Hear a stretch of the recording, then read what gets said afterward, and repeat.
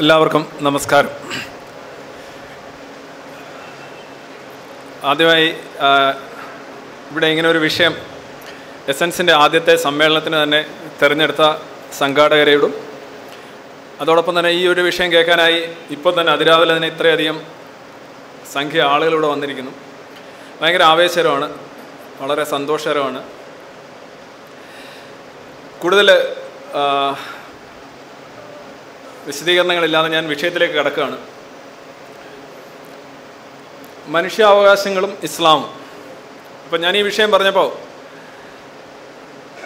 എന്നെ വളരെ അടുത്തറിയുന്ന ഒരു വ്യക്തി പുള്ളി എന്നോട് പറഞ്ഞു അതെന്ത് അതെന്ത് വിഷയമാണെന്ന് ചോദിച്ചത് ഇതെന്താണ് ഇങ്ങനൊരു വിഷയം? ഇസ്ലാമിൽ എവിടെ മനുഷ്യാവകാശങ്ങൾ?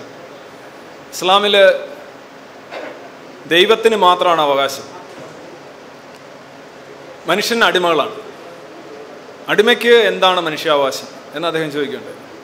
അദ്ദേഹം എവിടെയുണ്ട് വേദിയിലുണ്ട്. ശരിയായ ഒരു ചോദ്യമാണത് ശരിക്കും. പക്ഷേ ഇവിടെ നമ്മൾ വിട്ടുകളയുന്ന ഒരു പ്രശ്നമുണ്ട്. എന്താണ് മനുഷ്യാവകാശം എന്നുള്ളത്? ഇന്ന് മനുഷ്യാവകാശ ദിനമാണ്. ഇപ്പം ഞാൻ ആദ്യം പറയാൻ ഉദ്ദേശിക്കുന്നത് എന്താണ് നമ്മൾ മനുഷ്യാവകാശങ്ങൾ എന്ന് പറയുന്നതുകൊണ്ട് ഉദ്ദേശിക്കുന്നത്? രണ്ട് ഇസ്ലാമിന്റെ മനുഷ്യാവകാശങ്ങൾ അല്ലെങ്കിൽ ഇസ്ലാം ഉദ്ദേശിക്കുന്ന മനുഷ്യാവകാശങ്ങൾ എന്തൊക്കെയാണ്? മൂന്ന് മനുഷ്യാവകാശ രംഗത്ത് കഴിഞ്ഞ കുറേ കാലമായി ഇസ്ലാമിന്റെ പ്രകടനം എന്താണ്? ഈ മൂന്ന് വിഷയങ്ങളാണ് അല്ലെങ്കിൽ മൂന്ന് ഭാഗങ്ങളാണ് ഈ പ്രസന്റേഷനുള്ളത്. ആദ്യമേ ഒരു കാര്യം പറയാം. പലപ്പോഴും മതങ്ങളെ സംബന്ധിച്ച് പറയുമ്പോൾ അവർ ആദ്യം ചോദിക്കും ചോദ്യം എന്തുകൊണ്ട് നിങ്ങൾ മറ്റവരെക്കുറിച്ച് പറയുന്നില്ല എന്ന് ചോദിക്കും. ഇവിടെ മറ്റവരെക്കുറിച്ച് അല്ല ടോപ്പിക്ക് ഇസ്ലാം മാത്രം കേന്ദ്രീകരിച്ചുള്ള ഒരു ചർച്ചയാണ്. അതുകൊണ്ട് ഈ ഒരു വിശദീകരണം ആദ്യമേ നടത്തുകയാണ്. ആദ്യം പലപ്പോഴും പറയല്ലോ ഈ കണ്ടീഷൻ സപ്ലൈ എന്ന് എഴുതി കാണിക്കുമല്ലോ.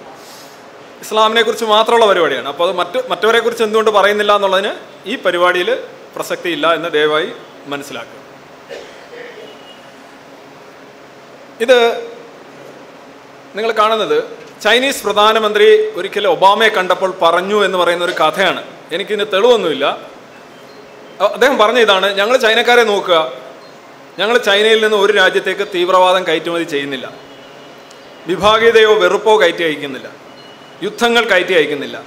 മതങ്ങൾ കയറ്റി അയക്കുന്നില്ല. അന്ധവിശ്വാസങ്ങൾ കയറ്റി അയക്കുന്നില്ല. അനാചാരങ്ങളും മതപ്രവർത്തകരെയും കയറ്റി അയക്കുന്നില്ല. പക്ഷേ ഞങ്ങൾ വസ്ത്രങ്ങൾ കയറ്റി അയക്കുന്നു. ഇലക്ട്രോണിക് സാമഗ്രികൾ കയറ്റി അയക്കുന്നു. നിങ്ങൾ നൂറ് ഡോളറിന് വാങ്ങിയ വസ്തുക്കൾ ഞങ്ങൾ ഒരു ഡോളറിന് നൽകുന്നു. അധ്വാനിക്കാൻ ഒരു മടിയുമില്ലാത്ത ഒരു ജനസമൂഹമാണ് ഞങ്ങൾ. ഞങ്ങളെ എന്തിന് വെറുക്കണം?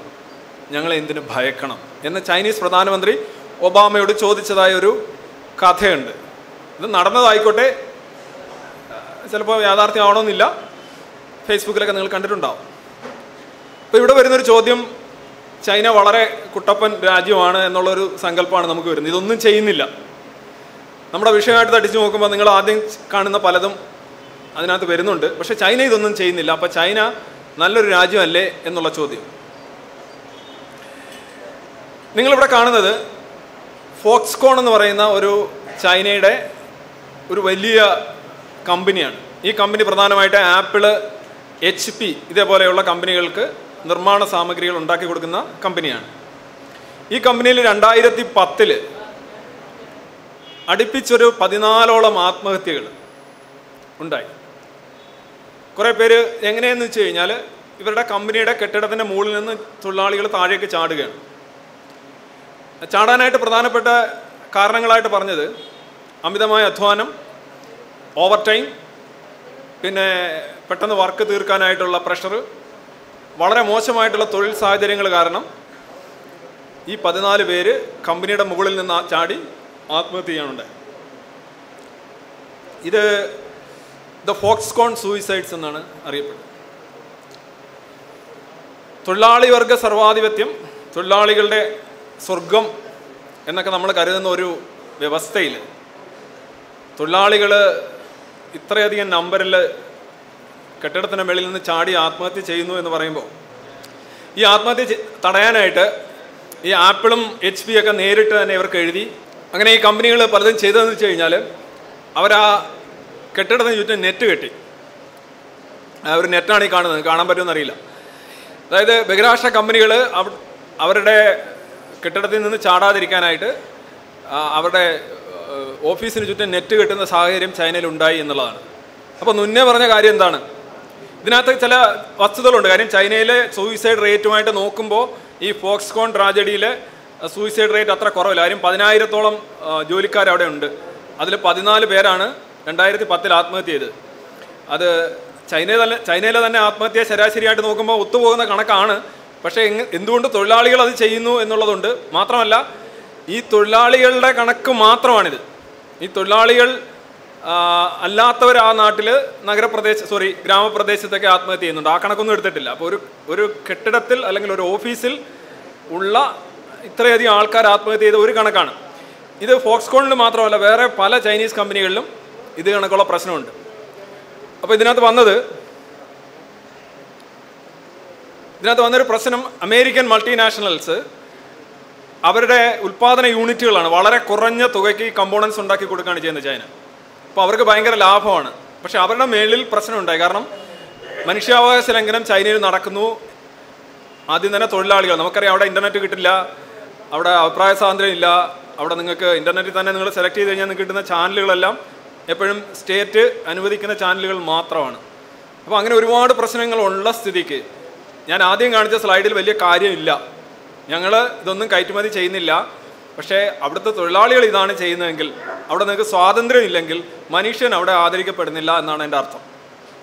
അതുപോലെ തന്നെ ചില ആൾക്കാർ പറയാറുണ്ട് ഈ ജാതി മത അല്ലെങ്കിൽ തന്നെ സോഷ്യൽ ഹയറാർക്കി ഒക്കെ ഉള്ളവർക്ക് പ്രശ്നങ്ങളൊന്നും ഇല്ല.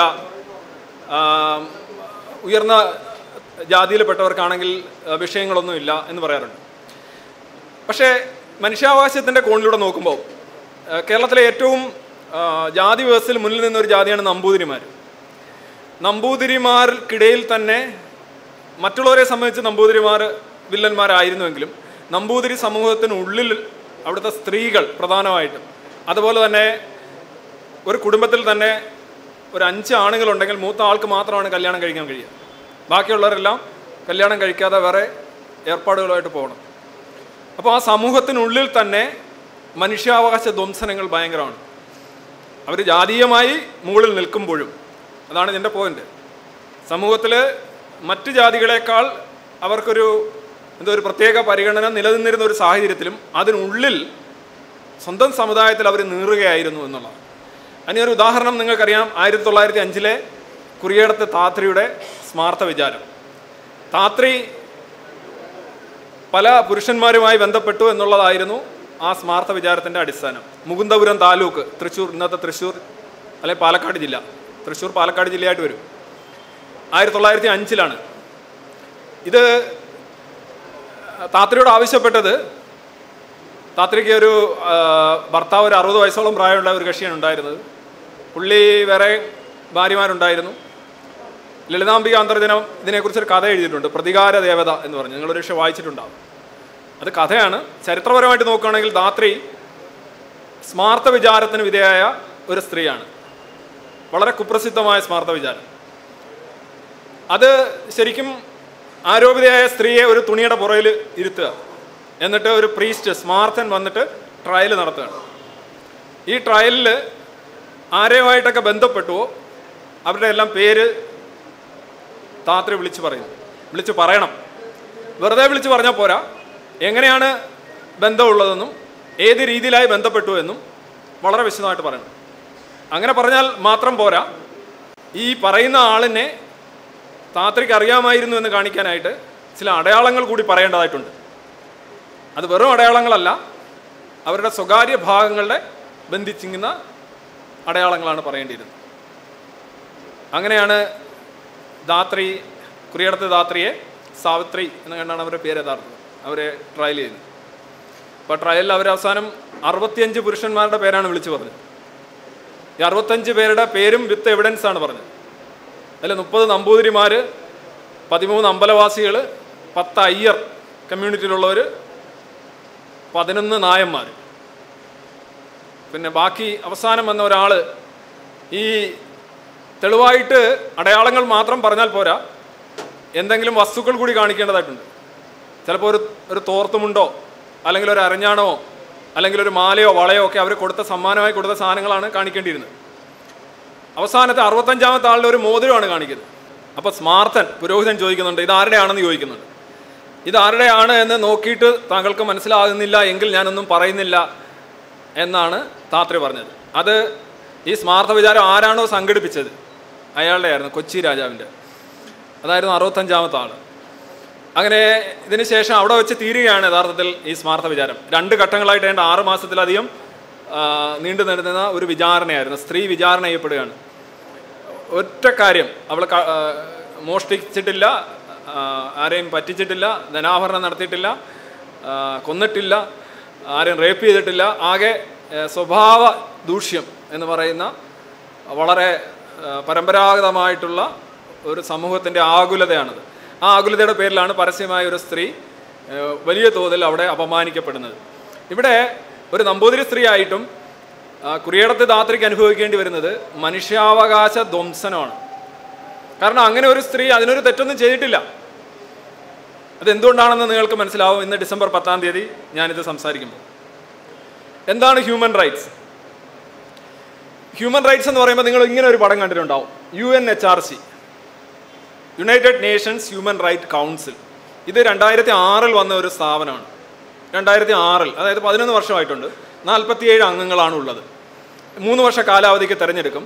അത് ആഫ്രിക്കയിൽ നിന്ന് ഇത്ര ഏഷ്യയിൽ നിന്ന് ഇത്ര ഓഷ്യാനിയ അമേരിക്ക ഇങ്ങനെ ഓരോരോ സ്ഥലങ്ങളിൽ നിന്നും കോട്ട വെച്ചാണ് ആളുകളെ തിരഞ്ഞെടുക്കുന്നത്. ഇതല്ല വിഷയം. ഇത് വന്ന് രണ്ടായിരത്തി ആറിലാണെങ്കിലും പെട്ടെന്ന് യു എൻ രണ്ടായിരത്തി ആറിൽ ഒരു കൗൺസിൽ ഉണ്ടാക്കുകയല്ല ചെയ്യുന്നത്. ആയിരത്തി തൊള്ളായിരത്തി നാൽപ്പത്തഞ്ചിലെ യു എൻ ചാർട്ടറിന് ശേഷം ആയിരത്തി തൊള്ളായിരത്തി നാൽപ്പത്തി എട്ടിൽ അതായത് ഇന്ത്യയ്ക്ക് സ്വാതന്ത്ര്യം കിട്ടി. ഏതാണ്ട് ഒരു വർഷം കഴിയുമ്പോൾ നമുക്ക് ആദ്യമായി universal declaration of human rights എന്ന് പറയുന്ന ഒരു ഡോക്യുമെന്റ് ഉണ്ടാവും. ആ ഡോക്യുമെന്റിനെ കുറിച്ചാണ് ഇന്നത്തെ ക്ലാസ് മുഴുവൻ. ഓക്കെ.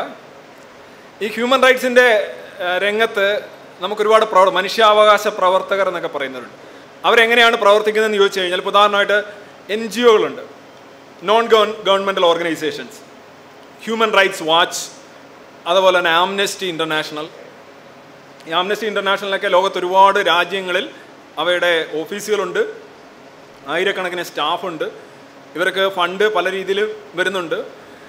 പിന്നെ അതുപോലെ യു എൻ വാച്ച് ഒരുപാട് എൻ ജി ഒകൾ യുണൈറ്റഡ് നേഷൻസിന്റെയും അല്ലെങ്കിൽ ലോകമെമ്പാടുമുള്ള മനുഷ്യാവകാശം അതുപോലെ തന്നെ സമാധാനം ലോകത്തിന് മൊത്തം കൺസേൺഡ് ആയിട്ടുള്ള വിഷയങ്ങളെ പഠിക്കാനും അതിനകത്ത് നിർദ്ദേശങ്ങൾ സമർപ്പിക്കാനും ഒക്കെ ആയിട്ട് ഒരുപാട് എൻ ജി ഒകൾ പ്രവർത്തിക്കുന്നുണ്ട്. അതിൽ ഏറ്റവും പ്രധാനപ്പെട്ട രണ്ട് മനുഷ്യാവകാശ സംഘടനകളുടെ ഇതാണ് ഞാൻ എംബ്ലമാണ് കൊടുത്തിരിക്കുന്നത്. ഹ്യൂമൻ റൈറ്റ്സ് വാച്ചും ആംനെസ്റ്റി ഇന്റർനാഷണൽ ഇതല്ലാതെ തന്നെ ഒരുപാട് സംഘടനകളുണ്ട്.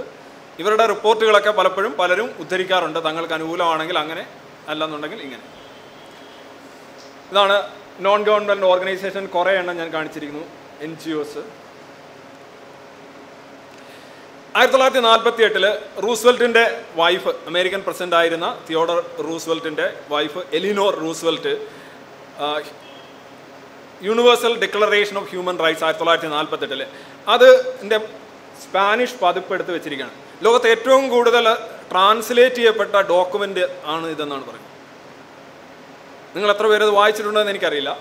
ലോകത്ത് ഏറ്റവും അധികം ട്രാൻസ്ലേറ്റ് ചെയ്യപ്പെട്ട ഡോക്യുമെന്റ് ആയിരത്തി തൊള്ളായിരത്തി നാൽപ്പത്തി എട്ടിലെ യു എന്റെ universal declaration of human rights എന്ന് പറയുന്നത്. മുപ്പത് സുവർണ നിയമങ്ങൾ. മുപ്പത് സുവർണ നിയമങ്ങൾ. ഈ നിയമങ്ങൾ അനുസരിച്ചാണ് ലോകത്തെ പല ഭരണഘടനകളും അതിന്റെ അവസാന മിനുക്ക് പണികളിലേക്ക് കടക്കുന്നത്. ഈ ഡിക്ലറേഷന്റെ സാരാംശം ഉൾക്കൊണ്ടുകൊണ്ടാണ്. അന്താരാഷ്ട്ര കരാറുകളിൽ ഈ ഡിക്ലറേഷൻ പ്രധാനമാണ്. ആഭ്യന്തര യുദ്ധങ്ങളിൽ അതുപോലെ തന്നെ ഭരണതലത്തിലുള്ള തീരുമാനങ്ങളിൽ ലോകമെമ്പാടും പിന്തുടരുന്ന ഒരു സ്റ്റേറ്റ്മെന്റാണ് ഒരു ഡോക്യുമെന്റാണ് universal declaration of human rights പക്ഷേ ഇതിനെക്കുറിച്ചുള്ള ആരോപണം ഇത് വെസ്റ്റിന്റെ ആണ് എന്നാണ് പാശ്ചാത്യരുടെ ആണ് അതായത് സ്നേഹം പാശ്ചാത്യരുടെ ആണ് എന്ന് പറയുന്നത് പോലെ അല്ലെങ്കിൽ കരുണ പാശ്ചാത്യരുടെ ആണ് എന്ന് പറയുന്നത് പോലെ നിങ്ങൾക്ക് മനസ്സിലാവും ഇതെങ്ങനെയാണ് ഇത് പാശ്ചാത്യരുടെ ആവുന്നത്. അല്ലെങ്കിൽ വെസ്റ്റ് ഓറിയന്റഡ് ആകുന്നത് എന്നുള്ള ആരോപണത്തിന്റെ ഒരു അർത്ഥശൂന്യത ഞാൻ ഈ മുപ്പതെണ്ണവും ഇവിടെ വിവരിക്കാൻ പോവുകയാണ്.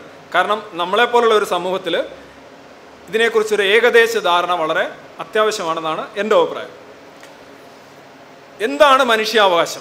മനുഷ്യാവകാശം എന്ന് പറയുന്ന കടയിൽ പോയി വാങ്ങിക്കുന്ന ഒരു സാധനമല്ല. It's not something that you can be bought you can ബോ ബൈ ഫ്രം ദ മാർക്കറ്റ് എങ്ങനെയാണ് നിങ്ങൾക്ക് മനുഷ്യാവകാശം ഉണ്ടാകുന്നത് മനുഷ്യാവകാശം ഉണ്ടാകുന്നത് നിങ്ങൾ മനുഷ്യനാകുമ്പോൾ മനുഷ്യാവകാശം ഉണ്ടായി എന്നാണ് അർത്ഥം.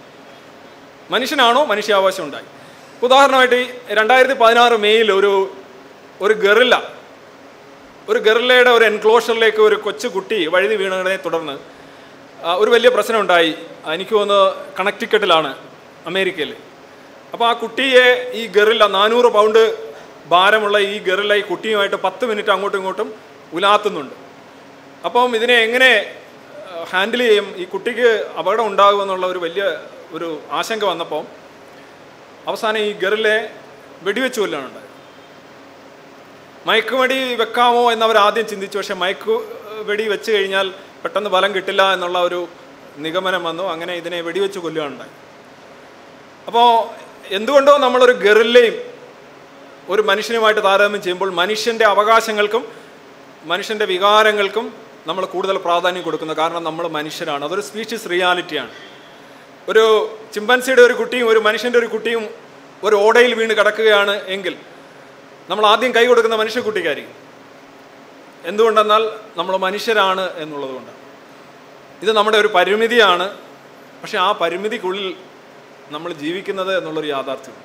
മനുഷ്യനാണ് നമുക്ക് പ്രധാനം. നമുക്ക് പ്രധാനം മനുഷ്യനായതുകൊണ്ട് മറ്റുള്ളവരെ നിസ്സാരവൽക്കരിക്കുകയോ നിസ്സാരവൽക്കരിക്കാൻ ശ്രമിക്കുകയോ ചെയ്യരുത്. അത് വേറെ കാര്യം. മനുഷ്യനാണ് നമ്മൾ മനുഷ്യരെക്കുറിച്ചാണ്. നമ്മളുണ്ടെങ്കിൽ മാത്രമേ നമുക്ക് ഈ ഈ പ്രപഞ്ചവും ലോകവും ഒക്കെ ഉള്ളൂ എന്നുള്ളതാണ്. അതാണ് അതുകൊണ്ട് ഉദ്ദേശിക്കുന്നത്. അല്ല മനുഷ്യന് വേണ്ടി എല്ലാം സൃഷ്ടിച്ചു മനുഷ്യൻ എന്തും ചെയ്യാം മനുഷ്യന് പ്രകൃതി നശിപ്പിക്കാം എന്നുള്ളതല്ല. നമ്മളെ സംബന്ധിച്ചൊരു വൈകാരികമായൊരു ദൗർബല്യമാണ് മനുഷ്യക്കുട്ടിക്ക് ആദ്യം കൈ കൊടുക്കാൻ ചിമ്പൻസി കുട്ടിക്ക് കൈ കൊടുത്തുകൂടെ? കൊടുക്കാം പക്ഷെ നമുക്ക് സാധിക്കില്ല. നമ്മുടെ ബ്രെയിൻ അത് അനുവദിക്കില്ല. ഒന്ന് ഞാൻ പറഞ്ഞു മനുഷ്യനാകുമ്പോൾ മനുഷ്യാവകാശം വന്നു. രണ്ട് അത് ഇൻഹറന്റ് ആണ് സഹജമാണ്. നിങ്ങൾക്ക് ആരും തരുമൊന്നും വേണ്ട. മനുഷ്യാവകാശം തരുന്നു എടുക്കുന്നു എന്ന് പറയുന്നതിനകത്ത് അർത്ഥമില്ല മനുഷ്യാവകാശം സഹജമാണ്. ഇനി ഈ universal declaration of human rights ആയിരത്തി തൊള്ളായിരത്തി നാൽപ്പത്തി എട്ടിൽ അൻപത്തെട്ട് രാജ്യങ്ങളെ അന്നുള്ളൂ. ആ രാജ്യങ്ങളിൽ ആരും തന്നെ എതിർത്തില്ല. ഏതാണ്ട് നാൽപ്പത്തെട്ടോളം രാജ്യങ്ങൾ അനുകൂലമായിട്ട് വോട്ട് ചെയ്താണ് ഇത് കൊണ്ടുവരുന്നത്. മുപ്പത് ആർട്ടിക്കിൾസ് ഉണ്ട്. ഇതൊരിക്കലും ഈ അംഗരാജ്യങ്ങൾക്ക് ലീഗലി ബൈൻഡിങ് അല്ല. എന്ന് വെച്ച് കഴിഞ്ഞാൽ അവർ നടപ്പിലാക്കിക്കൊള്ളണം നിർബന്ധമൊന്നുമില്ല. പക്ഷെ നടപ്പിലാക്കുന്നതാണ് ഒരു മര്യാദയും ഒരു ഒരു സുഖവും എല്ലാവർക്കും. അല്ലാതെ ഇത് നടപ്പിലാക്കണം അല്ലെന്നുണ്ടെങ്കിൽ വയലേഷൻ നമ്മുടെ നിർദ്ദേശക തത്വങ്ങൾ ഭരണഘടനയിലെ ഡയറക്റ്റീവ് പ്രിൻസിപ്പിൾസിന്റെ ഒരു തലത്തിൽ നിൽക്കുന്ന സാധനമാണ് പക്ഷേ ഇത് പലർക്കും നടപ്പിലാക്കാൻ കഴിയില്ല. പക്ഷെ നിങ്ങൾക്ക് നടപ്പിലാക്കാൻ കഴിയുമോ എന്നൊന്ന് പരിശോധിച്ച് നോക്കൂ. ആദ്യത്തെ ഡിക്ലറേഷൻ ഇതാണ് we are all born free and equal നമ്മളെല്ലാം ജനിച്ചത് സ്വതന്ത്രരായിട്ടാണ് നമ്മളെല്ലാം തുല്യരാണ്. അംഗീകരിക്കാൻ പറ്റുമില്ല ഞാൻ ചുരുക്കി ചോദിക്കുകയാണ്. രണ്ട് ഡു നോട്ട് ഡിസ്ക്രിമിനേറ്റ് അതായത് rights belongs to everybody whatever are whatever our differences are ആർക്കെതിരെയും വിവേചനം പാടില്ല. ജാതി മതം വർണം നിറം സ്ഥലം ഭാഷ. ഇതിന്റെ അടിസ്ഥാനത്തിൽ ആർക്കെതിരെയും വിവേചനം പാടില്ല. ബുദ്ധിമുട്ടായോ? മൂന്ന് right to life we all have the right to life and live in freedom and safety ജീവിക്കാനുള്ള അവകാശം എല്ലാവർക്കും ഉണ്ട് അതാണ്. സുരക്ഷിതത്തിനുള്ള അവകാശം എല്ലാവർക്കും ഉണ്ട് മുഖ്യമന്ത്രിക്കുണ്ട് ഒരു പൗരനുണ്ട് ഒരു ഭിക്ഷക്കാരനുണ്ട്. ഒരു ഭിക്ഷക്കാരനെ വെടിവെച്ച് കൊന്നു കഴിഞ്ഞാൽ അല്ലെങ്കിൽ ഒരു ഭിക്ഷക്കാരനെ നിങ്ങൾ കൊന്നു കഴിഞ്ഞാൽ ആർക്ക് ആർക്കും കേസില്ല എങ്കിലും നിങ്ങൾ അകത്താവും കാരണം എന്താണ്? സ്റ്റേറ്റ് സ്റ്റേറ്റിന് കേസുണ്ട്. സ്റ്റേറ്റിന് പരാതിയുണ്ട്. ഭിക്ഷക്കാരന് ആരുമില്ല. നിങ്ങൾക്കും പരാതിയില്ല. പുറത്താർക്കും പരാതിയില്ല. അപ്പോൾ സ്റ്റേറ്റ് കേസ് രജിസ്റ്റർ ചെയ്യും. കാരണം നിങ്ങൾ കൊലപാതകയാണ്. ഭിക്ഷക്കാരന്റെ കൊന്നാലും മുഖ്യമന്ത്രിയെ കൊന്നാലും ഒരേ രീതിയിലുള്ള ശിക്ഷയാണ്. കാര്യം ആ രണ്ടെണ്ണത്തിനും രണ്ട് ജീവനും ഒരേ വിലയാണ്. അതാണ് അന്താരാഷ്ട്ര മനുഷ്യാവകാശ നിയമത്തിന്റെ ഒരു അടിസ്ഥാനം. നാല് നോ സ്ലേവറി അടിമത്തം പാടില്ല. കേൾക്കുക. നമ്മൾ സബ്ജക്റ്റിലേക്ക് വന്നുകൊണ്ടേയിരിക്കുന്നു. അടിമത്തം പാടില്ല. Nobody has any right to make a slave we cannot make anyone our slave നമ്മളെ ആരും സ്ലേവാക്കാനും പാടില്ല. നമ്മൾ ആരെയും അടിമയാക്കാനും പാടില്ല. അഞ്ച് നോ ടോർച്ചർ. ആദ്യത്തെ അഞ്ചെണ്ണം വളരെ പ്രധാനപ്പെട്ടതാണ് nobody has any right to hurt us or torture us നമ്മളെ പീഡിപ്പിക്കാൻ ആർക്കും അവകാശമില്ല. ആരെയും പീഡിപ്പിക്കാൻ നമുക്കും അവകാശമില്ല. ഡൊമസ്റ്റിക് വയലൻസ് ഉൾപ്പെടെ നോക്കിക്കോളൂ you have the right no matter where you go I am a person just like you നിങ്ങൾക്ക് എവിടെയും പോകാനുള്ള അവകാശമുണ്ട്. ഈ രാജ്യത്ത് എവിടെയും സഞ്ചരിക്കാനുള്ള അവകാശമുണ്ട്. രാജ്യത്തിന് പുറത്തും പോകാം. വേണമെന്നുണ്ടെങ്കിൽ മോസ്കോയിലേക്കോ ന്യൂയോർക്കിലോ ഒക്കെ പോകാം. അതിനുള്ള അവകാശം നിൽക്കുന്നുണ്ട് നിങ്ങളെ തടഞ്ഞു വെക്കുകയാണെന്നുണ്ടെങ്കിൽ അതിന്റെ കാരണം കാണിക്കണം. ഈ അവകാശം നിങ്ങൾക്ക് ഉള്ളതാണ് നിങ്ങൾ നേടിയെടുക്കുന്നതല്ല. സഹജമാണ്. സഹജം. ഇൻഹറന്റ് ആണ്. ഏഴ് we are all equal before the law വലുത് ചെറുതെന്നില്ല നിയമത്തിന്റെ മുന്നിൽ എല്ലാവരും തുല്യരാണ്. ഫോർട്ടി എയ്റ്റിലെ ഡിക്ലറേഷൻ ആണ്. ഫോർട്ടി എയ്റ്റിലെ ഡിക്ലറേഷൻ ഒമ്പത് അൺഫെയർ ഡിറ്റെയിൻമെന്റ് പാടില്ല. അതായത് അന്യായമായ കരുതൽ തടങ്കൽ പാടില്ല. അറസ്റ്റ് ചെയ്യുക എന്ന് പറഞ്ഞാൽ തടയുക എന്നർത്ഥം. പോലീസ് നിങ്ങളെ അറസ്റ്റ് ചെയ്യുക എന്ന് പറഞ്ഞാൽ നിങ്ങളുടെ സഞ്ചാര സ്വാതന്ത്ര്യം നീ ഇനി ചലിക്കണ്ട എന്ന് പറയാണ്. അങ്ങനെ നിങ്ങൾ ചലിക്കണ്ട എന്ന് പറയാൻ ലോകത്ത് ആർക്കും അവകാശമില്ല. മതിയായ കാരണങ്ങൾ ഇല്ലാതെ. അതൊരു ക്രൈമാണ്. അൺഫെയർ ഡിറ്റൈൻമെന്റ് ഒരു ക്രൈമാണ്. ദെൻ റൈറ്റ് ടു ട്രയൽ നിങ്ങൾ ഏതൊരു കുറ്റം ചെയ്തോട്ടെ നിങ്ങളുടെ സ്വന്തം മാതാപിതാക്കളെ കൊന്ന ആളാണെങ്കിലും വളരെ നീതിപൂർവകമായ ഒരു വിസ്താരം ഒരു ട്രയലിന് നിങ്ങൾക്ക് അർഹതയുണ്ട്. നിങ്ങൾക്കൊരു അഡ്വക്കേറ്റ് ഉണ്ട്. അങ്ങനെയാണ് കസാവ് ഇവിടെ വരുമ്പോൾ ഇന്ത്യക്കെതിരെ ഗൂഢാലോചന നടത്തിയിട്ട് ഇന്ത്യക്കാരെ കൊന്ന ഒരു ഭീകരന് പോലും ഇന്ത്യയിൽ എന്തിനാണ് അഡ്വക്കേറ്റിനെ ഏർപ്പെടുത്തിയത് എന്ന് നിങ്ങൾ ചോദിക്കുമ്പോൾ ഇതൊന്ന് വായിച്ചിരിക്കുന്നത് നല്ലതാണ്. ചിലപ്പോൾ അഡ്വക്കേറ്റ് അഡ്വക്കേറ്റ് വേണം.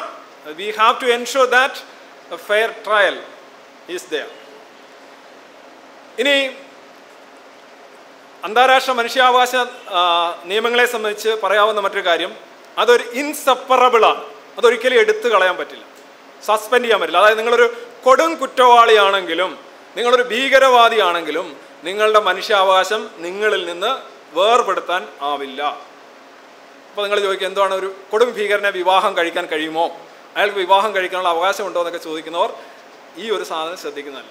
നിങ്ങളെ കൊല്ലാൻ പോകുന്നതിന് മുമ്പും നിങ്ങളുടെ മനുഷ്യാവകാശങ്ങൾ നിങ്ങളോടൊപ്പം ഉണ്ടാകും എന്നുള്ളത് അത് ഇൻസെപ്പറബിൾ ആണ്. സാർവത്രികം യൂണിവേഴ്സൽ ആണ്. എല്ലായിടത്തും ഉണ്ട്. ഇന്ത്യക്കാർക്ക് മാത്രമുള്ള സാധനം അല്ല റഷ്യക്കാർക്ക് മാത്രമുള്ള സാധനമുള്ള എല്ലാവർക്കും ഉണ്ട്. ഇനി മറ്റുള്ളതാണ് ഏറ്റവും പ്രധാനം. മാറ്റങ്ങൾക്ക് വിധേയമാണ്. മനുഷ്യാവകാശം ഇന്നലെ പറഞ്ഞ ഒരു സാധനത്തിൽ തന്നെ എക്കാലത്തും ഉറച്ചു നിൽക്കണമെന്നില്ല. അതിന്റെ ബെറ്റർമെന്റ് ആകാം അതിന്റെ റീഫോർമേഷൻ ആകാം. മനസ്സിലായില്ലേ? എന്ന് എക്കാലത്തേക്കുമുള്ള സനാതന മൂല്യങ്ങളോ നിയമങ്ങളോ ഇതിനകത്ത് പറയുന്നില്ല. പറഞ്ഞ മുപ്പതെണ്ണം ഇതാണ്. ഇത് പാലിക്കുക. കുറച്ചുകൂടെ നല്ലത് വരുമ്പോൾ കുറേ കൂടെയാണ് then we are all innocent till proven guilty നമ്മളെല്ലാവരും കുറ്റം ചെയ്തു എന്ന് ആരോപിക്കപ്പെടുന്നു. പക്ഷേ കുറ്റം തെളിയുന്നത് വരെ എല്ലാവരും നിരപരാധികളാണ്. ആർട്ടിക്കിൾ പതിനൊന്ന്. ആർട്ടിക്കിൾ പന്ത്രണ്ട് റൈറ്റ് ടു പ്രൈവസി സ്വകാര്യതയ്ക്കുള്ള അവകാശം. മയ്ക്ക് കൊണ്ടുവന്ന് അദ്ദേഹത്തെ മുട്ടിക്കുമ്പോൾ മുഖ്യമന്ത്രി പ്രതികരിക്കുമ്പോൾ അദ്ദേഹത്തിന് പറയാൻ കഴിയുന്ന ഒരു കാര്യമാണ് റൈറ്റ് ടു പ്രൈവസി നമുക്കെല്ലാം തന്നെ നമ്മളുടെ അടുത്ത് ഒരാൾ എത്ര മാത്രം കൈ കൊണ്ട് ചെല്ലാൻ കഴിയും എന്നുള്ളതിനെക്കുറിച്ച് ഒരു അലിഖിതമായിട്ടുള്ള ഒരു ഒരു അതിർത്തി നമ്മളെല്ലാം സൂക്ഷിക്കുന്നുണ്ട്. ഒരുപാട് അടു- അടുത്ത് വരുമ്പോൾ നമ്മൾ അങ്ങോട്ട് മാറി നിൽക്കുന്നു അതൊരു സ്വകാര്യ സ്പേസാണ്. അതുപോലെ തന്നെ നമ്മൾ യാത്ര ചെയ്യുമ്പോൾ ഓരോരുത്തർ ഫോട്ടോ എടുക്കാനായാലും അല്ലെന്നുണ്ടെങ്കിൽ വേറെ പല കാര്യങ്ങൾക്കായിട്ടും ഒരാൾക്കത് നിഷേധിക്കാനുള്ള അവകാശമുണ്ട് എന്നുള്ളതാണ് നമ്മൾ കാണേണ്ടത്. ഒരു ഇന്റർവ്യൂ നിഷേധിക്കാനുള്ള അവകാശമുണ്ട്. എല്ലാ തരത്തിലുള്ള തന്റെ സ്വകാര്യതയ്ക്ക് ഭംഗം വരുന്ന എല്ലാ കാര്യങ്ങളെയും ഇവിടെ നോ പറയാനുള്ള അവകാശം എല്ലാ വ്യക്തികൾക്കും ഉണ്ട്. മുഖ്യമന്ത്രിക്കുണ്ട്. ഒരു ഭിക്ഷക്കാരനും ഉണ്ട്. ഭിക്ഷക്കാരൻ മോശമാണെന്നല്ല ഞാൻ പറഞ്ഞത്. അയാളുടെ ഗതികേട് കൊണ്ട് അയാൾ അങ്ങനെ ജീവിക്കുന്നു എന്നേ ഉള്ളൂ സാമ്പത്തികമായി. ഫ്രീഡം ടു മൂവ് അത് ഞാൻ പറഞ്ഞു we have the right to go anywhere we want in our country or travel as such ഇനി right to seek a safe place to leave നാട്ടിലൊരു കലാപം ഉണ്ടാവുകയാണെങ്കിൽ നിങ്ങൾക്കൊരു പ്രശ്നം ഉണ്ടാകണമെന്നുണ്ടെങ്കിൽ അഭയം തേടി ഒളിച്ചോടാനുള്ള അവകാശം എല്ലാ പൗരന്മാർക്കും ഉണ്ട്. മനസ്സിലായി? നിങ്ങൾക്ക് വേറെ വേറൊരു രാജ്യത്ത് പോയി അഭയം ചോദിക്കാനുള്ള അവകാശമുണ്ട്. ആ അഭയം ചോദിക്കുന്ന നിങ്ങളുടെ അപേക്ഷ പരിഗണിക്കാനുള്ള ബാധ്യത അവർക്കുമുണ്ട്.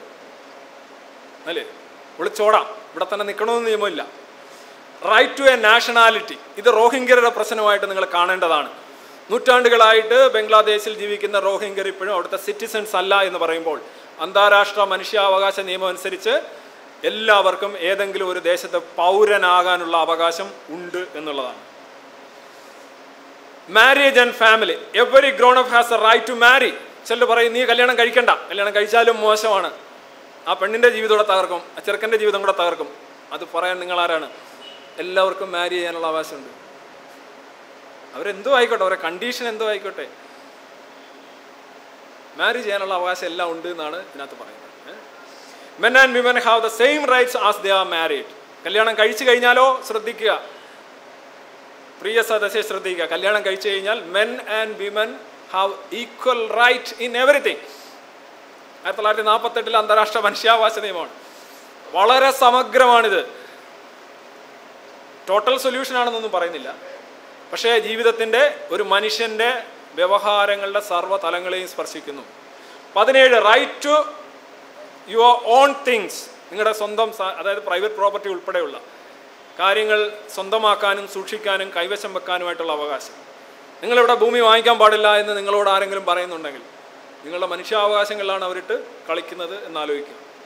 Freedom of thought come to the point ചിന്തിക്കാനും ചിന്താ സ്വാതന്ത്ര്യം അതെല്ലാവർക്കും ഉണ്ട്.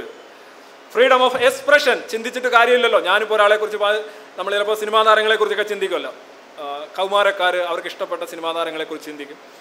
അവരുടെ കൂടെ ടൂറിന് പോകും പക്ഷെ അതൊക്കെ മസ്തിഷ്കത്തിൽ മാത്രം നടക്കുന്ന കാര്യങ്ങളാണ്.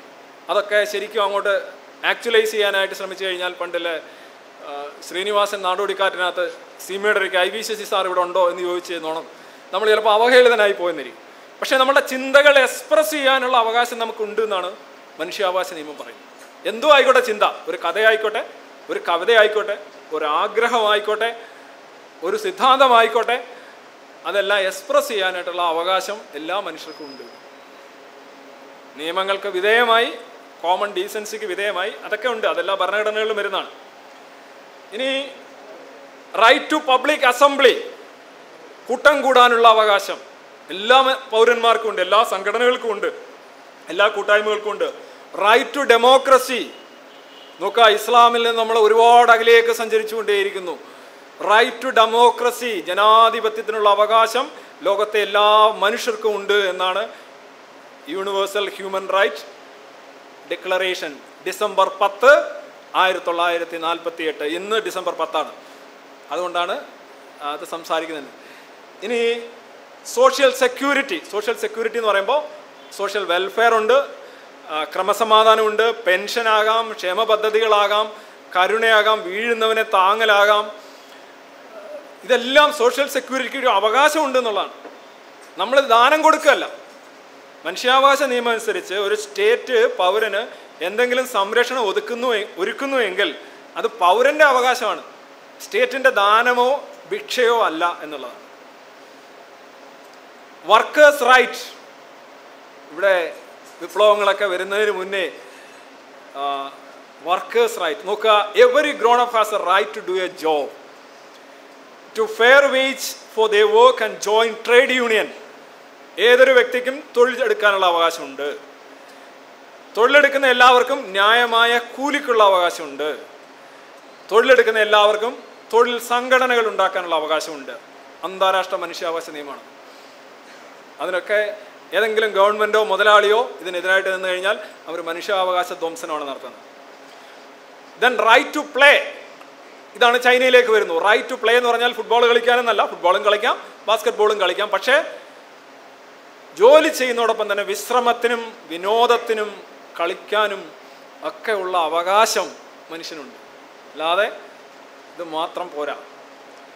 Then food and shelter to all എല്ലാവർക്കും കിടപ്പാടത്തിനുള്ള അവകാശമുണ്ട്. എന്തിനാണ് ഗവൺമെന്റ് കൊടുക്കുന്നത്?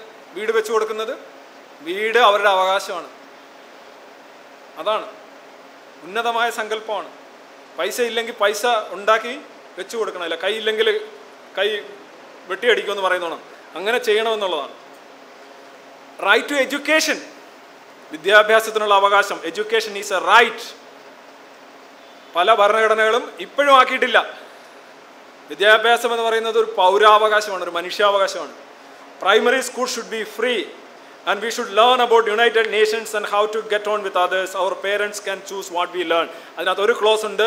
നമ്മൾ എന്ത് പഠിക്കണം എന്നുള്ള കാര്യത്തിൽ ആദ്യഘട്ടത്തിൽ നമ്മളുടെ മാതാപിതാക്കൾക്ക് ഒരു തീരുമാനം എടുക്കാം. കാരണം നമുക്കറിയില്ലല്ലോ എന്താ പഠി കെമിസ്ട്രി പഠിക്കണം എന്ന് പറയുന്ന ഒരാൾക്ക് കെമിസ്ട്രി എന്താണെന്ന് അറിയില്ലല്ലോ. ഏത് സ്കൂളിൽ പഠിക്കണം? ഇംഗ്ലീഷ് മീഡിയം ആണോ മലയാളം മീഡിയം എന്ന് കുട്ടിക്കറിയില്ലല്ലോ അക്കാര്യത്തിലൊക്കെ മാതാപിതാക്കൾക്ക് ഒരു തീരുമാനം എടുക്കാം. ഒരു വ്യക്തി പൂർണനായി കഴിഞ്ഞാൽ അവന് പ്രായപൂർത്തിയായി കഴിഞ്ഞാൽ അക്കാര്യത്തിൽ ഒന്നും നടക്കില്ല. പക്ഷെ ആദ്യഘട്ടത്തിൽ തീരുമാനം എടുക്കാം. ഇനി copyright copyright is a special law that protects ഇത് വളരെ ആധുനികമായ കാര്യമാണ്. One's own artistic creations and writing നിങ്ങൾ എഴുതുന്നതിന്റെ നിങ്ങളുടെ വര നിങ്ങളുടെ സംഗീതം ഇതിനൊക്കെയുള്ള അവകാശമുണ്ട്. യേശുദാസ് സ്വന്തം പാട്ട് വേറെ ആരും പാടരുതെന്ന് യേശുദാസോ ബാലസുബ്രഹ്മണ്യോ പറയുമ്പോൾ നമ്മളെല്ലാം പരിഹസിക്കുമ്പോഴും അവർക്ക് യഥാർത്ഥത്തിൽ അങ്ങനെ പറയാനുള്ള അവകാശം ഉണ്ട് എന്നാണ് നമ്മൾ കാണേണ്ടത്. അതിന്റെ സാങ്കേതികതയിലേക്കൊന്നും പോകുന്നില്ല. സ്വന്തം വർക്കുകൾ സർഗാത്മക സൃഷ്ടികളെല്ലാം സ്വന്തമായി സൂക്ഷിക്കാനും അതിന്റെ ഉടമസ്ഥാവകാശം കൈവശം വെക്കാനും എല്ലാ പൗരനും അവകാശമുണ്ട്. A fair and free world there must be proper order so we can all enjoy the rights and freedom in our own country and all over the world. എല്ലായിടത്തും നമ്മളുടെ സ്വാതന്ത്ര്യവും അവകാശവും അനുഭവിക്കാനുള്ള അവകാശം.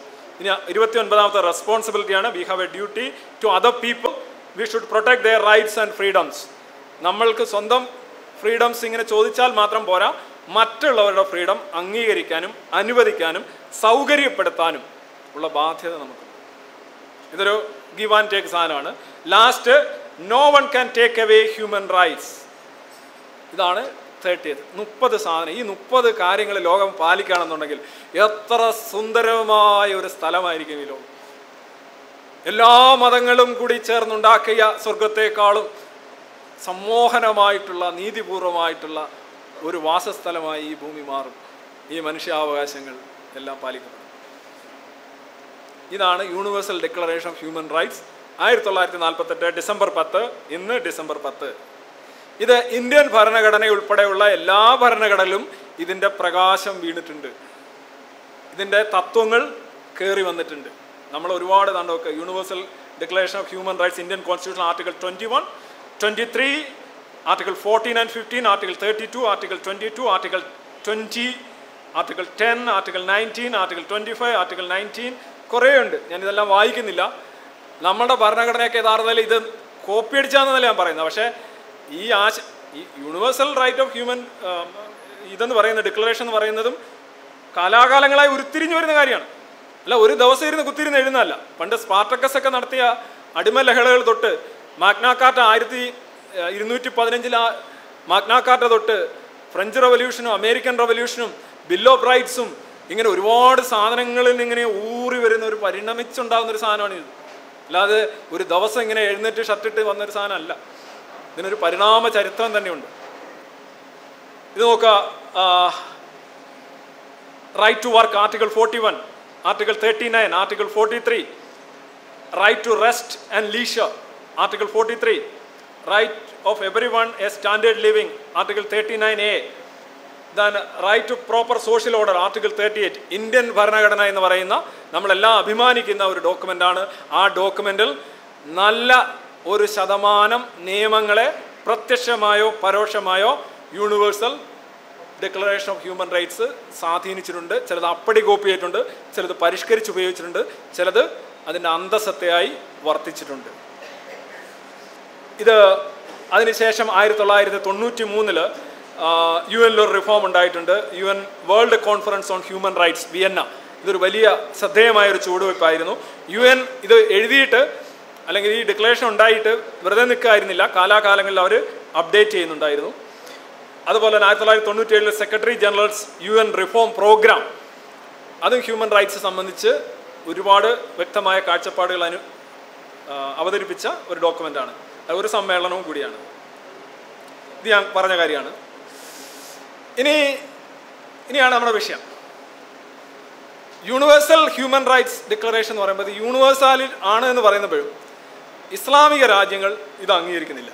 അവിടെയാണ് നമ്മുടെ രണ്ടാമത്തെ ടോപ്പിക്കിലേക്ക് നമ്മൾ വരുന്നത്. ഇസ്ലാമിക രാജ്യങ്ങൾ ഇത് അംഗീകരിക്കുന്നില്ല. കാരണം എന്താണ്? എന്താ കാരണം നിങ്ങൾ ആലോചിച്ച് നോക്കുക. ഇതിൽ എന്തെങ്കിലും മോശമായ സാധനം ഉണ്ടോ? എന്തെങ്കിലും മോശമായ ഛേ എടുത്ത് കളയത്തക്ക സാധനം ഉണ്ടോ? എല്ലാം നല്ല നല്ല ഒന്നാന്തര സാധനങ്ങൾ ഒന്നും കളയാനുമില്ല. അങ്ങനെ സാധനം. പക്ഷേ മുസ്ലിം രാജ്യങ്ങൾക്ക് സ്വീകാര്യമല്ല. അവരെന്ത് ചെയ്തു അവരിത് കേട്ട് കേട്ട് എല്ലാവരും നിങ്ങൾ മനുഷ്യാവകാശ ധ്വംസനം നടത്തുന്നു മനുഷ്യാവകാശ ധ്വംസനം നടത്തുന്നു കേട്ടപ്പോൾ അവർക്ക് ആകെ അങ്ങ് അസ്വസ്ഥതയായി അവരെന്ത് ചെയ്തു സ്വന്തമായിട്ടൊരു മനുഷ്യാവകാശ നിയമം ഉണ്ടാക്കി. അതാണ് കെയ്റോ. ആയിരത്തി തൊള്ളായിരത്തി തൊണ്ണൂറിൽ ഈജിപ്ഷ്യന്റെ തലസ്ഥാനമായ കെയ്റോയിൽ. Organisation of Islamic states countries അവർ ചേർന്നുകൊണ്ട് ഒരു ഡ്രാഫ്റ്റ് അങ്ങോട്ട് ഉണ്ടാക്കി. അതിനെയാണ് നമ്മൾ അറിയപ്പെടുന്നത് കെയ്റോ അതായത് കെയ്റോ ഡിക്ലറേഷൻ എന്നാണ്. ആയിരത്തി തൊള്ളായിരത്തി തൊണ്ണൂറ് കെയ്റോ ഡിക്ലറേഷനും കെയ്റോ ഡിക്ലറേഷൻ അവർ പറയുന്നത് മനുഷ്യന്റെ അവകാശങ്ങൾ സംരക്ഷിക്കുന്നതും വളരെ നൂതനവും അത്യന്താധുനികവും നിയമപരവും ഒക്കെ ആണെന്നാണ് പറയുന്നത്. പക്ഷേ ഇനി ഇത് തമ്മിലുള്ള വ്യത്യാസം. അതിനകത്തും കുറേ പത്തൊൻപതിലധികം രാജ്യങ്ങൾ ഒപ്പുവെച്ചിട്ടുണ്ട്. ഇത് രണ്ടെണ്ണം നിങ്ങൾ കാണുന്നത്. ഇത് കെയ്റോ ഡിക്ലറേഷനാണ് ഇത് യൂണിവേഴ്സൽ ഹ്യൂമൻ റൈറ്റ് ഡിക്ലറേഷൻ ഇത് തമ്മിലുള്ള സംഘർഷം നമ്മൾ ആരംഭിക്കുകയാണ്. U D H R versus C D H R C D H R starts by saying that Islamic community, the Ummah, which means Muslims are superior to non-Muslims. First സാധനമാണ്. എല്ലാ മനുഷ്യരും തുല്യമാണെന്നും എല്ലാവർക്കും തുല്യ അവകാശ അധികാരങ്ങളുണ്ടെന്ന് പറയുന്ന ഒരു പാശ്ചാത്യ രേഖ. ആ ഒരു പാശ്ചാത്യ രേഖയാണ്. എല്ലാ മനുഷ്യരും തുല്യരെന്നത് പാശ്ചാത്യം. ഞാൻ പറഞ്ഞ കരുണ പാശ്ചാത്യമാണോ ദയ പാശ്ചാത്യമാണോ സത്യസന്ധത പാശ്ചാത്യമാണോ സമത്വം പാശ്ചാത്യമാണോ? എങ്കിൽ അതൊരു പാശ്ചാത്യ രേഖ തന്നെയാണ്. പാശ്ചാത്യമാണെങ്കിൽ. മനസ്സിലായില്ല? The Islamic countries united in in the O I C divided the world into Muslims and non Muslims and they also say that Cairo Declaration is a guide to guide all humanity. രണ്ട് കാര്യങ്ങൾ പറയുന്നു. Muslims അമുസ്ലിംസ് അല്ലെങ്കിൽ non Muslims എന്ന് പറയുന്ന ഒരു division ഉണ്ടാകും universal human rights ചെയ്യുന്നതെന്ന് വെച്ച് കഴിഞ്ഞാൽ മനുഷ്യരെ ഒന്നിപ്പിക്കുകയാണ്. കെയറോ ഡിക്ലറേഷൻ നേരെ തിരിച്ചാണ് രണ്ട് തട്ടുകളിലായി മനുഷ്യരെ വിഭജിക്കുകയാണ് ചെയ്യുന്നത്. ഇനി ഞാൻ കൂടുതൽ ഇങ്ങോട്ട് വരാം. ആർട്ടിക്കിൾ ഒന്ന് തന്നെ എടുക്കുക. Article one of C D H R Cairo declaration all human beings form one family ആഹാ നല്ല രസമല്ലേ? എല്ലാവരും ഒരു കുടുംബമാണ്. ബാക്കിയുടെ കേട്ടോ? Whose members are united by the subordination to Allah ആ അള്ളായോട് വിധേയത്വം പ്രാപിക്കുന്നതിലൂടെ ഒറ്റ കുടുംബമായി തീർന്നവരാണ് ലോകത്തുള്ള എല്ലാ മനുഷ്യരും. നമ്മൾ ആദ്യം കുടുംബം എന്ന് കേട്ടുകൊണ്ട് ആരും ചാടി വീഴരുത്. അള്ളായോട് വിധേയത്വം ഉള്ളവരുടെ സാധനം മാത്രമാണ് ഇതിനത് പറയുന്നത്. And they all descend from Adam അത് നിങ്ങൾ അംഗീകരിക്കുന്നുണ്ട ആഡമിന്റെ സന്തതി പരമ്പരകളിൽപ്പെട്ടവരാണ് നിങ്ങളെന്ന് കൂടി ഈ ഡിക്ലറേഷൻ പറഞ്ഞു വെക്കുക all men are equal in terms of basic human dignity and basic obligation and responsibility without any discrimination on the basis of race, color, language, belief, sex, religion, political affiliation, social status or other consideration. യാതൊരു ഡിസ്ക്രിമിനേഷനും പാടില്ല എന്നുള്ള U D H ആറിന്റെ സാധനം ഇതിനകത്ത് കയറ്റിയിട്ടുണ്ട് പക്ഷെ ആദ്യം പറയുന്നത് എന്താണ് അള്ളായോട് സബോർഡിനേഷൻ ഉണ്ടായിരിക്കണം. എന്ത് വിലയാണ് ഇതിനകത്തുള്ളത്? എത്ര കോൺട്രഡിക്ടറി ആണ്? എത്ര സെൽഫ് ഡിഫീറ്റിംഗ് ആണ് ദ ട്രൂ അടുത്താണ്. The true religion is the guarantee for enhancing such dignity along the path of human integrity മനുഷ്യ സമൂഹത്തിൽ അസമത്വം വിവേചനം ഇല്ലാതാക്കണമെങ്കിൽ എന്ത് വേണം? ട്രൂ റിലീജിയൻ കിട്ടണം. സത്യമതം കിട്ടണം. അല്ലാന്നുണ്ടെങ്കിൽ മനുഷ്യ സമൂഹത്തിൽ അതൊന്നും ഇല്ലാതാക്കാൻ പറ്റും എത്ര മതാത്മകമാണ് ഇതെന്ന് ആലോചിച്ചു that means everybody in their original state is a Muslim അങ്ങനെ ഒരു ക്ലെയിം നടത്തുന്നുണ്ട്. ജനിക്കുമ്പോൾ എല്ലാവരും മുസ്ലിമാണ് എന്നാണ്. ഹിന്ദുക്കളും പറയാറുണ്ട് ജനിക്കുമ്പോൾ എല്ലാവരും ഞാൻ വേറെ ആരെക്കുറിച്ചും പറയില്ലെന്ന് ആദ്യം പറഞ്ഞുകൊണ്ട് ഞാൻ കളയുന്നു. ജനിക്കുമ്പോൾ എല്ലാവരും എത്തീസ്റ്റുകളും പറയാറുണ്ട്. നിങ്ങളെല്ലാം എത്തീസ്റ്റായിട്ട് ജനിക്കുന്നു. നിങ്ങൾ ഏതെങ്കിലും സോഫ്റ്റ്വെയർ ഇങ്ങോട്ട് തള്ളി കയറ്റുന്നു അല്ലേ? നിങ്ങളുടെ ഒ എസ് ആദ്യം കമ്പ്യൂട്ടറിലൊന്നുമില്ല കിട്ടുന്ന ഒ എസ് ആണ് മതങ്ങളെന്ന് പറയാറുണ്ട്. The right to determine what one's religion is in contrast to article eighteen of U D H R freedom of religion freedom of religion എന്ന് പറയുന്ന യു ഡി എച്ച് ആറിന്റെ പതിനാറ് പതിനെട്ടാം ആർട്ടിക്കിളിന് വിരുദ്ധമാണ് ഇസ്ലാം ആയിരിക്കണം മതം എന്നുള്ള ഒരു കാഴ്ചപ്പാട് കെയ്റോ ഡിക്ലറേഷൻ മുന്നോട്ട് വെക്കുന്നത്. ഇനി ടോർച്ചറിനെതിരെയൊക്കെയുള്ള ഇത് നിങ്ങൾ വായിച്ചു ആരെയും പീഡിപ്പിക്കാൻ പാടില്ല. A life is a God given gift, and the right to life is guaranteed to every human being. It is a duty of individual societies and states to safeguard this right against any violation, and it is prohibit, prohibited to take away life except for Sharia's prescribed reason. ആരുടെയും ജീവൻ എടുക്കാൻ പാടില്ല എല്ലാവർക്കും ജീവനുള്ള അവകാശമുണ്ട് എന്നുള്ള universal declaration of human റൈറ്റ്സിന്റെ സാധനം ആദ്യം എഴുതി വെക്കുന്നു ആഹാ അത് അപ്പടി ഇങ്ങോട്ട് എടുക്കുന്നു. എന്നിട്ട് പറയാണ് ആർക്കും ആരുടെയും ജീവൻ എടുക്കാൻ അവകാശമില്ല. ഷരിയായുടെ പരിധിയിൽ വരുന്ന കാര്യങ്ങളിൽ ഒഴിച്ച്. ഇനി ശരിയ എന്താണെന്ന് അറിയുമ്പോൾ എല്ലാം സുഖമാവും. ശരിയ അനുവദിക്കുകയാണെങ്കിൽ കൊല്ലാം. ടോർച്ചർ ചെയ്യാം കല്ലെറിയാം തലവെട്ടാം എന്തും ചെയ്യാം. പക്ഷെ ശരിയ അനുവദിക്കാത്ത ഒന്നിലും നിങ്ങൾ ആരെയും ഒന്നും ചെയ്യരുത് മക്കളെ എന്നാണ് അപ്പം ഇനി നമുക്ക് പഠിക്കേണ്ട ശരിയാണ്? ഇനി ഷരിയയിലെ കുറേ നിയമങ്ങൾ ഞാനൊന്ന് പറയാം. Killing of a human being is lawful under the following cases in Sharia താഴെ പറയുന്ന കാര്യങ്ങളിൽ കൊല്ലൽ അനുവദനീയമാണ് ശരിയ പ്രകാരം. ആരെയും കൊല്ലരുതെന്നാണ് U D H R. C D H ആറിൽ പറയുന്നത് കൊല്ലരുത് പക്ഷേ ശരിയ പ്രകാരം കൊല്ലാം. എന്തൊക്കെയാണ് ശരിയ പ്രകാരം കൊല്ലുന്നത്? ഒന്ന് retaliation for killing a Muslim not a non Muslim ഒരു മുസ്ലിമിനെ കൊന്നു കഴിഞ്ഞാൽ തിരിച്ചു കൊല്ലുന്നതിന് ശരീരപ്രകാരം ശിക്ഷയൊന്നുമില്ല. മുസ്ലിമിനെ കൊല്ലി അത് അംഗീകരിക്കില്ല? പക്ഷെ നോൺ മുസ്ലിമിനെ കൊന്നു കഴിഞ്ഞാൽ അങ്ങനെയല്ല. നോൺ മുസ്ലിമിനെ കൊന്നു കഴിഞ്ഞാൽ നിങ്ങൾക്ക് ചിലപ്പോൾ ശിക്ഷ കിട്ടും. മുസ്ലിമിന് കൊന്നതിന് പകരമുള്ള കൊലയ്ക്ക് ശിക്ഷയില്ല. As a punishment of apostasy in Islam മതനിന്ദ കൊല്ലാം. മതനിന്ദയ്ക്ക് കൊല്ലാം. യു ഡി എച്ച് ആറിൽ നിന്ന് സി ഡി എച്ച് ആറിലേക്കുള്ള ദൂരം നിങ്ങൾ നടന്നു നോക്കൂ. ഇനി article two. All are not equal അതാണ് അതിന്റെ അർത്ഥം. Every one is entitle to all rights and freedom set forth in declaration without distinction of any kind as such as race colour sex language religion political or other opinion national or social origin property birth or other status C D H ആറിന്റെ U D H ആറിന്റെ article രണ്ടാണ് ഞാൻ വായിച്ചത്. C D H ആറിന്റെ article ആറ് അതിന്റെ corresponding ആയിട്ട് വരെ നോക്കുക women woman is equal to man in human dignity അന്തസ്സിന്റെ കാര്യത്തിൽ സ്ത്രീയും പുരുഷനും തുല്യമാണ് എന്താണ്? അന്തസ് ഇല്ല മുകേഷ് പറഞ്ഞു? അക്കാര്യത്തിൽ തുല്യമാണ് അന്തസ് തുല്യമാണ് ഇനി ബാക്കി കാര്യങ്ങൾ കേട്ടോളൂ. And has her own rights to enjoy the well as well as duties to perform and has her own civil entity and financial independence and the right to to her name and lineage ഇതെല്ലാം ഉണ്ട്. പക്ഷേ B എന്താണ്? താഴെ കിടപ്പുണ്ടെന്ന് വായിച്ചു നോക്കേ. The husband is responsible for maintenance and welfare of the family financial independence ആദ്യത്തിൽ കൊടുത്തിട്ടുണ്ട്. താഴെ കൊടുത്തിരിക്കുന്നത് ഹസ്ബൻഡ് ഈസ് റെസ്പോൺസിബിൾ തികച്ചും ഘടകവിരുദ്ധമായ കാര്യം. ഹസ്ബൻഡാണ് ഫാമിലി നോക്കുന്നതെങ്കിൽ മെയിന്റെയിൻ ചെയ്യുന്നതെങ്കിൽ എല്ലാത്തിനും ഉത്തരവാദിയെങ്കിൽ എങ്ങനെയാണ് സ്ത്രീക്ക് സാമ്പത്തികമായിട്ടുള്ള അവകാശങ്ങൾ ഉണ്ടാവുക എന്നുള്ളത്? അല്ലെങ്കിൽ സ്വയംഭരണ അവകാശം ഉണ്ടാവുക എന്നുള്ളത് ആലോചിച്ചു. യഥാർത്ഥത്തിൽ സി ഡി എച്ച് ആർ പറയുന്നത് സ്ത്രീക്ക് സവിശേഷ അധികാരങ്ങളാണ് ഈ സവിശേഷ അധികാരങ്ങൾ എന്ന് പറഞ്ഞാൽ ഒരു പുരുഷന്റെ അധികാരത്തെക്കാൾ കുറവാണ് മോശമാണ്. പക്ഷെ യു ഡി എച്ച് ആർ പറയുന്നത് തുല്യ അവകാശാധികാരം വിവാഹം കഴിക്കാനും വിവാഹം കഴിച്ചു കഴിഞ്ഞാൽ വിവാഹ ബന്ധത്തിനുള്ളിലും തുല്യ തുല്യാവകാശം. ഇനി ഞാൻ മുമ്പേ പറഞ്ഞതിൽ ഒരു സ്ലൈഡ് ഇങ്ങോട്ടായിപ്പോയി. എങ്ങനെയൊക്കെ കൊല്ലാം എന്ന് ശരിയൽ പറയുന്നുണ്ട്. You can kill as a punishment for insulting Muhammad or Allah അള്ളയെ കുറ്റപ്പെടുത്തിയോ?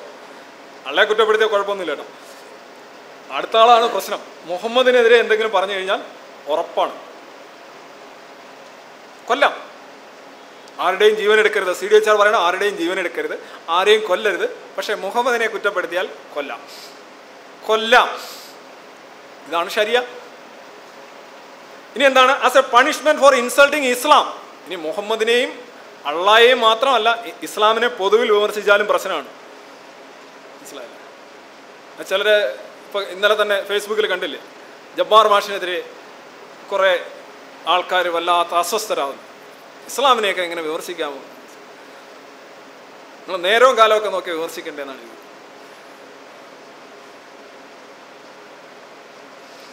Four ഇനി അടുത്ത എന്താണ് കൊല്ലാവുന്ന? Adultery by a married person കല്യാണം കഴിച്ചതിന് ശേഷം ആ കൊല്ലാം.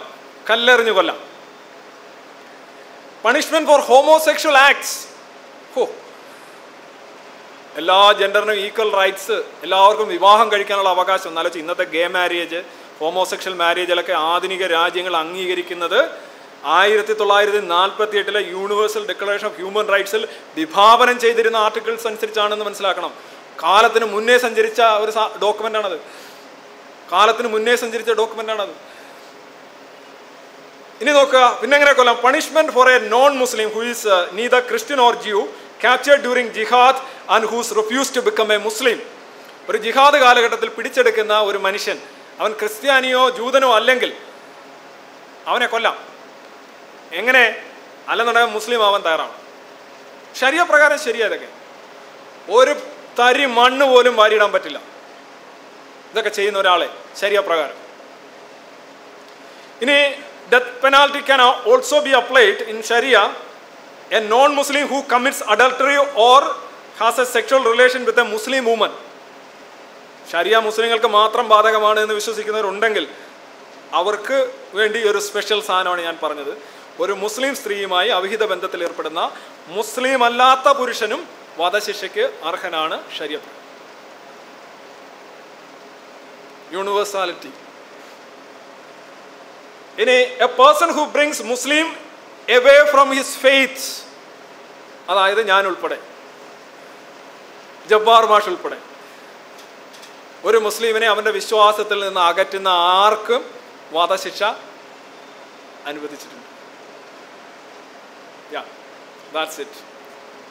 A Muslim, then a non-Muslim who insult Islam. അതും ശ്രദ്ധിച്ചുകൊള്ളുക മുസ്ലിങ്ങൾ അള്ളായെയും മുഹമ്മദിനെയും വിമർശിക്കുന്നത് മാത്രമല്ല മുസ്ലിങ്ങൾ അല്ലാത്തവർ വിമർശിച്ചാലും അവരെ കൊല്ലാമെന്ന് തന്നെയാണ് ഷരിയ പറയുന്നത് അല്ല അഥവാ കൊന്നാലും ഒരു പ്രശ്നവും എന്നുള്ളതാണ് ജോസഫ് മാഷ് ദെൻ ടോർച്ചർ ആരെയും ചെയ്യാൻ പാടില്ല എന്ന് യു ഡി എച്ച് ആർ പറയുന്നത് നിങ്ങൾ സി ഡി എച്ച് ആർ പറയുന്നത് അറിയോ ടോർച്ചർ ആരെയും ചെയ്യാൻ പാടില്ല. ചെയ്യരുത്. പക്ഷേ ശരീരപ്രകാരം ചെയ്യാം. ചെയ്യരുത്. പക്ഷേ ശരീരപ്രകാരം ചെയ്യാം. ഇതാണ് ഇതിന്റെ മൊത്തത്തിൽ പൊതുവിൽ പറയുന്നത്. യു ഡി എച്ച് ആർ പറയുന്ന ആർട്ടിക്കിൾ ഫൈവിൽ no one shall be subject to torture or to cruel inhuman degrading treatment or punishment C D H ആറിന്റെ ആർട്ടിക്കിൾ ടു പറയുന്നത് എന്താണ്? Safety from bodily harm is guaranteed right ദേഹോദ്രവത്തിൽ നിന്ന് നിങ്ങൾക്ക് എല്ലാവർക്കും മുക്തി വാഗ്ദാനം ചെയ്തിരിക്കും. ആദ്യം പറയുന്നു. എന്താണ്? It is a duty of the state to safeguard it and it is prohibited to breach without Sharia prescribed reason ഒരാളെ പോലും ഒരു നുള്ളു മണ്ണ് പോലും മാറിയിടാൻ സ്റ്റേറ്റ് അനുവദിക്കരുത്. ഷരിയ അനുവദിച്ചാൽ പ്രശ്നമില്ല. ഷരിയ കാരണമാണെങ്കിൽ നിങ്ങൾക്ക് എന്ത് വേണമെങ്കിലും ചെയ്യാം. എടുത്ത് കയറി മേയാം. No problem കത്തിക്കാം. പ്രശ്നമില്ല. പക്ഷേ ശരിയ പ്രകാരമല്ലാത്ത എന്തെങ്കിലും കാരണത്തിന് ഒരു വ്യക്തിയുടെ മേളിലും ഒരു തരി മണ്ണ് പോലും വീഴാൻ സ്റ്റേറ്റ് അനുവദിക്കരുതെന്നാണ് സി ഡി എച്ച് ആർ പറയുന്നത്. നിങ്ങൾ അതിന്റെ ദൂരം അളന്നുകൊണ്ടേയിരിക്കുക. ഈ ശരിയ പ്രകാരമുള്ള കുറ്റങ്ങൾ എന്തറിയാം? ചെറിയ ജസ്റ്റ് ഫോർ എ ഹൊറർ ഞാൻ കുറച്ച് പറയാം. It includes punishment such as amputation for theft മോഷ്ടിച്ചു കഴിഞ്ഞാൽ കൈകാലുകൾ വെട്ടുക. ചില ആൾക്കാർ ഈ മത തിമിരം കയറിയിട്ട് ഇപ്പം നൈജീരിയ പോലെയുള്ള ഒരു രാജ്യം. അവിടെ ക്രിസ്ത്യാനികളും മുസ്ലിങ്ങളും തമ്മിലൊരു ഒരു ബലാബലം നിൽക്കുന്ന രാജ്യമാണ്. അവിടുത്തെ പ്രധാനപ്പെട്ട സംഘർഷങ്ങൾക്കും രാഷ്ട്രീയ അസ്ഥിരതകൾക്കൊക്കെ കാരണം ക്രിസ്ത്യൻ മുസ്ലിം ബലാബലമാണ്. അവിടെ ചില ആൾക്കാർ ഇപ്പോൾ പശുവിനെ മോഷ്ടിക്കുക അല്ലെങ്കിൽ വേറെ ഇങ്ങനെയൊക്കെയുള്ള എന്തെങ്കിലും കാര്യം ചെയ്യുക. അതിന് അവർക്ക് ശിക്ഷയായിട്ട് രണ്ട് ഓപ്ഷൻ കൊടുക്കും. നൈജീരിയയിലെ സെക്യുലർ ലോ പീനൽ കോഡ് അനുസരിച്ച് ഒരു മാസം രണ്ട് മാസം തടവെന്നുണ്ടായിരിക്കും. വേറൊന്ന് ഷരിയ ഉണ്ടായിരിക്കും. ഷരിയ എന്ന് പറഞ്ഞാൽ മോഷ്ടിച്ചവന്റെ കൈ വെട്ടുക. പല ആൾക്കാരും ഈ ജനറൽ ആയിട്ടുള്ള സെക്യുലർ ഗവൺമെന്റിന്റെ ലോ ആവശ്യമില്ലെന്ന് പറയുകയും ഷരിയ പ്രകാരം സ്വന്തം കൈ വെട്ടിയിട്ട് കൈയും കാണിച്ചുകൊണ്ട് വീണ്ടും ആട് മേയ്ക്കാനും പശുവിനെ മേയ്ക്കാനും പോകുന്ന ഒരുപാട് പേരുടെ ചിത്രങ്ങൾ നിങ്ങൾക്ക് നൈജീരിയ പോലെയുള്ള ഒരു താരതമ്യേന വികസിതമെന്ന് പറയാവുന്ന ഒരു ആഫ്രിക്കൻ രാജ്യത്ത് ഒരു പശുവിനെ മോഷിച്ചു പിന്നെന്താണ്? കുറേയുണ്ട്. Crucifixion for waging war against Allah and Muhammad കുരിശിൽ തറയ്ക്കുക. എല്ലാവരും പറയുന്നത് കുരിശിൽ തറക്കുന്ന ക്രിസ്ത്യാനികളെയാണെന്നാണ് ധാരണ.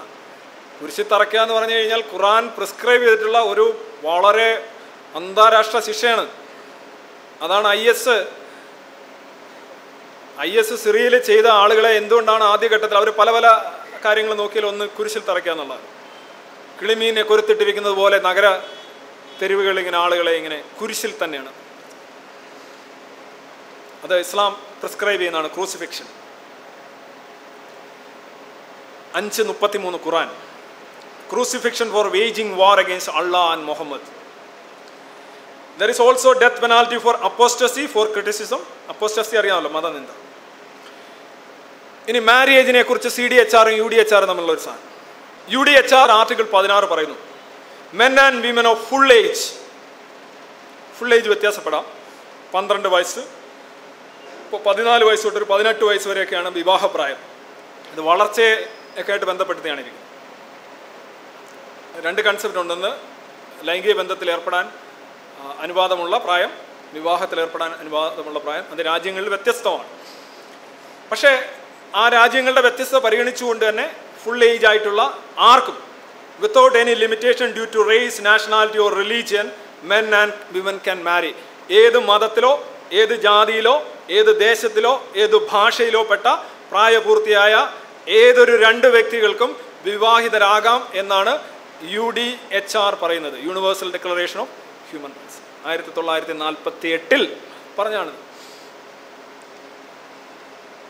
Then the marriage shall be entered into only with the, the free and full consent of the intending spouses കല്യാണം കഴിക്കുന്നവരുടെ പൂർണ സമ്മതത്തോടു കൂടി മാത്രമേ മാരേജ് പാടുള്ളൂ. ഈ രണ്ട് കാര്യം രണ്ട് സുവർണ നിയമങ്ങളാണ് യു ഡി എച്ച് ആർ പറഞ്ഞത് പല ഭരണഘടനയ ഇപ്പോൾ വെസ്റ്റിന്റെ യൂറോപ്പിലെ ഭരണഘടനകളെല്ലാം തന്നെ ഇത് അപ്പടി തന്നെ എടുത്തിട്ടുണ്ട്.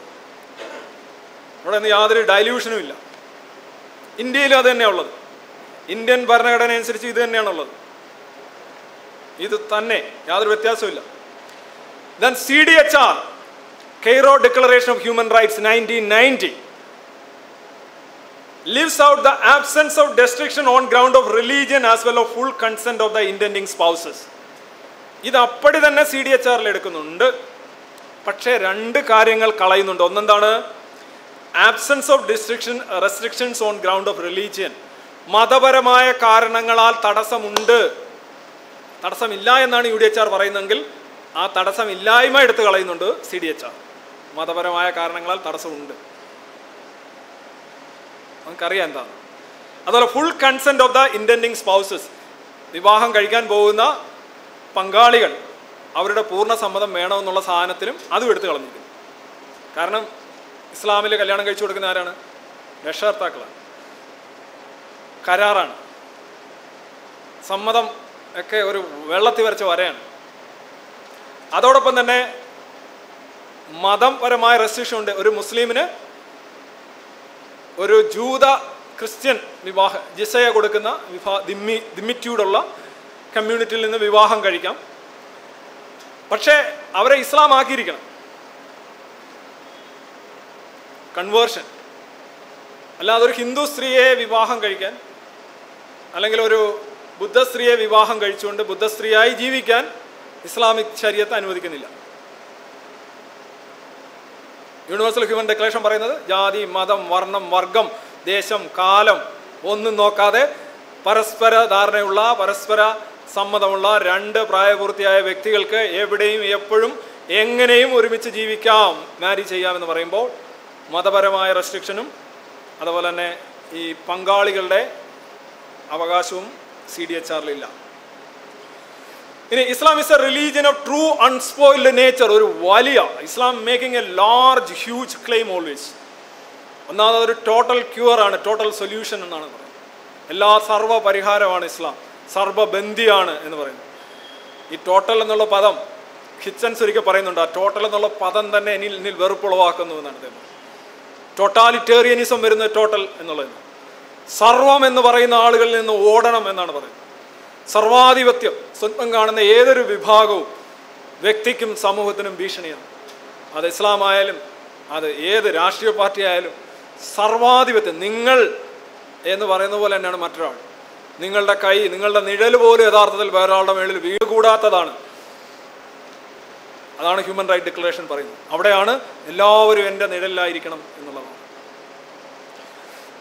Article ten of CDHR, Cairo Declaration says Islam is a religion of true unspoiled nature പരിശുദ്ധമായ സ്വഭാവമുള്ള ഒരു മതമാണ് ഇസ്ലാം എന്നാണ്.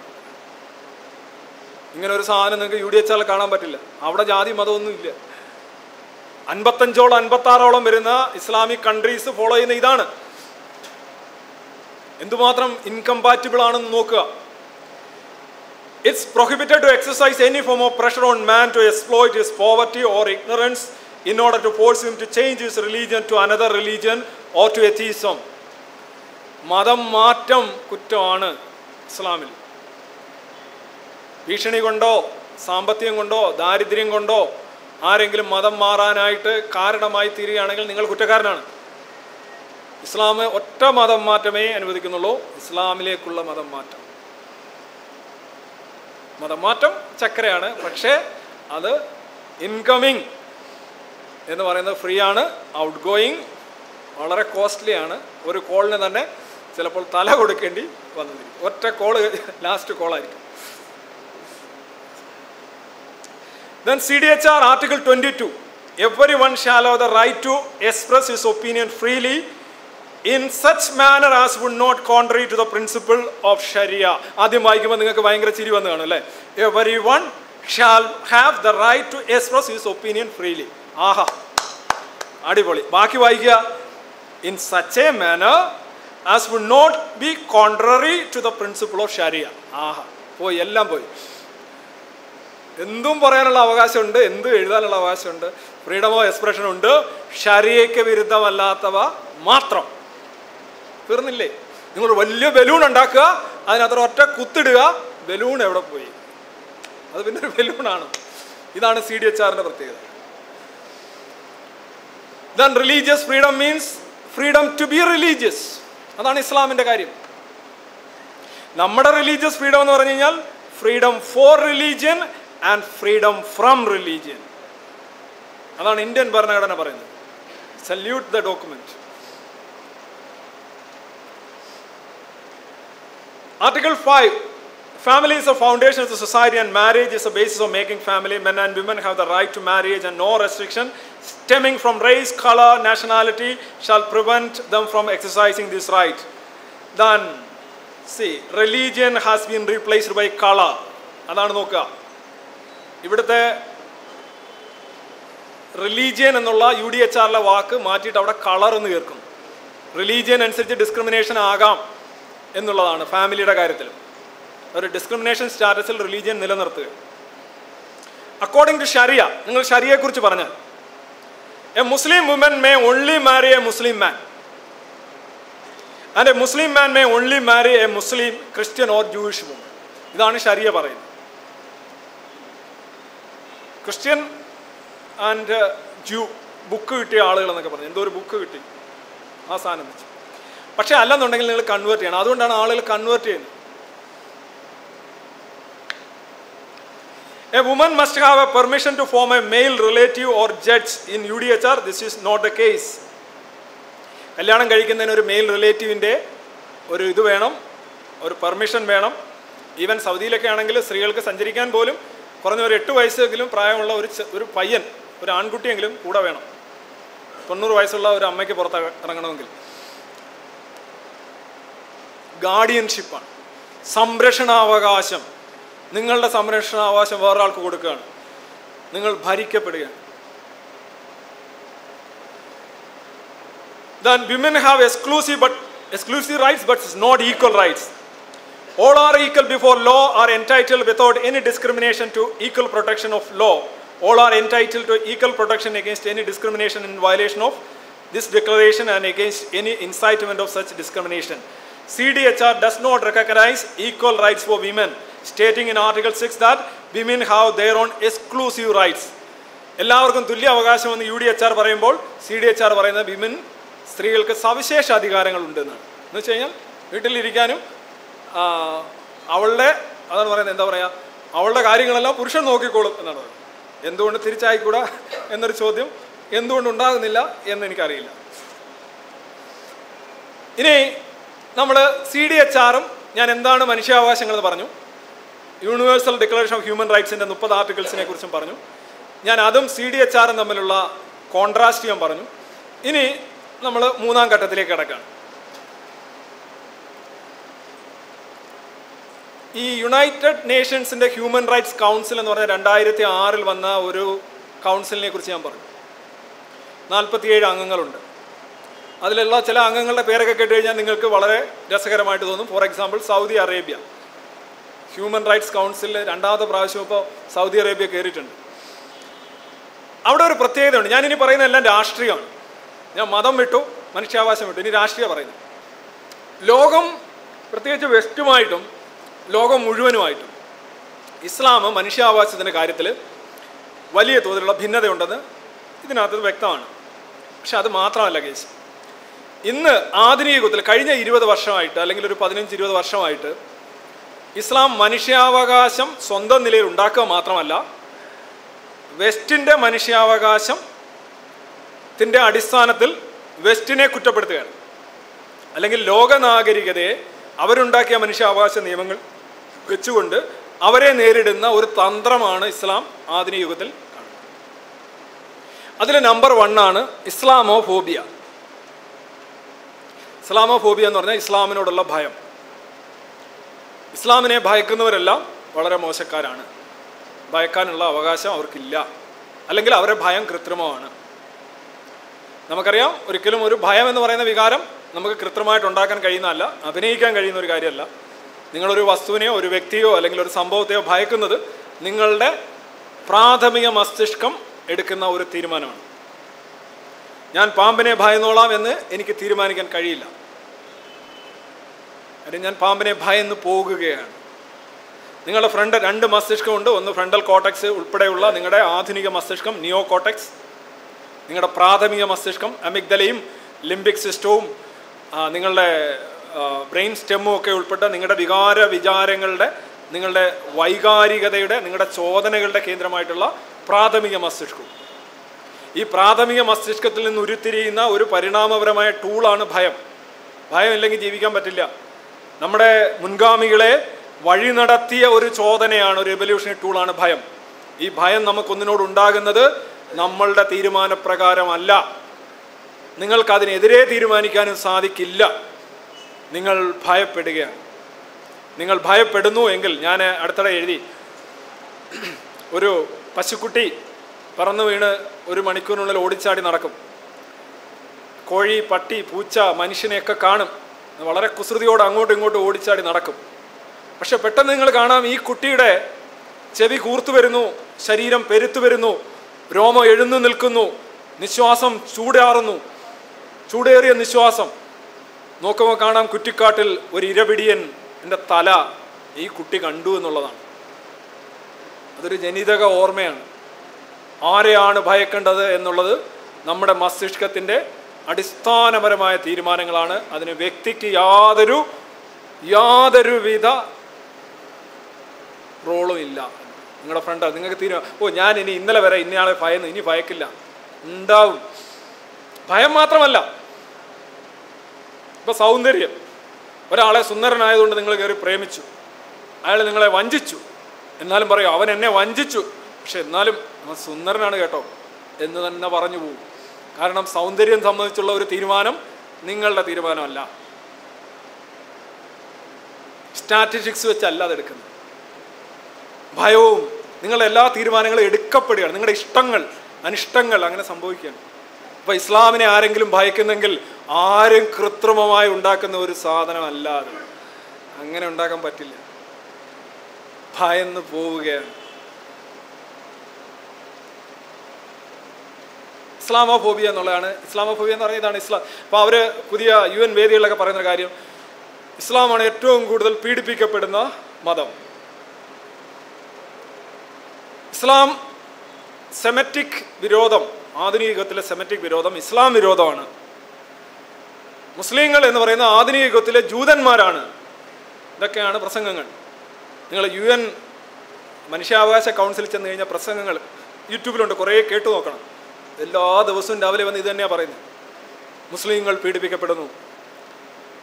ലോകമെമ്പാടും മുസ്ലിങ്ങൾ പീഡിപ്പിക്കും. അപ്പോൾ ലോകം മുഴുവൻ മുസ്ലിങ്ങളെ മുസ്ലിങ്ങളെ പേടിച്ചിരിക്കുന്നുവെന്ന് ലോകം പറയുമ്പോൾ മുസ്ലിങ്ങൾ പറയുന്നു മുസ്ലിങ്ങളെ പീഡിപ്പിക്കുന്നു. ഈ ഒരു വലിയൊരു വടംവലിയാണ് ഇന്ന് അന്താരാഷ്ട്ര രാഷ്ട്രീയം കേട്ടുകൊണ്ടിരിക്കുന്നത് സാക്ഷ്യം വഹിക്കുന്നത്. വല്ലാത്ത ഡൈക്കോട്ടമിയാണ്. വേട്ടക്കാരനെന്ന് ലോകം വിലയിരുത്തുന്ന ഇസ്ലാം പറയുന്നു തങ്ങളാണ് ഏറ്റവും കൂടുതൽ പീഡിപ്പിക്കപ്പെടുന്ന ഇരയെന്ന്.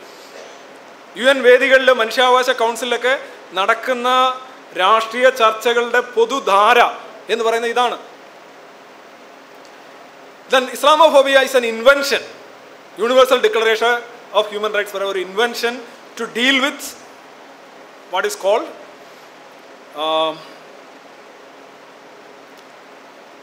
ഇസ്ലാമിനെതിരെയുള്ള വിമർശനങ്ങളെ അടിച്ചമർത്താനായിട്ടുള്ള ഒരു സാധനമായിട്ട് Islamophobia ഉയർത്തിക്കൊണ്ടുവരികയാണ്. Then act against defamation of religion ഇനി അടുത്തത് ഇപ്പോൾ രണ്ടായിരത്തി ആറിലെ ഡാനിഷ് കാർട്ടൂൺ നിങ്ങൾക്കറിയാം ഒരു കാർട്ടൂൺ ഞാനത് പലയിടത്തും പറഞ്ഞിട്ടുണ്ട്. അതിൽ മുഹമ്മദിന്റെ മൂന്ന് പടങ്ങൾ മോശമായി ചിത്രീകരിച്ചു എന്ന് പറഞ്ഞാൽ മൂന്ന് പടങ്ങൾ മറിച്ചത് മുസ്ലിങ്ങൾ തന്നെയാണ് കേട്ടോ. അത് യഥാർത്ഥ കാർട്ടൂണിനകത്തൊന്നും ഉണ്ടായിരുന്നില്ല. അതൊക്കെ പിന്നീട് ബോധ്യമായി. പക്ഷേ അത് എന്തുമാത്രം കെടുതി ലോക രാജ്യങ്ങൾ ഉണ്ടാക്കി പാകിസ്ഥാൻ തൊട്ട് നൈജീരിയ തൊട്ട് ലോകമെമ്പാടുമുള്ള രാജ്യങ്ങൾ വളരെ ആസൂത്രിതമായ കലാപങ്ങളുണ്ടായി. കാർട്ടൂൺ വരച്ചു. ഏത് പത്രം? ആ പത്രത്തിൽ വന്ന കാർട്ടൂൺ ഏതാണ്? ഇമാമുമാര് ഡാനിഷ് ഇമാമുമാര് പ്രചരിപ്പിച്ച കാർട്ടൂൺ ഏതാണ്? ആർക്കൊന്നും അറിയണ്ടല്ലോ അടിച്ചു പൊളിക്കുകയാണ്. അതിനുശേഷം പിന്നീട് ഒരു ചിത്രം ഇറങ്ങി മുഹമ്മദുമായി ബന്ധപ്പെട്ട ഒരു ചിത്രം. ഇതിനുശേഷം വന്നൊരു കാര്യം എന്ന് വെച്ച് കഴിഞ്ഞാൽ രണ്ടായിരത്തി പത്ത് തൊട്ട് യു എൻ മനുഷ്യാവകാശ കൗൺസിൽ ഞാൻ ഒരു കാര്യം പറയാൻ മറന്നുപോയി.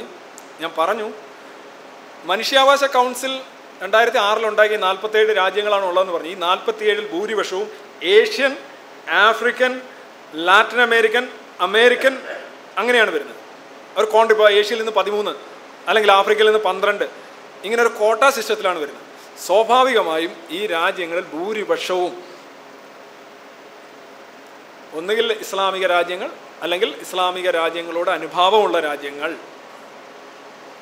അതായത് ലോക മനുഷ്യാവകാശ കൗൺസിൽ ഇസ്ലാമിന്റെ താളത്തിനൊത്ത് തുള്ളുന്ന ഒരു ബോഡിയാണ് എന്നുള്ളതാണ് വസ്തുത. അത് രണ്ട് അഭിപ്രായം അതിനകത്ത് പറയാനേ പറ്റില്ല.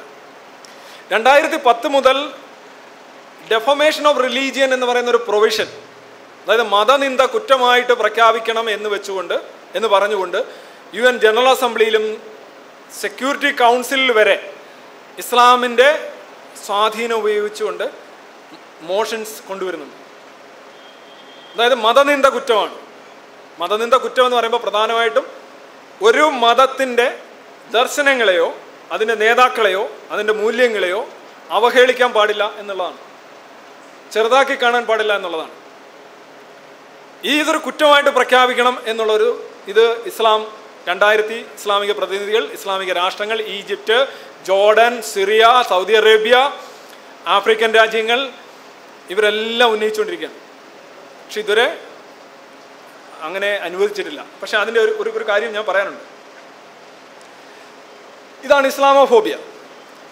മിക്കവാറും ഇസ്ലാമിനെതിരെയുള്ള എല്ലാ കാര്യങ്ങളും പ്രതിരോധിക്കുന്ന സാധനം ഇസ്ലാമോഫോബിയ അപ്പോൾ ഈ ഡീഫോമേഷൻ ഓഫ് റിലീജിയൻ ഒരു ബില്ലായിട്ട് കൊണ്ടുവന്ന് അനുവദിക്കുകയാണെങ്കിൽ ആദ്യം ആർക്കെതിരെയാണ് കേസ് വരുന്നത്? ഓക്കെ മതത്തിനെ വിമർശിക്കുന്ന ഫ്രീ തിങ്കേഴ്സ് അല്ലെ ഏറ്റീസ്റ്റുകൾ അല്ലെന്നുണ്ടെങ്കിൽ ഇവിടെയുള്ള ആൾക്കാർ അങ്ങനെയുള്ള ആൾക്കാർക്കെതിരെയൊക്കെ കേസ് എടുക്കാം എന്നാണ് നിങ്ങൾ പറയുന്നത്. അല്ലെ അങ്ങനെയുള്ളവരെ കുറ്റക്കാരാക്കാം എന്നാണ് പറയുന്നത്. ഓക്കെ സാധ്യതയുണ്ട്? മത വിമർശനം എന്ത് എന്തുകൊണ്ടും വ്രണപ്പെടാമല്ലോ. എന്തുകൊണ്ടും വ്രണപ്പെടാമല്ലോ. എനിക്കങ്ങ് വ്രണപ്പെട്ടു എന്ന് പറഞ്ഞാൽ തീർന്നല്ലോ. സവിശേഷ അധികാരം വേറെ ആർക്കും ഇല്ലാത്തൊരവകാശം. അല്ലെ വെണ്ണത്തലയൻ വെയിലത്ത് നടക്കില്ല എന്ന് പറയുന്നത് പോലെ. വെയിലത്ത് നടന്നാൽ അലിഞ്ഞു പോകില്ല വിമർശനങ്ങളൊക്കെ എനിക്കൊന്നും പറ്റില്ല. എനിക്ക് അവിടെ വിമർശനം ഇവിടെ വിമർശനം. പക്ഷേ ഈ ഡിഫമേഷൻ ബില്ല് അന്താരാഷ്ട്ര തലത്തിൽ യു എൻ പാസ്സാക്കി കഴിഞ്ഞാൽ ആദ്യം കൊടുങ്ങുന്നത് ഇസ്ലാം ആയിരിക്കും. കാരണം എന്താണ്? ഇസ്ലാം തന്നെ മറ്റു മതങ്ങളുടെ നിന്ദകളുടെ ആഘോഷമാണ്. പരമത നിന്ദയുടെ ആഘോഷമാണ് ഇസ്ലാമിക സാഹിത്യം. ഇസ്ലാമിക സാഹിത്യം ഒരൊറ്റ ഖുറാൻ എന്നുള്ള ഒരൊറ്റ ബുക്ക് മതി ജൂതന്മാർക്കും ക്രിസ്ത്യാനികൾക്കും ലോകത്തെ കലാപം അഴിച്ചുവിടാൻ. അല്ലെങ്കിൽ യു എൻ പ്രമേയം കൊണ്ടുവരാൻ. വായിച്ചു നോക്കിയാൽ മതി. ക്രിസ്തു എന്ന് പറയുന്ന ലോകത്തെ ഏറ്റവും കൂടുതൽ ആളുകൾ ആരാധിക്കുന്ന ദൈവം. അദ്ദേഹത്തെ ഒരു ഒരു പ്രവാചകൻ ആക്കിയോ? അല്ലെങ്കിൽ ഒരു ഒരു ദൈവം അല്ലാതാക്കിയോ ചിത്രീകരിക്കുന്നതാണ് ഇസ്ലാമിന്റെ കഥ. പരമമായ ഇൻസൾട്ടാണ് ക്രിസ്ത്യാനികൾക്ക്. ഈ രീതിയിൽ കാണുകയാണെങ്കിൽ ഈ രീതിയിൽ കാണുകയാണെങ്കിൽ തങ്ങളുടെ ദൈവത്തെ ദൈവമല്ല എന്നും കേവലം ഒരു പ്രവാചകനായിരുന്നുവെന്നും ഒരു മനുഷ്യനായിരുന്നുവെന്നും പറയുന്ന ഇസ്ലാമിക കഥാസാഹിത്യം ലോകമെമ്പാടുമുള്ള ക്രിസ്ത്യാനികൾക്ക് പരമമായ നിന്ദയായി തോന്നേണ്ടതാണല്ലേ എന്നാണ് ഞാൻ ചോദിക്കുന്നത്. അപ്പോൾ ഈ നിയമം കൊണ്ടുവന്നാൽ ആദ്യം കൊടുക്കുന്ന ഇസ്ലാം തന്നെ ആയിരിക്കുമെന്നാണ് ഞാൻ പറഞ്ഞത്. അത് ഞാൻ പറയുന്ന കാര്യമല്ല. യു എൻ ചർച്ചകളിൽ വരുന്ന കാര്യം തന്നെയാണ്. അതുകൊണ്ട് തന്നെയാണ് ആരും അത് അംഗീകരിക്കാത്തത്. ഒരു രീതിയിലുള്ള വിമർശനങ്ങൾ ആർക്കുമെതിരെയും പ്രത്യേകിച്ച് മുഹമ്മദാണ് അവരുടെ പ്രധാന പ്രശ്നം. മുഹമ്മദിന്റെ പടം വരയ്ക്കാൻ പാടില്ല മുഹമ്മദിനെ കുറിച്ചൊന്നും പറയാൻ പാടില്ല. അള്ള അല്ല. അള്ളാഹൊക്കെ വെറും യെസ്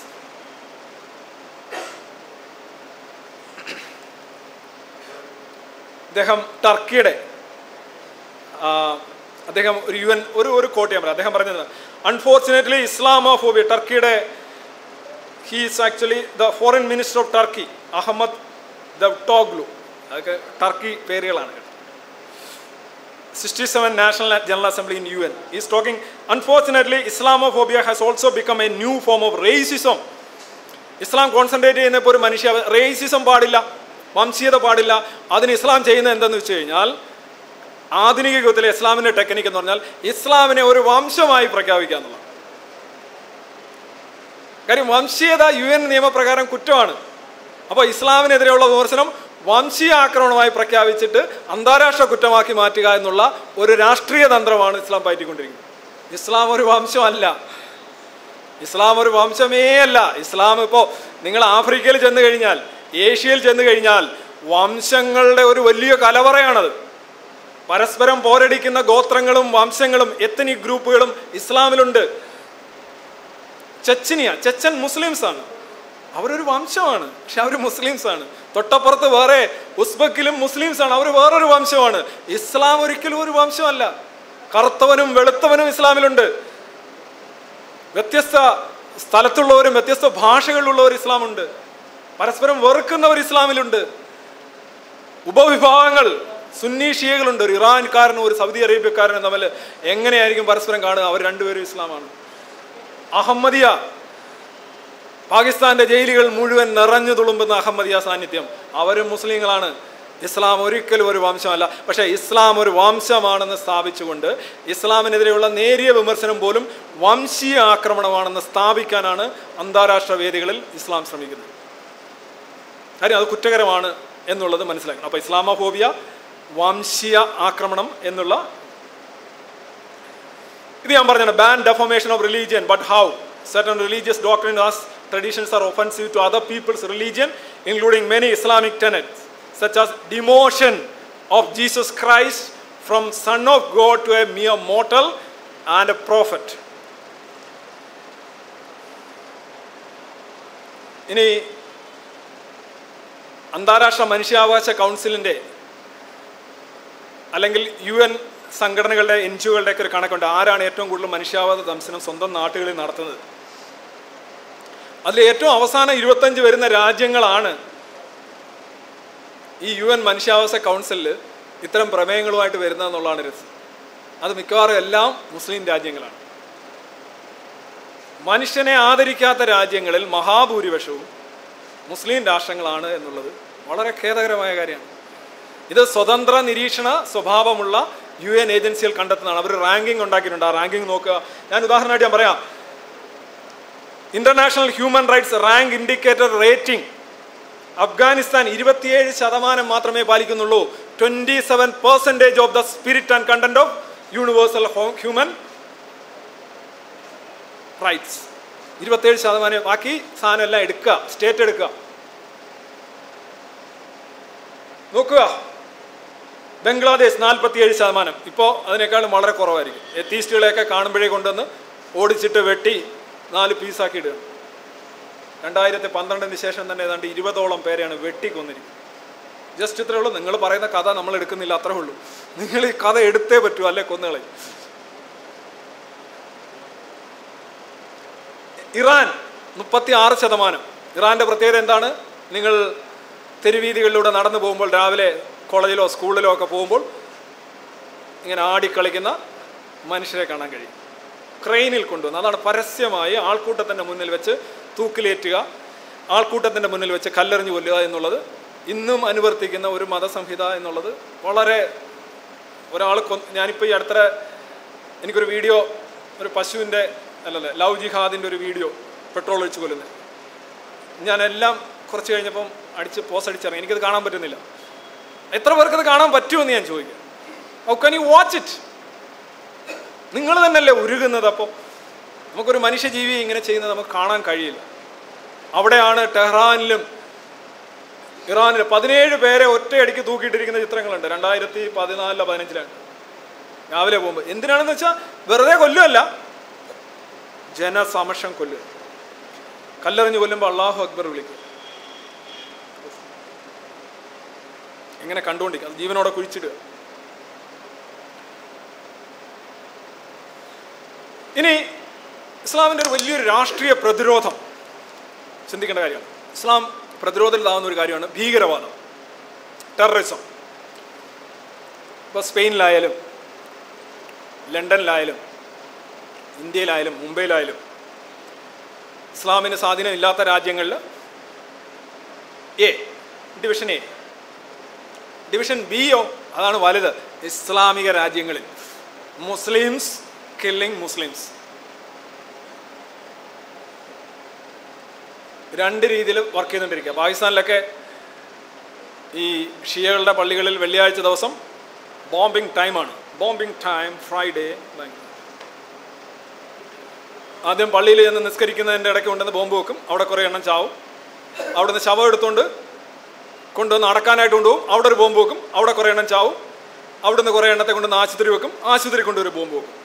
ഈ മൂന്ന് ബോംബ് നടന്ന കാര്യമാണ് ഞാൻ പറയുന്നത്. നടന്ന കാര്യം. പക്ഷെ എന്താ വെറി എന്ന് ആലോചിച്ചു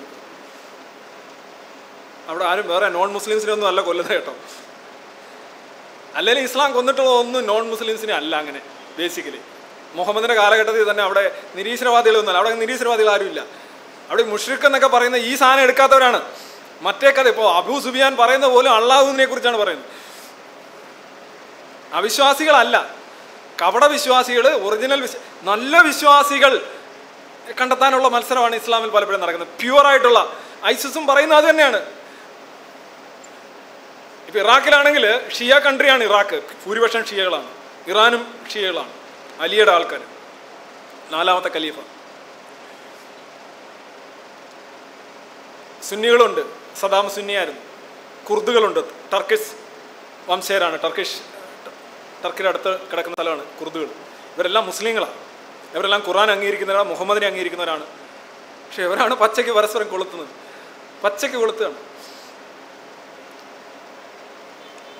അപ്പം ഭീകരവാദം എന്തായാലും ചെയ്യുന്നുണ്ട്. അപ്പോൾ ഇസ്ലാമിന് എന്ത് ചെയ്യേണ്ടത്? മറ്റു മതങ്ങൾ ഇപ്പോൾ ക്രിസ്ത്യാനിറ്റിയൊക്കെ ഭീകരവാദമൊക്കെ മടക്കി വെച്ചു പുരുഷത്വമൊക്കെ മടക്കി വെച്ച് ഇപ്പോൾ അവരവരുടെ പാട്ടിന് ജീവിക്കുകയാണ്. അത്യാവശ്യം അവർക്കിനൊന്നും ടൈമില്ല. ചെയ്തിട്ടുണ്ട്. എല്ലാം ചെയ്തിട്ടുണ്ട് വളരെ വൃത്തിയായിട്ട് തന്നെ ചെയ്തിട്ടുണ്ട്. അതാണല്ലോ ചുമ്മാ അങ്ങ് പടരത്തില്ലല്ലോ. എല്ലാം ചെയ്തിട്ടുണ്ട്. അപ്പം ഇസ്ലാം മാത്രമാണ് ചെയ്യുന്നത്. പരിഷ്കരണം ഇപ്പോൾ പലരും പറയാറുണ്ട് ഇസ്ലാമിൽ ഒരു റിഫോർമേഷൻ ഉണ്ടായിരുന്നെങ്കിൽ നൂറ്റി അൻപത് കോടി ജനങ്ങൾ ഒരു പരിഷ്കരണത്തിന് വിധേയമായിരുന്നെങ്കിൽ ഈ ലോകം എത്ര വലിയ സമ്മോഹനമായ പ്രദേശമായി മാറുമായിരുന്നു. നമ്മളുടെ സഹോദരന്മാർ ഒരു റിഫോർമേഷൻ അവരൊരു തിരിച്ചറിവുണ്ടായിരുന്നെങ്കിൽ കാലത്തിനനുസരിച്ച് മാറണം മാറ്റേണ്ട ഒരുപാട് കാര്യങ്ങളുണ്ടെന്ന് അവർ മനസ്സിലാക്കിയിരുന്നെങ്കിൽ. എന്ന് പലരും പറയാറുണ്ട്. അതൊരു വലിയ ഈ ലോകം കാണുന്ന ഒരു സ്വപ്നമാണ്. ഇസ്ലാമിനെ ഇല്ലാതാക്കുക എന്നോ അല്ലെങ്കിൽ മുസ്ലിങ്ങളെ ഇല്ലാതാക്കുക എന്നല്ല അവരതായി തന്നെ നിലനിന്ന് കൊണ്ടുവന്ന് ഒരു മനുഷ്യത്വത്തിലേക്ക് കൂടുതൽ എത്തിച്ച്. ടെററിസത്തെക്കുറിച്ച് പറയുമ്പോൾ അന്താരാഷ്ട്ര വേദികളിൽ ഇസ്ലാം നയതന്ത്ര പ്രതിനിധികളും രാഷ്ട്രത്തലവന്മാരും വാദിക്കുന്ന കുറേ വാദങ്ങൾ ഇതാണ്. ടെററിസം ഇസ്ലാം ചെയ്യുന്നില്ല. ടെററിസം ഉണ്ട് പക്ഷേ ഈ അഞ്ച് കാര്യങ്ങൾ ടെററിസം അല്ല. ഏതൊക്കെയാണ്? Fight for self determination by people അതിനെ നിങ്ങൾ ടെററിസമായിട്ട് എടുക്കരുത്. സ്വയം നിർണയാവകാശത്തിന് വേണ്ടി മനുഷ്യർ നടത്തുന്ന സമരങ്ങൾ അതിനെ അനുബന്ധിച്ച് വരുന്ന അക്രമങ്ങൾ തീയിടൽ വെട്ടൽ ബോംബ് പൊട്ടിക്കൽ ഇതൊന്നും ടെററിസം അല്ല. ഉദാഹരണമായിട്ട് കാശ്മീരിൽ. കാശ്മീരിൽ ആരെ എന്ത് ചെയ്താലും അവിടെ ടെററിസം ഉണ്ടെന്ന് നിങ്ങൾ പറഞ്ഞേക്കുന്നത് അത് സ്വയം നിർണയ അവകാശത്തിന് വേണ്ടി മനുഷ്യൻ നടത്തുന്ന സമരമാണ്. സോ ഔട്ട് അത് അല്ല രണ്ടെന്താണ്? Fight by nationals against invasions ഏതെങ്കിലും ഒരു രാജ്യത്ത് ഒരു വിദേശ സേന വന്നു കഴിഞ്ഞാൽ പിന്നെ അവിടെ നടക്കുന്നൊന്നും ടെററിസം അല്ല. ഇപ്പോൾ അഫ്ഗാനിസ്ഥാനിലും ഇറാഖിലും അമേരിക്കൻ സേനയോ സഖ്യകക്ഷി സേനയോ നാറ്റോ വന്നു കഴിഞ്ഞാൽ പിന്നെ അവിടെ മുസ്ലിങ്ങൾ മുസ്ലിങ്ങളെ കൊന്നാലും പരസ്പരം കൊന്നാലും ഒന്നും ടെററിസം അല്ല. ആഹാ. എല്ലാം പോവുകയാണ്. ഇനി അപ്പം നിങ്ങൾ വിചാരിക്കും ബാക്കിയൊക്കെ എടുക്കുമായിരിക്കും അല്ലേ നോക്കുക. റിലീജിയസ് മാർട്ടിയഡം മതരക്തസാക്ഷിത്വം ഉണ്ടല്ലോ ഈ സാധനമൊക്കെ വെച്ചുകൊണ്ട് കൊണ്ടുവന്ന് പൊട്ടിത്തെറിക്കലൊക്കെ ഉണ്ടല്ലോ? അത് ടെററിസം അല്ല അത് അള്ളാഹുവിന്റെ പാതയിൽ ചെയ്യുന്ന ഒരു സാധനമാണ്. അതിനെ നിങ്ങൾ ഭീകരവാദം എന്നുള്ള വാക്ക് ഉപയോഗിക്കുന്നത് ശരിയല്ല. അതും പോയി.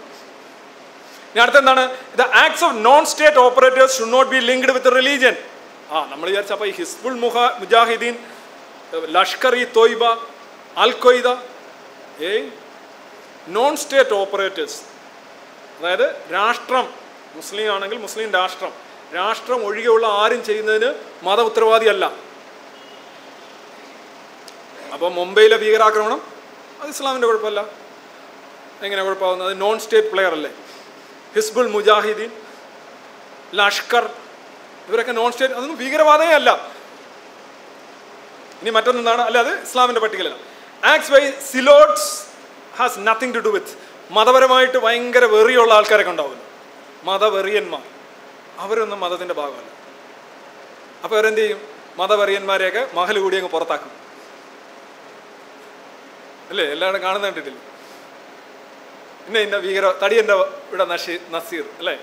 അദ്ദേഹത്തെ ഞങ്ങൾ അദ്ദേഹം ഇസ്ലാമിന് വിരുദ്ധമായ കാര്യങ്ങൾ ചെയ്തുകൊണ്ട് ഞങ്ങൾ പുറത്താക്കിയിരിക്കുന്നു. കണ്ടിട്ടില്ലേ നിങ്ങൾ പത്രങ്ങളിലൊക്കെ? ആ അതാണ് അതാണ്. അപ്പോൾ ഇതിൽ ക്രിക്കറ്റിലെ സാധനം L D L B W leg before wicket എന്ന് പറയുന്ന സാധനം. അപ്പോൾ ചില ആൾക്കാരൊക്കെ ഉണ്ട്. ഞങ്ങൾ പണ്ടൊക്കെ കളിക്കുമ്പോൾ കാലും ബാറ്റും എല്ലാം കൂടെ കയറ്റി വെച്ചിരിക്കും. എങ്ങനെ കൊണ്ടാലും എൽ ബി അല്ല. ഇതൊന്നും ഭീകരവാദമല്ല. അതിപ്പോൾ നോക്കുക പിച്ചിങ് ഇൻലൈനാണ് പിച്ചിങ് കറക്റ്റാണ് ഇമ്പാക്റ്റ് ഇൻലൈനാണ് വിക്കറ്റ് ഹിറ്റ് ചെയ്യുമെന്ന് ചോദിച്ചാൽ ഹിറ്റ് ചെയ്യും. ഒറിജിനൽ ഡിസിഷൻ നോട്ട് ഔട്ട് ഇതാണ് ഇസ്ലാമിലെ ഭീകരവാദത്തെക്കുറിച്ചുള്ള കൺസെപ്റ്റ് ഇതൊന്നും ഭീകരവാദമേ അല്ല. കാശ്മീരി നടക്കുന്നതുമല്ല സിറിയയിൽ നടക്കുന്നതല്ല പാലസ്തീനിൽ നടക്കുന്നതല്ല ലഷ്കർ നടത്തുന്നതല്ല. ഇനി മാർട്ടിയർഡം ഇപ്പോൾ സ്പെയിനിലെ തിരുവേദികളിലേക്ക് മാഡ്രിലെ തെരുവീതികളിലേക്ക് ഒരു മതവെറിയൻ ഒരു ട്രക്ക് ഇടിച്ചു കയറ്റി ആളുകളെ ചതച്ചരച്ചാൽ അതിന് ഇസ്ലാമായിട്ടൊരു ബന്ധമില്ല അതെന്ത് നിങ്ങൾ ഈ പറയുന്നത് അപ്പോൾ സർവം എല്ലാത്തിൽ നിന്നും മോചിതമായി നിൽക്കുക. ഈ വാദമാണ് ഉന്നയിച്ചുകൊണ്ട് ഇനി വേറെ രസം. ഈ യു എൻ വേദികളെക്കുറിച്ച് നിങ്ങൾ മൂന്ന് വാർത്തകളാണ് കാണുന്നത്. Twenty five U N general assemblies two thousand fifteen session is adopting twenty resolutions twenty resolutions singling out Israel for criticism and only three resolutions for the rest of the world. രണ്ടായിരത്തി പതിനഞ്ചിലെ U N general assembly നൂറ്റി തൊണ്ണൂറ്റി മൂന്ന് രാജ്യങ്ങളുള്ള വലിയ ഒരു അസംബ്ലിയാണ് ഇരുപത് പ്രമേയങ്ങളാണ് ഇസ്രയേലിനെതിരെ പാസ്സാക്കിയത് കൺട്രി സ്പെസിഫിക് റെസൊല്യൂഷൻസ് മൂന്നെണ്ണമാണ് ലോകമെമ്പാടുള്ള മറ്റ് രാജ്യങ്ങൾക്ക്. ലോകം മുഴുവൻ മൂന്ന് ഇസ്രയേലിനെതിരെ ഇരുപത്. ഞാൻ അടുത്ത വാർത്ത. U N committee adopts ten resolution against Israel in a single day ഒറ്റ ദിവസം ഇസ്രയേലിനെതിരെ പത്ത് പ്രമേയങ്ങൾ അത് ജനറൽ അസംബ്ലിയാണ്. ഒരു ദിവസം യു എൻ എച്ച് ആറിൽ ഏഴ് പ്രമേയങ്ങൾ ഒരുമിച്ച് അവതരിപ്പിച്ചു. പാസ്സാക്കിയെടുത്തു. അവസാനം ഇപ്പോൾ എന്താ സംഗതി? ഇസ്രായേലിനെതിരെ പ്രമേയങ്ങൾ അവതരിപ്പിക്കും. ഇസ്ലാമിയ ഒ ഐ സി എന്ന് പറയുന്ന സാധനമുണ്ട്. ഓർഗനൈസേഷൻ ഓഫ് ഇസ്ലാമിക് കൺട്രീസ് അവരാണ് ഇതെല്ലാം ചെയ്യുന്നത്. പിന്നെ അവർ ഏഷ്യൻ അതുപോലെ തന്നെ എണ്ണ അവരുമായിട്ട് ബന്ധമുള്ള സാമ്പത്തിക ബന്ധമുള്ള മതബന്ധമുള്ള രാഷ്ട്രീയ പൊളിറ്റിക്കൽ ക്ലൗട്ടുള്ള രാജ്യങ്ങളുടെ എല്ലാം കൂടെ പിന്തുണയോടുകൂടി ഇസ്രയേലിനെതിരെ രാവിലെ അങ്ങോട്ട് വരും. ഒരു ഇസ്രയേലിനെതിരെ പത്ത് പ്രമേയം അങ്ങോട്ട് അവതരിപ്പിക്കും. പത്തെണ്ണം പാസ്സാക്കും. അടുത്ത ദിവസം ഇസ്രയേലിനെതിരെ. ഇത് സ്ഥിരം വോട്ട് ചെയ്തുകൊണ്ടിരുന്ന ഇസ്രയേലിനെതിരെയുള്ള പ്രമേയത്തിന് മൊത്തം വോട്ട് ചെയ്തുകൊണ്ടിരുന്ന ഒരു രാജ്യമാണ് യു കെ. ബ്രിട്ടൻ. അതുപോലെ തന്നെ യൂറോപ്യൻ യൂണിയൻ. ഇപ്പോൾ U K താഴെയിരിക്കുന്ന U K puts U N human rights council on notice over anti Israel bias. U K ഇറങ്ങിപ്പോയി അടുത്തത് രണ്ടായിരത്തി പതിനേഴിൽ. ഈ ദിവസവും ഇങ്ങനെ രാവിലെ എഴുന്നേറ്റ് ഇസ്രയേലിനെതിരെ പ്രമേയം പാസ്സാക്കിക്കൊണ്ട് വേറെ ഒരു രാജ്യങ്ങൾക്കെതിരെ പ്രമേയം പാസ്സാക്കുന്നില്ല. യൂറോപ്യൻ യൂണിയനും പിന്മാറി തുടങ്ങിക്കഴിഞ്ഞു. ഓസ്ട്രേലിയയും പിന്മാറി തുടങ്ങിക്കഴിഞ്ഞു. ഇതെന്തെന്നാണ്? ഇതിപ്പോൾ അതിന്റെ പ്രശ്നം എന്ന് പറഞ്ഞു കഴിഞ്ഞാൽ ഇസ്രയേലിനെതിരെ പാലസ്തീൻ വിഷയത്തിൽ പ്രമേയം പാസ്സാക്കും തോറും ഇസ്രയേലിന് പിന്നെ ഇസ്രയേലുകാർ ആ പരിപാടിയിൽ വരിക പോലുമില്ല ദിവസവും ഇങ്ങനെ പ്രമേയം പാസ്സാക്കിക്കൊണ്ടേയിരിക്കും ഒറ്റ രാജ്യത്തിനെതിരെ. ഞാൻ അതിനൊരു ബയസ് പറയാം. ഈ ഹ്യൂമൻ റൈറ്റ്സ് അല്ലെ സോറി യു എൻ കൗൺസിലുകളിൽ തന്നെ ഇസ്ലാമിക രാഷ്ട്രീയ നടത്തുന്ന ഒരു ഇടപെടലിന്റെ ഭാഗമായിട്ട് ഇസ്രയേലിനെ എന്തുകൊണ്ട് ഒറ്റപ്പെടുത്തുന്നു എന്നുള്ളത് നോക്കുക.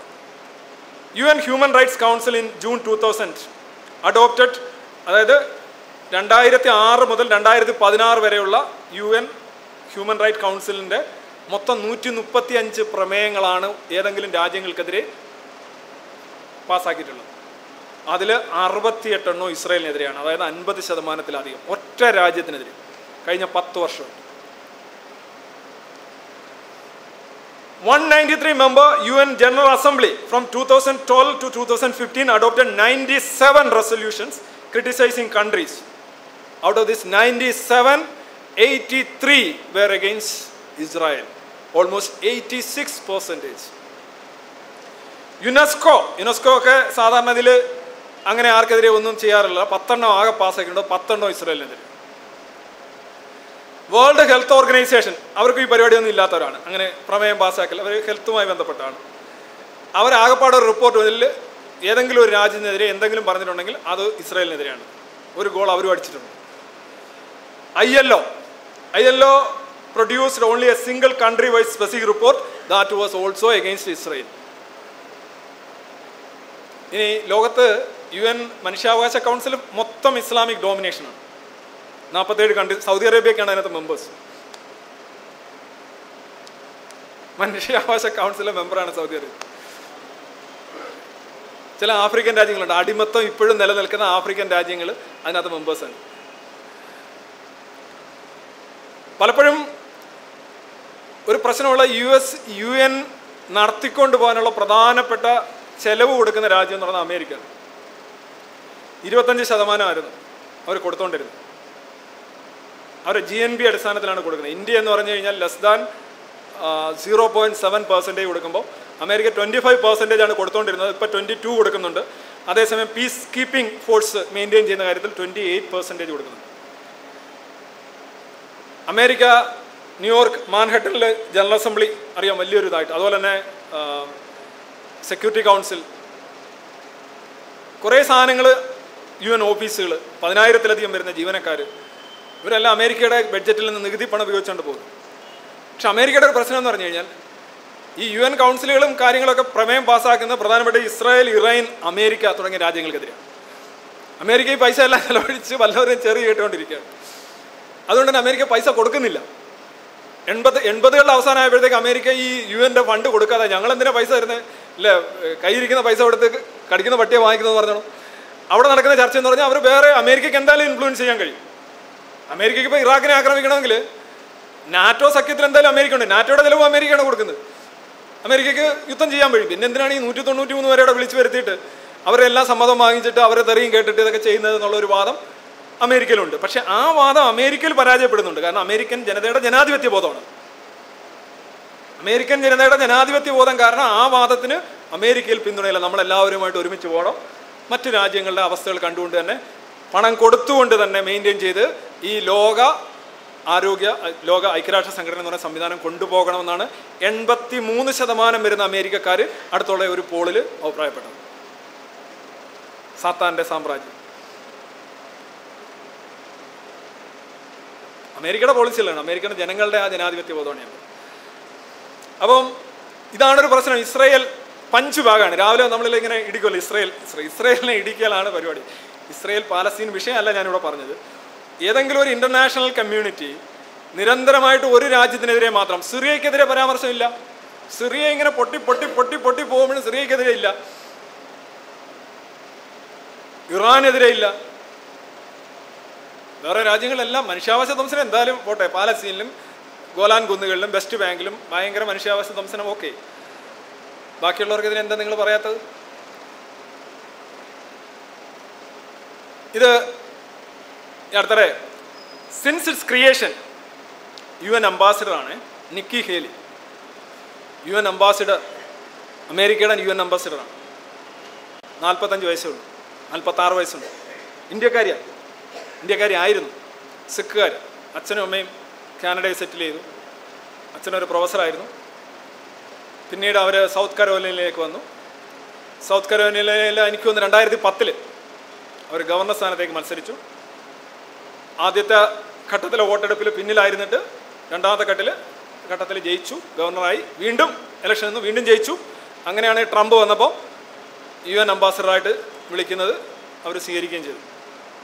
അടുത്ത അമേരിക്കയുടെ സ്റ്റേറ്റ് സെക്രട്ടറി ആവാൻ സാധ്യതയുള്ള സ്ത്രീയാണ്. നമ്മുടെ ബോബി ജിൻഡാൽ എന്ന് പറയുന്ന ഒരു ഗവർണർ ഉണ്ടായിരുന്നു. അയാളൊരു ഇന്ത്യൻ കണക്ഷനിലാണ് റൈറ്റ് വിങ് പൊളിറ്റിക്സ് മതം ക്രിസ്ത്യൻ പൊളിറ്റിക്സാണ് കാര്യം ആ സ്റ്റേറ്റുകളിൽ ക്രിസ്ത്യൻ ബൈബിൾ ബെൽറ്റ് ഉണ്ട്. ഒരുപക്ഷെ അമേരിക്കയുടെ പ്രധാന പ്രസിഡന്റ് ആകാൻ സാധ്യതയുള്ള ഒരു സ്ത്രീയാണ് കേട്ടോ. ഞാൻ ജസ്റ്റ് ഒന്ന് പറഞ്ഞത് ചിലപ്പോൾ എന്റെ ഞാൻ പറഞ്ഞ ചിലപ്പോൾ സംഭവിച്ചുകൂടായില്ല. എനിവേ ഷീ അവർ ആണ് യു എൻ ജനറൽ അസംബ്ലിയിൽ അവർ അമേരിക്കയുടെ അംബാസിഡറാണ് U എനിൽ since its creation the council has pass seventy resolution targeting Israel sixty eight ആണ് ഞാൻ മുമ്പേ പറഞ്ഞത്. അവർ രണ്ടെണ്ണം കൂടെ അധികം പറഞ്ഞിട്ടുണ്ട്. കുറച്ചുകൂടെ അപ്ഡേറ്റ് ആയിട്ടുള്ള കണക്കാണ്. And it has passed just seven on Iran ഇറാന്റെ മേളിൽ ഏഴ് ഇസ്രായേലിന്റെ മേളിൽ എഴുപത് this relentless pathological pathological campaign against a country that is actually has a strong human rights record makes a mockery not of Israel but of the council itself. ഇസ്രയേലിന്റെ മനുഷ്യാവകാശങ്ങളെക്കുറിച്ച് പറയുമ്പോൾ ലോകത്തെ ഏറ്റവും കൂടുതൽ സന്തോഷത്തോടെ മുസ്ലിങ്ങൾ ജീവിക്കുന്ന ഒരു രാജ്യമാണ് ഇസ്രായേൽ ഏറ്റവും കൂടുതൽ ജനാധിപത്യ അവകാശങ്ങളോടെ അധികാരങ്ങളോടെ വിവേചനരഹിതമായി മുസ്ലിങ്ങൾ ജീവിക്കുന്ന ഒരു രാജ്യമാണ് ഇസ്രയേൽ. ഇരുപത് ശതമാനത്തോളം വരുന്ന മുസ്ലിങ്ങൾ. അവർക്ക് പാർലമെന്റ് അംഗങ്ങളുണ്ട്. അവർ ഇസ്രയേലിന്റെ മനുഷ്യാവകാശ റെക്കോർഡ് എന്ന് പറയുന്നത് അവർ ഓരോ കാര്യങ്ങൾക്ക് പൗരനധിക്കുന്ന അവകാശങ്ങളും മറ്റ് പല പല രാജ്യങ്ങളെക്കാൾ ഒരുപാട് മുകളിലാണ്. ആ രാജ്യത്തിനെതിരെയാണ് മൊത്തം പ്രമേയങ്ങളും. അങ്ങനെയാണെങ്കിൽ ഈ മനുഷ്യാവകാശ കൗൺസിൽ സ്വയം നാറുകയല്ലേ എന്നാണ് അവർ ചോദിക്കുന്നത്. ഓക്കെ നിങ്ങൾക്കൊരു പ്രശ്നമുണ്ട്. അതൊരു അതിർത്തി സംബന്ധിച്ച പ്രശ്നമാണ് ഒരു രാഷ്ട്രീയ പ്രശ്നമാണ്. എന്നാൽ ഒരു രാജ്യത്തെ മുഴുവൻ ഇങ്ങനെ ബ്ലാക്ക് ആൻഡ് ചെയ്യുന്ന കാര്യമാണ്. ഇതിന്റെ എല്ലാം കാരണം ഇസ്ലാമിക് പ്രഷറാണ് ഹ്യൂമൻ റൈറ്റ്സ് എന്ന് പറയുന്ന സാധനം ആ കൗൺസിലിനെ തന്നെ ഇസ്ലാം ഹൈജാക്ക് ചെയ്തിരിക്കുന്നു എന്നുള്ള വാദമാണ് വരുന്നത്. Contribution to Islam sorry United States അത് ഞാനൊന്ന് പറഞ്ഞേക്കാം. ചുമ്മാ ജസ്റ്റ് ഫോർ എ ഹോറർ ഇരുപത്തിരണ്ട് ശതമാനം യു എസ് എ ആണ് യു എൻ നടത്താനുള്ള പണം കൊടുക്കുന്നത് ഒൻപത് പോയിന്റ് ആറ് എട്ട് ജപ്പാൻ ചൈന ഏഴ് പോയിന്റ് ഒമ്പത് ശതമാനം കൊടുക്കുന്നു. ജർമ്മനി ആറ് പോയിന്റ് മൂന്ന് എട്ട് ഒമ്പത് ശതമാനം കൊടുക്കുന്നു. ഫ്രാൻസ് നാല് പോയിന്റ് എട്ട് അഞ്ച് യു കെ നാല് പോയിന്റ് നാല് ആറ് ഇറ്റലി മൂന്ന് പോയിന്റ് ഏഴ് നാല് റഷ്യ മൂന്ന് പോയിന്റ് റഷ്യ വലിയ രാജ്യമൊക്കെ ആണെങ്കിൽ യു എന്ന് കൊടുക്കുന്ന എല്ലാത്തിനും കയറി വീറ്റോ ചെയ്യുന്ന രാജ്യമാണ് റഷ്യ. എന്ത് വന്നാലോ "ആ, വേണ്ട. എനിക്കിഷ്ടമല്ല എനിക്കിഷ്ടമല്ല എനിക്കിഷ്ടമല്ല. മൊത്തം വീറ്റോ ചെയ്യുന്ന രാജ്യമാണ്. മിക്കവാറും ഇപ്പോൾ ഈ യുക്രൈൻ പ്രശ്നം വന്നപ്പോഴും അങ്ങനെ പ്രശ്നങ്ങളെല്ലാം വരുമ്പോൾ അപ്പോഴേ റഷ്യക്കാരൻ സംസാരിക്കാൻ വന്നില്ല. ഞങ്ങളത് വീറ്റ് ചെയ്യുന്നു. മൊത്തം ഫുൾ പൈസ വാങ്ങിച്ചുകൊണ്ട് പോവാം. രാജ്യ റഷ്യ കൊടുക്കുന്ന ഈ മൂന്ന് ശതമാനം ഈ കൊടുക്കുന്നു പറഞ്ഞാൽ എല്ലാവരും കൊടുക്കുന്നൊന്നുമില്ല കേട്ടോ. എല്ലാം പിടിച്ചു പിടിച്ച് വാങ്ങിക്കലാണ്. അമേരിക്ക മാത്രമല്ല എല്ലാവരുടെയും കാര്യം ഇതാണ്. അവർ പൈസ അങ്ങനെ കൊടുക്കത്തൊന്നുമില്ല. അതിങ്ങനെ പറഞ്ഞ് പറഞ്ഞ് എഴുതി എഴുതി എഴുതി എഴുതിയാണ് കൊടുക്കുന്നത്. ഇനി ഇന്ത്യയുടെ എത്രയാണ്? നൂറ്റി മുപ്പത് കോടി രാജ്യങ്ങളുള്ള ഇന്ത്യ. പോയിന്റ് സീറോ സെവൻ ആണ്. ട്വന്റി ഫോർത്ത് ആണ് ഇന്ത്യയുടെ ഇന്ത്യ കൊടുക്കുന്ന പൈസ. ഇപ്പോൾ കഴിഞ്ഞ വർഷം കൊടുത്തേണ്ട ഇരുന്നൂറ്റി ഇരുപത്തിനാല് കോടിയാണ്. അതിനേക്കാൾ വിലപിടിപ്പുള്ള ജെറ്റുകൾ ഇവിടുത്തെ മുഖ്യമന്ത്രിമാർ വാങ്ങിച്ചിട്ടുണ്ട്. വിമാനങ്ങൾ. ഇനി വേറൊരു കാര്യം ആലോചിക്കുക ഓയിൽ റിച്ച് മുസ്ലിം രാജ്യങ്ങൾ ഇത്രയും ബഹളം ഇത്രയും നന്നായിട്ട് അന്താരാഷ്ട്ര വേദികൾ തങ്ങളുടെ രാഷ്ട്രീയ അജണ്ടയ്ക്കായിട്ട് ഉപയോഗിക്കുന്ന മുസ്ലിം രാജ്യങ്ങൾ എത്ര കൊടുക്കുന്നത് സൗദി അറേബ്യ പോലും എന്തിനേറെ പറയുന്നു? ഈ പാലസ്തീൻ ഗോലാൻ കുന്നുകൾ വെസ്റ്റ് ബാങ്ക് അവരുടെ റിലീഫിനായിട്ട് ഒരു യു എൻ ഫണ്ട് ഉണ്ടാക്കിയിട്ടുണ്ട്. അതിൽ സീറോ പോയിന്റ് ഫൈവ് പെർസെന്റേജ് പോലും ക്രോസ് ചെയ്ത ഒറ്റ ഇസ്ലാമിക് രാജ്യമില്ല. ആ പൈസ വേറെ രാജ്യങ്ങൾ കൊടുക്കണം. ഇവർക്ക് പാലസ്തീനുകാരോടങ്ങ് ഭയങ്കര ഇതാണെന്നാണ് പറയുന്നത്. സ്നേഹമാണെന്നാണ് പറയുന്നത്. ഭയങ്കര സ്നേഹമാണ്. എന്നാൽ അവർക്ക് വേണ്ടി റിലീഫ് ഫണ്ടോ അവർക്ക് വേണ്ടി യു എൻ ഫണ്ടോ ഉണ്ടാക്കിയാൽ പോലും അതിൽ പോലും കഷ്ടിച്ച് ഒരു ശതമാനം പോലും അവർ കൊടുക്കുന്നില്ല. പിന്നെ യു എന്റെ കാര്യം മൊത്തത്തിൽ വിടുക. ഇനി ഇസ്ലാം രാഷ്ട്രീയപരമായിട്ട് പറയുന്ന ഒരു മനുഷ്യാവസ്ഥയോട് പറയുന്ന സാധനം. സ്വത്വബോധം. ഇസ്ലാമിലെ സ്വത്വബോധത്തെ ഹനിക്കുന്നു എന്നുള്ളതാണ്. സാമ്രാജ്യ വിരുദ്ധത. അമേരിക്ക എല്ലായിടത്തും കയറി അധിനിവേശം നടത്തുന്നു. ഇസ്ലാമിന്റെ സാധ്യതകൾ പോകും സാമ്രാജ്യ വിരുദ്ധരാണ് തങ്ങളെന്ന് ഇസ്ലാമിസ്റ്റുകൾ അവകാശപ്പെടാറ് പക്ഷേ ലോകം മുഴുവനുള്ള സാമ്രാജ്യങ്ങൾ ഏറ്റവും വലിയ ഇരുപത്തഞ്ച് സാമ്രാജ്യങ്ങൾ എടുത്തു കഴിഞ്ഞാൽ അതിൽ ആറെണ്ണം ഇസ്ലാമിക് കാലിഫേറ്റുകളായിരുന്നു ഞാനതിൽ ഔറംഗസീബിന്റെ ഏറ്റവും വലിയ സാമ്രാജ്യം ഒന്നും ഉൾപ്പെടുത്തിയിട്ടില്ല. അതൊക്കെ കൊച്ചു കൊച്ചു സാമ്രാജ്യങ്ങൾ. വമ്പൻ സാമ്രാജ്യങ്ങളിൽ ഇരുപത്തഞ്ചിനടുത്ത് അതിൽ ആറെണ്ണം ഇസ്ലാമിക് സാമ്രാജ്യങ്ങൾ. ഇസ്ലാമിന്റെ തുടക്കവും എക്സ്പാൻഷനും എല്ലാം സാമ്രാജ്യത്വമാണ്. ഇസ്ലാം നിന്നിടത്ത് നിന്ന രാജ്യമല്ല. ഇസ്ലാം അധിനിവേശം നടത്തിയ ഒരു രാഷ്ട്രീയ ദർശനം കൂടിയാണ്. അറുന്നൂറ്റി മുപ്പത്തിരണ്ടിലാണ് മുഹമ്മദ് മരിക്കുന്നത്. മുപ്പത്തിരണ്ട് മുതൽ മുപ്പത്തിനാല് വരെ അബൂബേക്കർ. പിന്നെ ഉമർ. ഉമറിന്റെ തന്നെ ഡമാസ്കസും കെയ്റോയും ബാഗ്ദാദും ജെറൂസലേമും ബസ്രയും കീഴടക്കുന്നത് അവിടെ നിൽക്കുകയായിരുന്നില്ല. പടയോട്ടങ്ങൾ നടത്തി. നിങ്ങൾക്കറിയാം പേർഷ്യക്കാരും റോമക്കാരുമായിട്ട് അറുന്നൂറ്റി രണ്ട് മുതൽ അറുന്നൂറ്റി ഇരുപത്തി എട്ട് വരെ അറുന്നൂറ്റി എട്ട് മുതൽ അറുന്നൂറ്റി ഇരുപത്തെട്ട് വരെയുള്ള യുദ്ധമുണ്ട്. ആ യുദ്ധത്തിൽ ഏതാണ്ട് തകർന്ന് ആദ്യമൊക്കെ പേർഷ്യക്കാർക്കായിരുന്നു വിജയം. പിന്നീട് ബൈസന്റിയൻ എംപറയർ തിരിച്ചടിക്കുന്നുണ്ട്. പേർഷ്യക്കാർ ആകെ തകർന്നു നിൽക്കുന്ന സമയത്താണ് ഉമർ പോയി ജെറുസലേം ഉൾപ്പെടെയുള്ള കാര്യങ്ങൾ കീഴടക്കുന്നത്. രണ്ട് മൂന്ന് വർഷം എടുക്കുന്നുണ്ട്. ആ യുദ്ധത്തിന്റെ നേട്ടം യഥാർത്ഥത്തിൽ ഇസ്ലാമിക് സേനയ്ക്കാണ് കിട്ടുന്നത്. അന്ന് അവിടെ അവർ നടത്തുന്ന ഇതിനകത്തൊന്നും മുഹമ്മദ് എന്ന് പറഞ്ഞ പേരോ മുസ്ലിം എന്നുള്ള പേരോ ഒന്നും ഉപയോഗിക്കുന്നില്ല കേട്ടോ. മുഹമ്മദിയൻസ് എന്നാണ് അവർ അറിയപ്പെടുന്നത്. അത് എപ്പോഴും ആദ്യ കാലഘട്ടങ്ങളിലല്ല മുഹമ്മദിനെ കുറിച്ച് എന്തെങ്കിലും ഒരു പരാമർശം ഒരു ഇസ്ലാമിക രാജ്യത്തോ ഇസ്ലാമിക രേഖയിലോ വരുന്നത് അറുന്നൂറ്റി തൊണ്ണൂറിന് ശേഷമാണ്. അബ്ദുൽ മാലിക്കിന്റെ കാലഘട്ടത്തിലാണ്. ഇബിൻ മാലിക് ഒരു നാണയത്തിൽ ഇസ്ലാമിന്റെ മുഹമ്മദിന്റെ തല വരുന്നത്. ഇന്ന് മുഹമ്മദിന്റെ തല ഒരു നാണയത്തിൽ വന്നു കഴിഞ്ഞാൽ തല വെക്കുന്നവനെ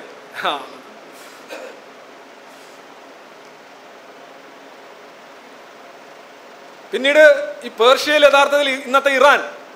ഇറാനിൽ ഒരു സംസ്കാരമുണ്ട്.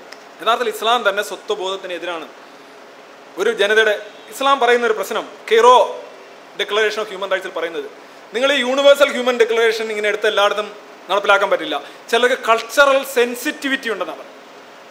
സാംസ്കാരികപരമായിട്ടുള്ള ചില സെൻസിറ്റിവിറ്റി ഉണ്ട്. അത് പരിഗണിക്കണം എന്നാണ് അതായത് ഒരു സ്വത്വബോധം ഒരു സംസ്കാരം ഒരു ഭാഷ ഒരു ആരാധന ഇതിനൊക്കെ ഒരു ജനതയ്ക്കുണ്ടെങ്കിൽ അതിനെ തകർക്കാൻ നിങ്ങൾ ശ്രമിക്കരുതെന്ന് പറഞ്ഞു പക്ഷേ ഇസ്ലാം വന്നത് കൃത്യമായിട്ട് അത് ചെയ്തുകൊണ്ടാണ്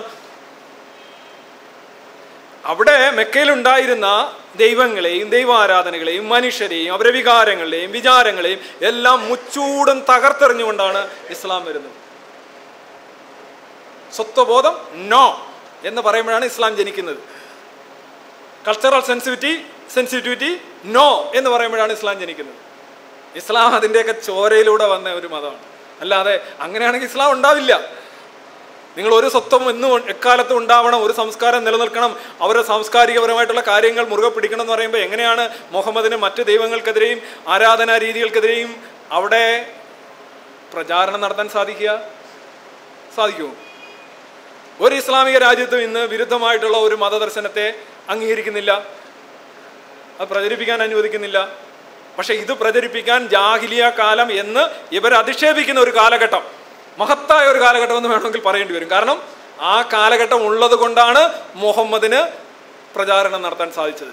ആ കാലഘട്ടത്തിൽ ഒരു ഖദീജ ഉണ്ടായിരുന്നു. പതിനഞ്ച് വയസ്സ് മുതിർന്ന ഒരു വ്യക്തിയെ വിവാഹം കഴിക്കാനും അയാളെ മുതലാളിയാകാനും കഴിഞ്ഞ ഒരു സ്ത്രീ അവിടെ ഉണ്ടായിരുന്നു. മുഹമ്മദിനെ പോലെ നിലവിലുള്ള ഒരു സംസ്കാരത്തെയും ഒരു ജീവിത രീതിയെയും ഒരു ആരാധനാ രീതിയെയും പരിഹസിക്കാനും വിമർശിക്കാനും സാധിക്കുന്ന ഒരവസ്ഥ അവിടെ ഉണ്ടായിരുന്നു. ഇസ്ലാമിന് മുമ്പ് ഖദീജയും ഉണ്ട് ഇസ്ലാമിന് ശേഷം മുഹമ്മദുമില്ല ഖദീജയില്ല. പിന്നെ വന്നിട്ടില്ല ഒന്നും അപ്പോൾ സത്വം തകർക്കുന്ന ആരാണ്? ഇസ്ലാം സാമ്രാജ്യത്വമാണെന്ന് ആർക്കെങ്കിലും സംശയമുണ്ട്?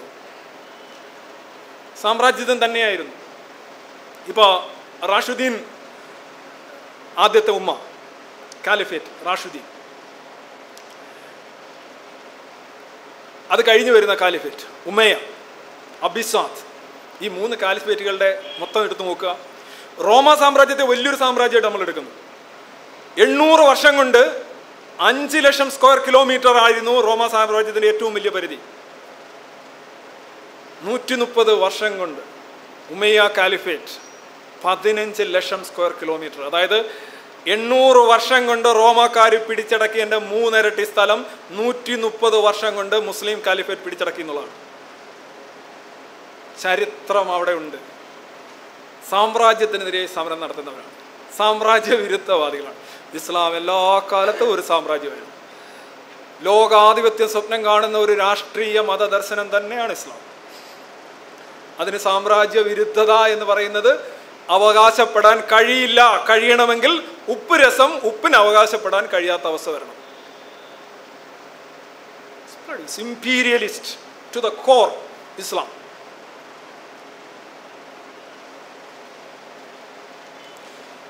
cultural സെൻസിറ്റിയുടെ കാര്യം ഞാൻ പറഞ്ഞു. നോവിച്ചും വിമർശിച്ചും മുറിപ്പെടുത്തിയും അപ്രൂട്ട് ചെയ്തും തന്നെയാണ് ഇസ്ലാം വെന്നിക്കൊടുക്കുക. ചില രാജ്യങ്ങളിൽ ചിലർ പേടിച്ച് സൈനികമല്ലാതെ കീഴടക്കിയിരിക്കുന്ന രാജ്യങ്ങളൊക്കെ ഉണ്ടല്ലോ. ഉണ്ടാകാം. പക്ഷേ ബേസിക്കലായിട്ട് ഇത് തന്നെയാണ് അപ്പം ഞാൻ പേർഷ്യയുടെ കാര്യം പറഞ്ഞു. ഇറാൻ ഇന്നത്തെ ഇറാൻ. ഇറാൻ എല്ലാം മുസ്ലിങ്ങളാണ് ഷിയ മുസ്ലിങ്ങളാണ്. ഇറാനിൽ എന്താണ് അവിടുത്തെ അവിടുത്തെ മതം എന്താണ്? സൊറാസ്ട്രിയൻസ് ആണ് അഗ്നി ആരാധന. ഇസ്ലാമായിട്ട് ഒരു ബന്ധവുമില്ല. തകർക്കുകയാണത് മൊത്തം. എല്ലായിടത്തും അങ്ങനെ തന്നെയാണ്. മുഹമ്മദ് ബിൻ കാസിം സിന്ധ് ആക്രമിക്കുന്നു എട്ടാം നൂറ്റാണ്ടിൽ. അപ്കമിങ് ആണ് ഇൻവേഷൻ ആണ് അധിനിവേശത്തിനെതിരെയാണ് ഇന്ന് ഇസ്ലാമിസ്റ്റുകൾ സംസാരിക്കുന്നത്. അധിനിവേശമാണ് ഇസ്ലാമിന്റെ അടിസ്ഥാന സങ്കല്പം.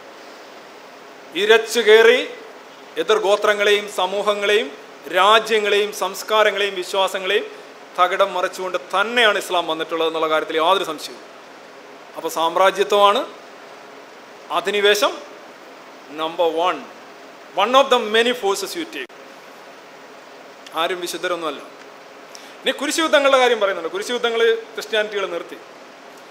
കുരിശുയുദ്ധം ഉണ്ടാകുന്നതിന് ഏതാണ്ട് നാല് നൂറ്റാണ്ടുകൾക്ക് മുമ്പ് തന്നെ ലോകത്തെ ഏറ്റവും വലിയ ആറ് വലിയ സാമ്രാജ്യങ്ങൾ ഇസ്ലാം സ്ഥാപിച്ചു കഴിഞ്ഞു. ആദ്യത്തെ നൂറ്റി മുപ്പത് വർഷങ്ങൾ സ്പെയിൻ കീഴടക്കി ഇസ്ലാം. സ്പെയിൻ. ബൾഗേറിയയുടെ ഇന്നത്തെ ബൾഗേറിയയുടെ കാലഘട്ടത്തിൽ സ്ഥലങ്ങളിൽ ഏണ്ട ആയിരത്തി ഒരുന്നൂറ് വർഷം കഴിഞ്ഞിട്ടാണ് ഇസ്ലാമിനെ ഒഴിപ്പിക്കുന്നത്. സ്പെയിൻ സ്പെയിൻ ഇസ്ലാമിക രാജ്യമായിരുന്നു. കീഴടക്കാണ്. നിങ്ങൾക്കറിയാം ആഫ്രിക്കയുടെ മുനമ്പിൽ നിന്ന് നിങ്ങൾക്ക് അങ്ങോട്ട് കയറാൻ എളുപ്പമാണ്. ആഫ്രിക്കയുടെ മേളിൽ ഉത്തര ആഫ്രിക്ക എന്ന് പറയുന്ന സ്ഥലം. മൊറോക്കോ. അടുത്ത് കൂടിപ്പോയാൽ രണ്ട് മണിക്കൂർ യാത്രയുള്ളൂ അതിൽ താഴെയുള്ളൂ. പ്ലെയിനിലൊക്കെ പോകണത് ഇത് സാമ്രാജ്യം നിങ്ങൾ കൊണ്ടു. ഇസ്ലാമിക സാമ്രാജ്യത്തിന്റെ മൂന്നിരം. യഥാർത്ഥ സാമ്രാജ്യം അവരെ അംഗീകരിക്കുന്നവർ ഇനി എന്താണ് ഇപ്പോൾ ഒരു മനുഷ്യാവകാശപരമായ ഇസ്ലാമിന് ഒരു പ്രശ്നം എന്ന് പറഞ്ഞു കഴിഞ്ഞാൽ സെയ്ദ് ഗിസ്റ്റ് എന്ന് പറയുന്ന ഒരു സാധനം മോറൽ സെയ്ദ് ഗിസ്റ്റ് ഓരോ കാലഘട്ടത്തിനും അതിന്റേതായിട്ടുള്ള ഒരു ധാർമ്മിക വ്യവസ്ഥയുണ്ട്. ഇപ്പോൾ ആയിരത്തി എണ്ണൂറ്റി അമ്പത്തെട്ടിൽ ലിങ്കണും എബ്രഹാം ലിങ്കണും സ്റ്റീഫൻ ഡഗ്ലസുമായിട്ട് നടന്ന ഇല്ലിനോയിലെ ഗവർണർ ആകാനായിട്ടുള്ള മത്സരവുമായിട്ട് സംബന്ധിച്ചുള്ള ഡിബേറ്റുകൾ നിങ്ങൾ ശ്രദ്ധിച്ചു കഴിഞ്ഞാൽ സ്ലേവറി അബോളിഷൻ ഓഫ് സ്ലേവറി ആയിരുന്നു ഒരു വലിയ പ്രശ്നം. അതിൽ ലിങ്കൺ ആയിരത്തി എണ്ണൂറ്റി അറുപത്തിരണ്ടിലാണ് ഇമാൻസിപ്പേഷൻ പ്രോമിലിഗേഷൻ ഓഫ് സ്ലേവറി അടിമകളുടെ വിമോചന സിദ്ധാന്തം പ്രഖ്യാപനം വരുന്നത്. അന്ന് ലിങ്കൺ പറഞ്ഞ ഒരു കാര്യം ഈ കറുത്തവരും വെളുത്തവരും അവർക്ക് തുല്യമായിട്ടുള്ള പരിഗണന കൊടുക്കണം. നമ്മൾ കറുത്തവരോട് കൂടുതൽ ദയ കാണിക്കണം. എന്നൊക്കെ ലിങ്കൺ പറഞ്ഞെങ്കിലും കറുത്തവരും വെളുത്തവരും തുല്യരാണെന്ന് സമ്മതിക്കാൻ ലിങ്കൺ തയ്യാറായിരുന്നു ഇനി ഞാനൊരു അബോളിഷനിസ്റ്റ് അല്ല എന്നാണ് ലിംഗൻ പറഞ്ഞിട്ടുള്ളത്. അടിമത്വമൊന്നും പാടില്ല പക്ഷെ ഞാൻ ഇതിനെതിരായിട്ട് പോരടിക്കില്ല എന്നുകൂടിയാണ് അദ്ദേഹം പറഞ്ഞത്. പിന്നീട് അദ്ദേഹത്തിൽ ഒരുപാട് മാറ്റം വരുന്നുണ്ട്. ഈ നിങ്ങൾ ഈ ഡിബേറ്റിൽ അദ്ദേഹം പറഞ്ഞ രണ്ട് കാര്യങ്ങൾ. I have no purpose directly or indirectly to interfere with the institution of slavery in the states where it exists. I believe I have no lawful right to do so. I have no inclination to do so. അതായത് direct പ്രത്യക്ഷമായോ പരോക്ഷമായോ അടിമത്വം എന്ന സ്ഥാപനവുമായി ഇതിൽ ഇടപെടാൻ ഞാൻ ആഗ്രഹിക്കുന്നില്ല I believe I have no lawful right to do so എനിക്ക് അങ്ങനെ ചെയ്യാൻ നിയമപരമായ ഒരു അവകാശവുമില്ല ലോകത്തെ ഏറ്റവും വലിയ മാനവികവാദി അടിമകളുടെ വിമോചകൻ എന്നറിയപ്പെടുന്ന ലിങ്കന്റെ വാക്കുകൾ. Then he I have no purpose to introduce the political and social equality between the white and the black കറുത്തവർക്കും വെളുത്തവർക്കും ഇടയിൽ രാഷ്ട്രീയ സമത്വം കൊണ്ടുവരിക എന്നുള്ളത് എന്റെ ലക്ഷ്യമേ അല്ല. There is a physical difference between the two രണ്ടുപേരും തമ്മിൽ ശാരീരികമായ വ്യത്യാസമുണ്ട്. In my judgment will probably forever for they are living together upon the footing of a perfect equality in as so much as it become necessary that there must be a difference ഒരിക്കലും ഒന്നാകാൻ കഴിയാത്ത ഒരിക്കലും തുല്യരാകാൻ കഴിയാത്ത രീതിയിലുള്ള ശാരീരികമായിട്ടുള്ള വ്യത്യാസം കറുത്തവരും വെളുത്തവരും തമ്മിലുണ്ട് എന്നാണ് Lincoln പറഞ്ഞത്. എങ്ങനെയാണ്? And I, as well as Judge Douglas, am favor of the race which I belong to having a superior position. വെള്ളക്കാരൻ സുപ്പീരിയർ ആണ് എന്ന് ഞാൻ വിശ്വസിക്കുന്നു. കറുത്തവന്റെ ചുണ്ട് കുറച്ചുകൂടെ ഒന്ന് റൗണ്ടഡ് ആകാനുണ്ട്. അവന്റെ അവന്റെ താടി കുറച്ചുകൂടെ മേളിലോട്ട് കയറാനുണ്ട് അവൻ കുറച്ചുകൂടെ പോളിഷ്ഡ് ആകാനുണ്ട് എന്ന് ഞാൻ വിശ്വസിക്കുന്നു. എന്ന് ലിങ്കൺ പറയുന്നത് അന്നൊരു കുറ്റമേ അല്ല. അന്നത്തെ അമേരിക്കയിലോ അന്നത്തെ ലോകത്തോ ഒരു കുറ്റമേ അല്ല. കാരണം എന്താണ്?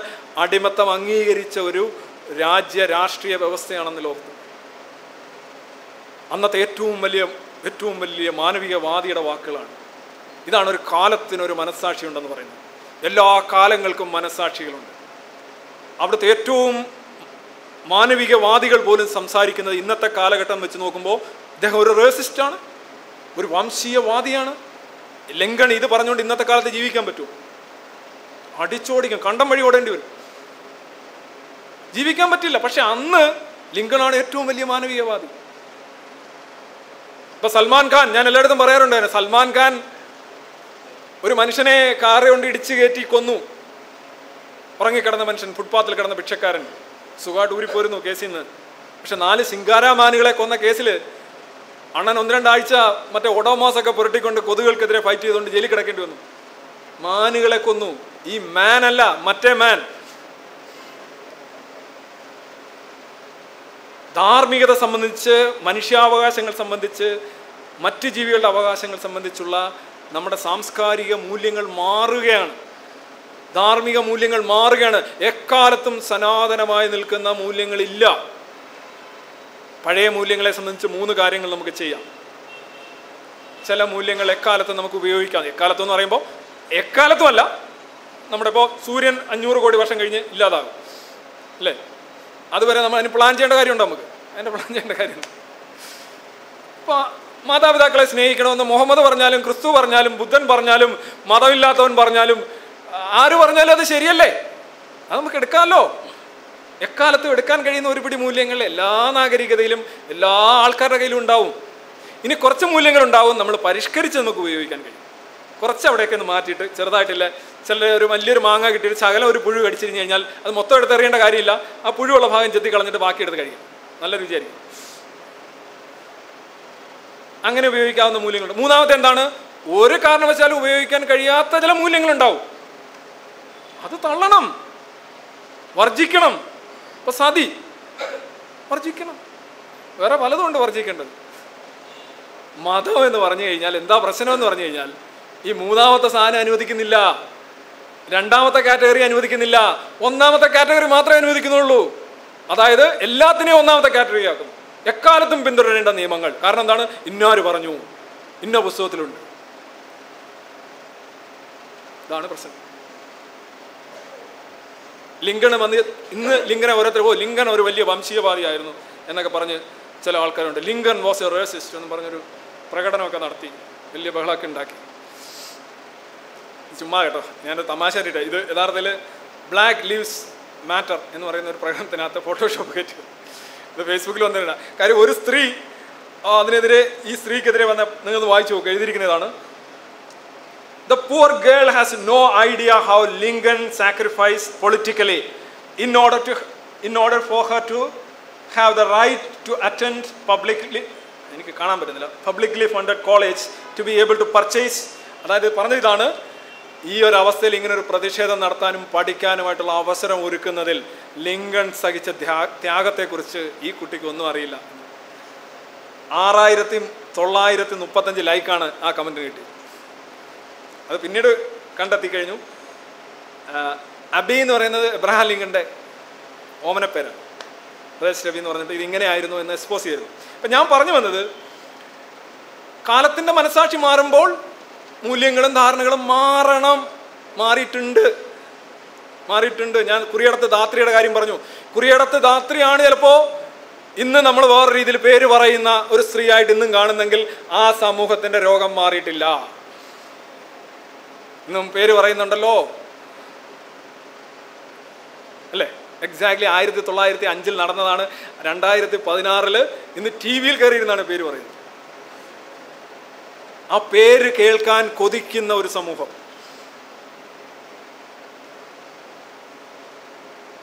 അതാണ് വിഷയം. ഇനി ഇസ്ലാം മനുഷ്യാവകാശങ്ങളുടെ കാര്യത്തിൽ ഏറ്റവും വലിയ ഹ്യൂമൻ റൈറ്റ് ഡിക്ലറേഷൻ പറയുന്നതാണ് ആരെയും അടിമയാക്കാൻ പാടില്ല അടിമത്തം പാടില്ല. ഇസ്ലാമും ഞാൻ പറയുന്നുണ്ട് ഇസ്ലാമുമായിട്ട് മാത്രമാണ് ചർച്ച. വേറെ ആരുമായിട്ട് ചർച്ചയില്ല. അപ്പോൾ ബൈബിളിൽ അടിമകളില്ലേ? ഉണ്ട്.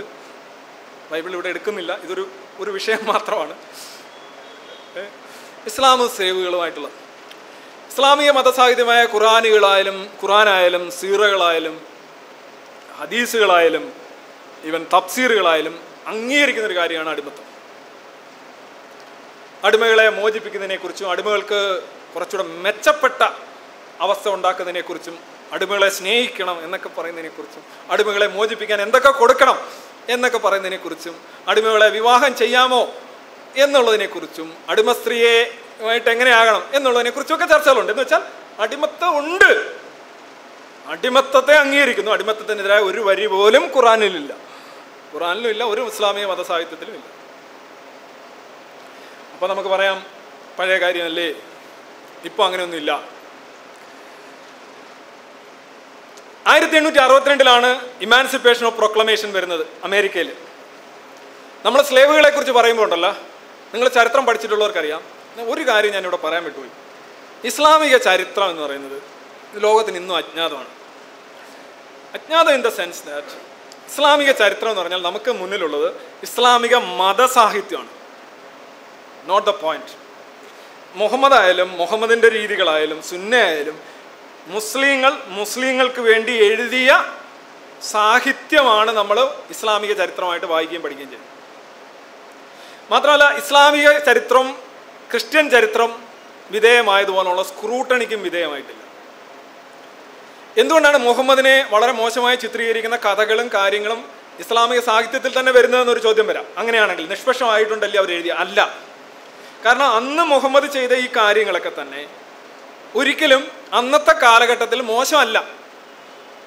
ഇപ്പോൾ ആയിഷയുടെ കഥയൊക്കെ ഓരോരുത്തരെടുത്ത് പറയാറുണ്ട്. ആയിഷ ആറോ വയസ്സിൽ കല്യാണം കഴിച്ചു ഒമ്പത് വയസ്സിൽ ദാമ്പത്യം തുടങ്ങി. അതൊന്നും അന്നത്തെ സംബന്ധിച്ചൊരു വിഷയമല്ല. ഞാൻ എബ്രാഹിം ലിങ്കന്റെ കാര്യം പറഞ്ഞുണ്ട് അതുകൊണ്ടാണ് അവർ എഴുതിയത്.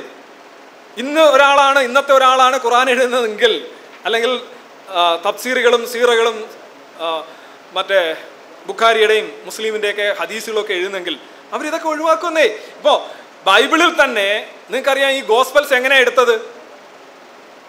ഒട്ടും കൊള്ളാത്തല്ല അവർ മാറ്റി. ചെത്തിക്കളഞ്ഞവർ മാങ്ങയാണത്. സി നിങ്ങൾക്കറിയാം ഈ ഹദീസുകൾ എത്ര ലക്ഷക്കണക്കിന് ഹദീസുകളാണ് ഇടത്ത് കൊണ്ടുവന്ന് കത്തിച്ച് കളയുന്നത്. കളയാണ്. കാര്യം വെച്ചാൽ അതൊന്നും എടുത്തു വെച്ചാൽ ഒരു രീതിയിലും രക്ഷയില്ലാന്ന്. ഇത് വായിച്ചു കഴിഞ്ഞാലും രക്ഷയില്ല. പിന്നെ അരിച്ചരിച്ച് അരിച്ചരിച്ചരിച്ച് മാറ്റിയ സാധനമാണ് ഇപ്പോൾ കിട്ടിയിരിക്കുന്നത് മേ ബി ഒരു ഒരു ശതമാനം.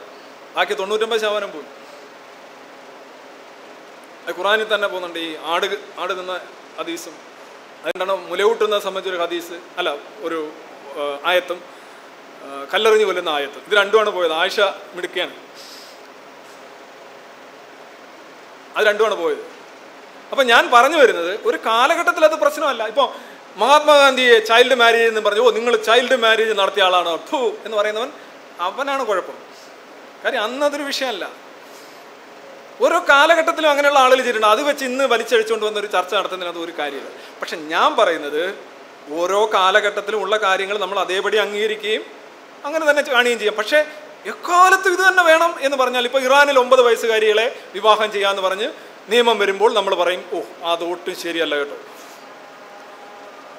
അത് ഒട്ടും ശരിയല്ല കേട്ടോ. ഇറാനിലെ നിയമം വന്നു. ഇതൊക്കെയാണ് ഹ്യൂമൻ റൈറ്റ് വയലേഷൻ എന്ന് പറയുന്നത്. ഇത് മാറണം.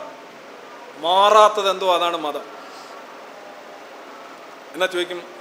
ഒരുപാട് പേര് മാറിയിട്ടില്ലേ? മാറിയിട്ടുണ്ട്. ഒരു രക്ഷയില്ല. എങ്ങനെ ജീവിക്കും അല്ലാതെ? ജീവിച്ചിരിക്കുന്ന ഒന്നിന്റെയും ചിത്രം വരയ്ക്കാൻ പാടില്ല എന്ന് പറഞ്ഞ എന്നതിൽ വിശ്വസിക്കുന്ന ഒരു മുസ്ലിമിന് എങ്ങനെ ഗൾഫിൽ പോയി പൈസ ഉണ്ടാക്കാൻ പറ്റും? അവനൊരു ആധാർ കാർഡ് പോലും എടുക്കാൻ പറ്റില്ല. അവൻ പടം എടുക്കും. അവൻ പടം വരയ്ക്കും. മാറണം. ഞാൻ അതാണ് ഈ പ്രശ്നം. കാലത്തിനനുസരിച്ച് സഞ്ചരിച്ച് നിങ്ങളുടെ വിശ്വാസമോ കഥയോ അതൊക്കെ പോട്ടെ. മനുഷ്യൻ മുന്നേറിക്കൊണ്ടിരിക്കുകയാണ്. മുന്നോട്ട് ഓടുന്ന ഒരു ട്രെയിനാണ്. ചുമ്മാതെ പുറംതിരിഞ്ഞിരുന്നാലും ട്രെയിൻ മുന്നോട്ടാണ് പോകും വൈഫൈ കണക്ഷൻ വെച്ചുകൊണ്ടാണ് ജിഹാദ് നടത്തുന്നത്. ജിഹാദിൽ വൈഫൈ ഇല്ല. സ്ലേവറി അബോളിഷൻ ആക്ടിലെ ക്രിസ്ത്യാനിറ്റിയിലെ ഒരു വില്യം വിൽവർ ഫോഴ്സ് എന്ന് പറയുന്ന ഒരു പൊളിറ്റീഷ്യനെ കുറിച്ച് നിങ്ങൾ കേട്ടിട്ടുണ്ട്? അങ്ങനെ ഒരു പൊളിറ്റീഷ്യനെ നിങ്ങൾ ഇസ്ലാമിൽ കണ്ടെത്തി കാണിച്ചു ഇല്ല. ഒരു അബോളിഷൻ മൂവ്മെന്റും ഇസ്ലാമിൽ ഒരിക്കലും ഉണ്ടായിട്ടില്ല. ഇസ്ലാമിലും ക്രിസ്ത്യാനിറ്റിയിലും എല്ലാ സമൂഹങ്ങളിലും അടിമകൾ ഉണ്ടായിട്ടുണ്ട്. പക്ഷേ അടിമകൾ യഥാർത്ഥ രണ്ട് തരം അടിമകളെ കുറിച്ച് നമ്മൾ പറയുന്നത്. പ്രധാനമായിട്ടും ഈ അടിമ വ്യാപാരം വെച്ചാൽ ആഫ്രിക്കയിൽ നിന്ന് അറ്റ്ലാന്റിക് ക്രോസ് ചെയ്ത് അമേരിക്കയിലേക്ക് ബ്രസീലിലേക്ക് ഇക്കഡോർ അർജന്റീന വടക്കൻ അമേരിക്കയിലേക്ക് പോയ അവരെക്കുറിച്ചൊരു കണക്കുണ്ട്. അവർ അനുഭവിച്ച യാതനകളെക്കുറിച്ച് ചരിത്രമുണ്ട്. വേദനകളെക്കുറിച്ച് ചരിത്രമുണ്ട്. അവരുടെ അവകാശികൾ ഇന്ന് അമേരിക്കയിലുണ്ട്. മിഷേൽ ഒബാമ ആ വംശത്തിൽപ്പെട്ടതാണ്. കാൾ ലൂയിസ് ആ വംശത്തിൽപ്പെട്ടതാണ്. ജെസ്സി ഓവൻസ് ആ വംശത്തിൽപ്പെട്ടതാണ്. അതിനെക്കുറിച്ച് കണക്കും കാര്യവും വ്യവസ്ഥകളും ലോകത്തിന് അറിയാവുന്ന കാര്യങ്ങൾ നടന്നത് നടക്കാത്തതെല്ലാം അറിയാം. പക്ഷേ ലോക ചരിത്രം ഇന്നും കൃത്യമായി മനസ്സിലാക്കാത്തൊരു കാര്യമുണ്ട്. ഏതാണ്ട് പതിനാല് മില്യൺ കറുത്ത വർഗക്കാരാണ് അറ്റ്ലാന്റിക് ക്രോസ് ചെയ്ത് അമേരിക്കൻ ഭൂഖണ്ഡങ്ങളിലേക്ക് പോയതെങ്കിൽ പതിനെട്ട് മുതൽ പത്തൊൻപത് മില്യൺ ആൾക്കാരാണ് ഉത്തരാഫ്രിക്കയിൽ നിന്നും ഏഷ്യയിലേക്കും അറബ് രാജ്യങ്ങളിലേക്കും പോയത്. അവർ അഞ്ചിനും പതിനഞ്ചിനും ഇടയ്ക്കുള്ള ചെറുപ്പക്കാരാണ്. അവരുടെ അടുത്ത തലമുറയെക്കുറിച്ച് പ്രധാനമായും യാതൊരു ധാരണയില്ലാത്ത ഒരു കാര്യം പറയുന്നത് ചരിത്രകാരന്മാർ പറയുന്നത് അവരെല്ലാം കാസ്ട്രേറ്റ് ചെയ്തു എന്നുള്ള അവരുടെ വന്ധ്യവൽക്കരിച്ചു ആ വന്ധ്യവൽക്കരണത്തിന്റെ മോർട്ടാലിറ്റി റേറ്റ് എൺപത് ശതമാനത്തിൽ കൂടുതലായിരുന്നു എന്നാണ് പറഞ്ഞത് ഈ പത്തൊൻപത് മില്യൺ പോയതിനെ കുറിച്ച് കണക്കൊന്നുമില്ല. അപ്പോൾ നിങ്ങൾ ചോദിക്കും ഇന്നിപ്പോൾ അടിമത്തം എവിടെയാണ് ഉള്ളത്? ഇന്നും ലോകത്ത് അടിമത്തമുണ്ട്. ഓട്ടോമാൻ എംപയർ ഇസ്ലാമിലെ അവസാനത്തെ ആയിരത്തി തൊള്ളായിരത്തി ഇരുപത്തിനാലിലാണ് തീരുന്നത്.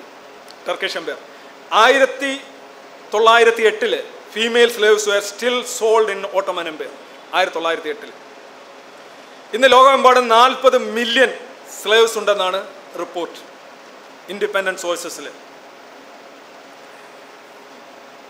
making arson is the head of a fire department ഒരു തീപിടുത്തക്കാരൻ അല്ല തീ വെപ്പുകാരനെ ഫയർഫോഴ്സിന്റെ ഹെഡ് ആക്കുന്നതിനെ കുറിച്ചാണ് പറയുന്നത്. എങ്ങനെയാണ്? A Muslim country with twenty five percentage of slave population elected vice president of human human right council Mauritania എന്ന് പറയുന്ന രാജ്യമുണ്ട് ഇരുപത്തിയഞ്ച് ശതമാനം സ്ലേവുകളാണ്. ഏതാണ്ട് നൂറ് ശതമാനം മുസ്ലിങ്ങളുള്ള രാജ്യം. ഏതാണ്ട് നൂറ് ശതമാനം. അവരാണ് ഹ്യൂമൻ റൈറ്റ്സ് കൗൺസിലിൽ അതിനാണ് ആര് പറഞ്ഞത്? തീവെപ്പുകാരനെ ഫയർഫോഴ്സിന്റെ തലവനാക്കിയത്.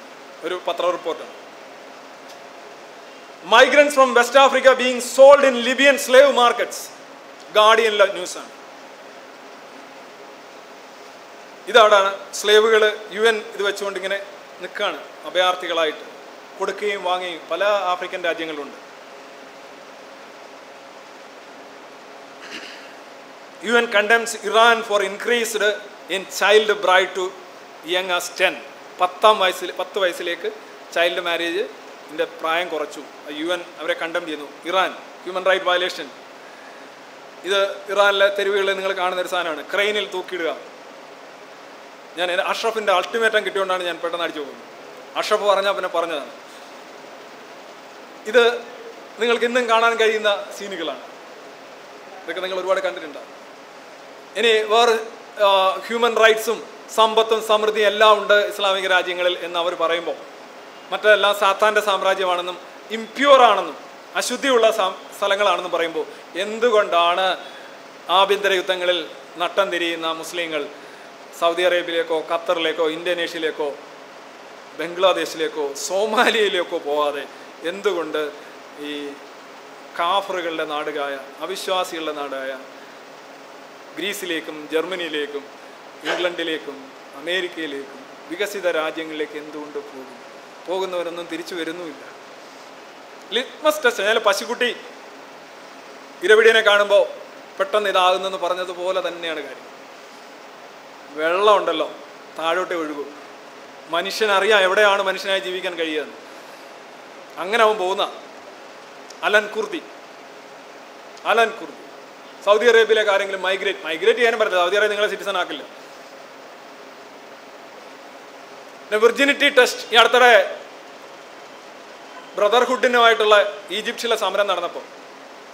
അവിടെ അറസ്റ്റിലായ പെൺകുട്ടികളെ എല്ലാം കൂടെ അടയ്ക്കുന്നതിന് മുമ്പ് അവർ വെർജിനിറ്റി ടെസ്റ്റ് നടന്ന വലിയ പ്രശ്നമായി. നിങ്ങൾ കേട്ടോണമെന്നറിയും കാരണം അതിന് ആർമി പറഞ്ഞത് ടെസ്റ്റ് നടത്തിയില്ല പ്രശ്നം. അതിന് ഇതിനകത്ത് കയറി എന്തെങ്കിലും പ്രശ്നം ഉണ്ടായി കഴിഞ്ഞാൽ പിന്നെ ഞങ്ങൾ ഉത്തരവാദികളാവും. അതുകൊണ്ട് ഞങ്ങളെല്ലാം ടെസ്റ്റ് നടത്തിയിട്ട് പോകും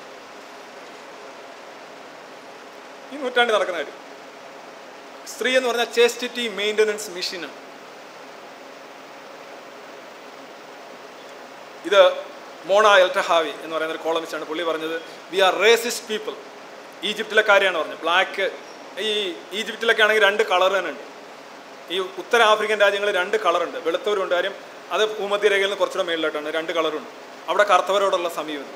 പിന്നെ അറബുകളോട് മുസ്ലിം രാജ്യങ്ങളുള്ള സമീപനം അവർ പറയുന്നത് ഭയങ്കര മഹത്തരമാണെന്ന് പക്ഷേ അവരത് പറയില്ല. Right from the horse's mouth they won't ചെയ്ത് അത് മുസ്ലിം രാജ്യങ്ങൾ മാത്രം ചെയ്താൽ മാത്രമല്ല. ഇവിടെ ചെയ്താലും കുഴപ്പമാണ്. എവിടെ ഈ വർണത്തിന്റെയും നിറത്തിന്റെയും ദേശത്തിന്റെയും പേരിലുള്ള ഡിസ്ക്രിമിനേഷൻ ഇന്ത്യയിൽ ചെയ്താലും മലപ്പുറത്ത് ചെയ്താലും മഞ്ചേരിയിൽ ചെയ്താലും അത് ഹ്യൂമൻ റൈറ്റ് വയലേഷൻ ആണ്. മുസ്ലിം രാജ്യങ്ങളിൽ നടക്കുന്നു എന്നുള്ളതാണ് വസ്തുത. ഇനി റിലീജിയസ് സെക്രിഗേഷൻ പതിനഞ്ച് കിലോമീറ്റർ ചുറ്റളവിൽ മക്കയിൽ നിങ്ങൾക്ക് കയറാൻ പറ്റില്ല. പണ്ട് ഏകദൈവത്തിൽ വിശ്വസിക്കാത്തവർക്ക് മാത്രം പതിനഞ്ചാം നൂറ്റാണ്ടിലെ ഒരു രേഖ ഞാൻ വായിച്ചു. അതിനകത്ത് ഏകദൈവത്തിൽ വിശ്വസിക്കാത്തവർ വരെ മാത്രമാണ് ബാൻ ചെയ്തിരുന്നത് ഇന്ന് ഒരാൾക്കും കയറാൻ പറ്റില്ല. മുസ്ലിം ആയിരിക്കണം. കാര്യം മുസ്ലിം അല്ലാത്തവൻ ഇംപ്യൂർ ആണെന്ന് പറഞ്ഞത്. നജസ് എന്നാണ് പറഞ്ഞത്. അത് ഖുറാൻ കൃത്യമായ നിർദ്ദേശമുണ്ട്. ഒൻപതാം അധ്യായത്തിൽ. മാലിന്യമാണ്. അവരനെ മാലിന്യമായി കാണുന്ന ഒരു തത്വദർശനം ഒരിക്കലും മനുഷ്യാവകാശമായി പൊരുത്തപ്പെടുന്ന ഒന്നല്ല എന്നുള്ളതാണ് സത്യം. ഇവിടെ ശബരിമലയിലെ സ്ത്രീകളെ കയറ്റുന്നില്ല ഗുരുവായൂരിൽ കിടക്കുന്നില്ല. യേശുദാസ്. യേശുദാസിന് ഗുരുവായൂർ കയറാനുള്ള അവകാശമുണ്ട് ഹ്യൂമൻ റൈറ്റ്സ് ശബരിമല സ്ത്രീകൾക്ക് കയറാനുള്ള അവകാശം അവർ കയറണോ കയറണ്ടെന്നുള്ളതല്ല കയറാനുള്ള അവകാശമുണ്ട് അവർക്ക്. വിഷം കഴിക്കാനും എല്ലാവർക്കും തുല്യ അവകാശം സ്ത്രീക്കും പുരുഷനും. സെപ്റ്റിക് ടാങ്ക് ക്ലീൻ ചെയ്യണം. സ്ത്രീക്കും പുരുഷനും തുല്യ അവകാശം ഉണ്ടായിരിക്കണം. എല്ലാ ജെൻഡറിനും തുല്യ അവകാശം ഉണ്ടാവണം. ചെയ്യണോ ചെയ്യണ്ട എന്നുള്ള വേറെ അവകാശം ഉണ്ടാവണം. മദ്യപിക്കാൻ തുല്യ അവകാശം ഉണ്ടാവണം. ചെയ്യണോ ഞാൻ പറയും ചെയ്യണ്ട. പക്ഷെ അവകാശം ഉണ്ടാവണം.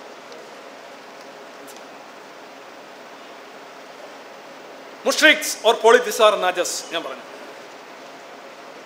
ഇനി ഞാൻ പറഞ്ഞുകൊണ്ട് അവസാനിപ്പിക്കാം. നിങ്ങൾ മുഹമ്മദ് അബു സലാമിനെ കുറിച്ച് കേട്ടിട്ടുണ്ടാവും. ആയിരത്തി തൊള്ളായിരത്തി ഇരുപത്തി ജനിച്ചു തൊണ്ണൂറ്റാറിൽ മരിച്ചു നോബൽ പ്രൈസ് കിട്ടി തിയററ്റിക്കൽ ഫിസിസിസ്റ്റ് ആയിരുന്നു. അദ്ദേഹം ഈ ബിഗ് ബാങ്ങിന്റെ സ്റ്റാൻഡേർഡ് മോഡലിന്റെ ഒരു ഉപജ്ഞാതാവായിരുന്നു. അദ്ദേഹത്തിന്റെ കോൺട്രിബ്യൂഷൻ കാരണം അദ്ദേഹത്തിന് നോബൽ പ്രൈസ് കിട്ടി. അപ്പോൾ പാകിസ്ഥാനിലെ ആ സമയത്ത് അദ്ദേഹത്തെ നിങ്ങൾ കാണുന്ന അദ്ദേഹത്തിന്റെ കല്ലറയാണ് അവിടെ എഴുതി വെച്ചിരുന്നത്. ഫസ്റ്റ് മുസ്ലിം നോബൽ ലോറിയറ്റ് എന്നാണ്. ആ സമയത്താണ് സിയാ ഉൾക്കിന്റെ കാലഘട്ടത്തിൽ അഹമ്മദിയ വിശ്വാസികളെ. ഇസ്ലാമിലെ ഒരു ഒരു ന്യൂനപക്ഷമാണ് അഹമ്മദിയ. അവർ ഇരുന്നൂറ്റി ഒൻപത് രാജ്യങ്ങളിലുണ്ട്. അവർ ഏതാണ്ട് രണ്ട് കോടിയോളം ഉണ്ട് ഒരു കോടി മുതൽ രണ്ട് കോടി വരെ ഉണ്ട് എന്നാണ് പറയപ്പെടുന്നത്. ഇരുന്നൂറ്റി ഒൻപത് രാജ്യങ്ങളിലുണ്ട്. ഇസ്ലാം എല്ലാ രാജ്യങ്ങളിലുണ്ട് ഇവർ ഇത്രയും രാജ്യങ്ങളുണ്ട് ഇവരുടെ പ്രശ്നം എന്ന് പറഞ്ഞു കഴിഞ്ഞാൽ സീൽ ഓഫ് പ്രൊഫറ്റ് എന്ന് പറയുന്നത് അവസാന ഈ സീൽ എന്നുള്ള വാക്ക് മുദ്രയാണ്. അല്ലാതെ അടക്കിയല്ല എന്ന് പറഞ്ഞ് സീൽ ഓഫ് പ്രൊഫറ്റുമായിട്ട് വേറൊരാൾ വരും. അത് മഹദി എന്ന് പറയും. അതാണ് ഈ ഗുലാം മുഹമ്മദ് എന്ന് പറഞ്ഞ പഞ്ചാബ് പ്രവിശ്യയിലുള്ള ഒരു കക്ഷിയാണ്. അദ്ദേഹമാണ് അവരുടെ അന്ത്യപ്രവാചകൻ. അതുകൊണ്ട് മുഹമ്മദിനെ തുടർന്ന് ഒന്നും ഇസ്ലാമിൽ വാഴില്ല എന്നറിയാമല്ലോ. അതുകൊണ്ട് തന്നെ അഹമ്മദികൾക്കെതിരെ വളരെ ക്രൂരമായിട്ടുള്ള പീഡനങ്ങളാണ് എല്ലാ രാജ്യങ്ങളിലും. പ്രത്യേകിച്ച് പാകിസ്ഥാൻ ഒരു നല്ലൊരു ഉദാഹരണമാണ്. ഇദ്ദേഹം the first Muslim Nobel laureate എന്ന് പറഞ്ഞ് അദ്ദേഹത്തിന് നോവൽ പ്രൈസ് കിട്ടിയപ്പോൾ അദ്ദേഹത്തിന്റെ ഈ എപ്പിഗ്രാഫിനകത്ത് എഴുതി വെച്ചിട്ട് എപ്പിറ്റാഫിനകത്ത് എഴുതി വെച്ചു. അതിൽ അവസാനം അത് മുസ്ലിം എന്നുള്ള വെട്ടിക്കാര്യം സിയാവുളുക്കിന്റെ കാലത്ത് അഹമ്മദികളെ അമുസ്ലിങ്ങളായിട്ട് പ്രഖ്യാപിച്ചു പാകിസ്ഥാൻ. അമുസ്ലിം ആണെങ്കിൽ വോട്ട് ചെയ്യാൻ പോലും പറ്റത്തില്ല. ഹിന്ദുക്കൾക്കൊന്നും അവിടെ വോട്ടൊന്നും ഇല്ല കേട്ടോ പാകിസ്ഥാനിൽ അവർ തന്നെ അവരുടെ വോട്ടൊക്കെ വെച്ചിട്ട് ആറോ സീറ്റ് അവിടെ അങ്ങോട്ട് മാറി അവിടെ അവിടെ ചെന്ന് കഴിഞ്ഞാൽ പാർലമെന്റ് കഴിഞ്ഞാൽ അവിടെ വോട്ട് ചെയ്യാൻ പറ്റത്തില്ല. ഈ മനുഷ്യാവകാശങ്ങളെ കുറിച്ച് ഇപ്പോൾ ദളിതരുടെ കാര്യമൊക്കെ പറയും നമ്മൾ സെപ്പറേറ്റ് ഇലക്ട്രേറ്റ് ഇന്ത്യയിൽ കാര്യം. ഇവിടെ ജനാധിപത്യമുള്ള രാജ്യമാണ്. ദളിതർ പാകിസ്ഥാനിലുണ്ട് ബംഗ്ലാദേശിലുണ്ട്. ഒന്ന് അന്വേഷിച്ച് നോക്കുക എന്താ അവസ്ഥയെന്ന്. ഒന്ന് ആ അന്വേഷിച്ച് നോക്കേണ്ട കാര്യമാണ് ഇതൊക്കെ. ഇത് അവരനോടും അന്യമതക്കാരോടും ന്യൂനപക്ഷം ന്യൂനപക്ഷ സംരക്ഷണമാണല്ലോ ഇവിടുത്തെ ഏറ്റവും വലിയത് ന്യൂനപക്ഷ അവകാശമാണ്. പാകിസ്ഥാനിൽ അഹമ്മദിയ ന്യൂനപക്ഷമാണ്. ഹിന്ദുക്കൾ ന്യൂനപക്ഷമാണ്. ഇനി സൗദി അറേബ്യ ചെന്ന് കഴിഞ്ഞാൽ അമുസ്ലിങ്ങൾ ന്യൂനപക്ഷമാണ്. എല്ലാ മുസ്ലിം രാജ്യങ്ങളിലും ന്യൂനപക്ഷങ്ങൾ അതിഭീകരമായ പീഡനം ഏറ്റുവാങ്ങിക്കൊണ്ടിരിക്കുക എങ്ങനെ? അവരുടെ രാഷ്ട്രീയ അവകാശങ്ങൾ വോട്ട് ചെയ്യാൻ പറ്റുന്നില്ല. അവരെ ജിസയ കൊടുക്കുന്നത് ജിസയ എന്ന് പറഞ്ഞാൽ ടാക്സിന് ട്വന്റി പെർസെന്റേജ് ആണ്.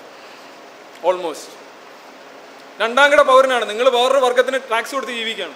ദിമ്മിറ്റ്യൂഡ് ഇതൊക്കെ ന്യൂനപക്ഷങ്ങളിലെ സമത്വമായിട്ട് കാണുന്നില്ല. യൂണിവേഴ്സൽ ഹ്യൂമൻ റൈറ്റ് അനുസരിച്ച് ഡിക്ലറേഷൻ അനുസരിച്ച് നമുക്ക് സമത്വബോധമുള്ള ഒരു ജനത ഒരിക്കലും അന്യ ജനതയെയും അന്യ വംശങ്ങളെയും ഇങ്ങനെ ട്രീറ്റ് ചെയ്യില്ല. ഇതാണ് കെയ്റോ ഡിക്ലറേഷനും മറ്റേ ആയിരത്തി തൊള്ളായിരത്തി നാൽപ്പത്തിലെ ഡിക്ലറേഷൻ എന്നുള്ള വ്യത്യാസം. ഈ മനുഷ്യനെ നോക്ക് road named Abu Salam road in CERN Geneva Geneva ആദരിച്ചത് ഇങ്ങനെയാണ് റോഡിന് പേര് കൊടുത്തുകൊണ്ട്. അതുപോലെ തന്നെ Abu Salam International Centre for Theoretical Physics found in found ആയിരത്തി തൊള്ളായിരത്തി അറുപത്തിനാല്. ഇതൊക്കെ ലോക രാജ്യങ്ങൾ ഇദ്ദേഹത്തെ ഇങ്ങനെ അംഗീകരിക്കുമ്പോൾ പാകിസ്ഥാനിൽ അദ്ദേഹത്തിന്റെ ശവക്കലർ എഴുതി വെച്ചിട്ട് മുസ്ലിം എന്നുള്ള വെട്ടിക്കളഞ്ഞു എന്നിട്ട് പറയുന്നത് ഫസ്റ്റ് നോവൽ ലോറിയറ്റ് എന്നായി. മുസ്ലിം പോയല്ലോ. ഇദ്ദേഹമാണ് ആദ്യത്തെ നോവൽ പ്രൈസ് വാങ്ങിച്ച എന്ത് പരിഹാസമായിരിക്കും? എന്നാലും ആ മതതിമിരമാണ് അവിടെ രസകരമായിട്ട് ഇനി ഈ അടുത്തിടെ തന്നെ രണ്ട് അറ്റാക്കുകൾ ഈജിപ്തിൽ ഒരു മോസ്ക് അറ്റാക്ക് ചെയ്തു. മുന്നൂറ്റി അഞ്ച് പേര് മരിച്ചു. ആരെയാ കൊന്നത്? സൂഫികളെ. ന്യൂനോഷാണ്. ഇസ്ലാമിലെ ന്യൂനോഷാണ്. സൂഫികൾ അവരെയാണ് കൊന്നത്. ഇനി Lal Shahbaz Congress Sufi shrine attack in Pakistan. പാകിസ്ഥാനിൽ അഹമ്മദിയക്കാരെയും ഷിയാക്കാരെയും മാത്രമാണ് കൊല്ലുന്നതെന്ന് വേണ്ട. സൂഫികളെയും കൊന്നുകൊണ്ടിരിക്കുകയാണ് എഴുപത്തഞ്ച് പേരെയാണ് ഈ വർഷം തന്നെ കൊന്നത്. ഈ വർഷം വന്ന രണ്ട് അറ്റാക്കുകളാണ് രണ്ടും മുസ്ലിം ന്യൂനപക്ഷങ്ങൾക്കെതിരെയാണ്. എല്ലാ വംശങ്ങളെയും വിഭാഗങ്ങളെയും ഒന്നുകൂടെ കാണണമെന്നുള്ള മനുഷ്യാവകാശ നിയമത്തിന് വിരുദ്ധമായിട്ടാണ് ന്യൂനപക്ഷങ്ങളെ ഇസ്ലാമിൽ ഇസ്ലാമിന് മേധാവിത്വമുള്ള രാജ്യങ്ങളിൽ ന്യൂനപക്ഷ അവകാശങ്ങൾ എന്ന് പറയുന്നത് ഒരു മരീചികയാണ് എന്നുള്ളത് തന്നെ ഇപ്പോൾ സ്ത്രീകൾക്ക് കാർ ഓടിക്കാനുള്ള അവകാശം സൗദി അറേബ്യയിൽ കിട്ടിയിട്ടുണ്ട്. അപ്പോൾ ലോകം മുഴുവനുള്ള സോഷ്യൽ മീഡിയയിലുള്ള ഇതെന്താണ്? ആ എന്തായാലും അങ്ങനെ അവകാശം കിട്ടി നന്നായി. ഈ ലെസ്ബിയൻ സ്വവർഗാനുരാഗികളായിട്ട് പിടിക്കപ്പെട്ട് കഴിഞ്ഞാൽ കല്ലെറിഞ്ഞ് കൊല്ലുന്ന സ്ഥലത്തേക്ക് സ്വയം കാർ ഓടിച്ചു പോകാൻ കഴിയും. എന്നായിരുന്നു അത്. മനസ്സിലായില്ല? Great if you are a lesbian you can drive to your own stoning ഈ വികസി വികസിത രാജ്യങ്ങളിൽ ഡ്രൈവർ ഇല്ലാത്ത കാറുകൾ നിരത്തിലൂടെ ഓടുമ്പോൾ സൗദി അറേബ്യ രണ്ടായിരത്തി പതിനെട്ടിൽ സ്ത്രീകളെ കാർ ഓടിക്കാൻ അനുവദിക്കുമെന്നാണ് പറയുന്നത്. ആ ദൂരം നിങ്ങളൊന്ന് അളക്കും. ഇത് ഹ്യൂമൻ റൈറ്റ് സൗദി പ്രതി കയറി വരികയാണ്. ഇനി സെവന്റി ഫോർട്ടി സെവൻ മെമ്പേഴ്സ് അത് ഞാൻ പറഞ്ഞ കാര്യമാണ്. ഇനി ഇത്രയും നേരം ഞാൻ വളരെ ഭീകരമായ കാര്യങ്ങൾ വളരെ മനുഷ്യാവകാശ ധ്വംസനത്തിന്റെ കാര്യങ്ങളാണ് പറയുന്നതെങ്കിൽ അവസാനം എല്ലാവരും ഒരു സന്തോഷത്തിനും സമാധാനത്തിനുമായിട്ട് ഞാൻ ഈ വാർത്ത നിങ്ങൾക്ക് ഡെഡിക്കേറ്റ് ചെയ്യുന്നു. ഇത് ഒരു മലയാള പത്രത്തിൽ വന്ന വാർത്തയാണ്. മുഖം മിനുക്കാൻ വടം വലിച്ചും കസേര കളിച്ചും ഐ എസ്. ഇങ്ങനെയൊക്കെയുള്ള മനസ്സ് അവർക്കുണ്ടാകട്ടെ എന്ന് ആഗ്രഹിച്ചുകൊണ്ട് ഇത്രയും നേരം ഇത്രയും വലിയൊരു ഓഡിയൻസ് ഞാൻ മലപ്പുറത്ത് ആദ്യമായിട്ടാണ് കാണുന്നത്. Thanks for listening thanks thank you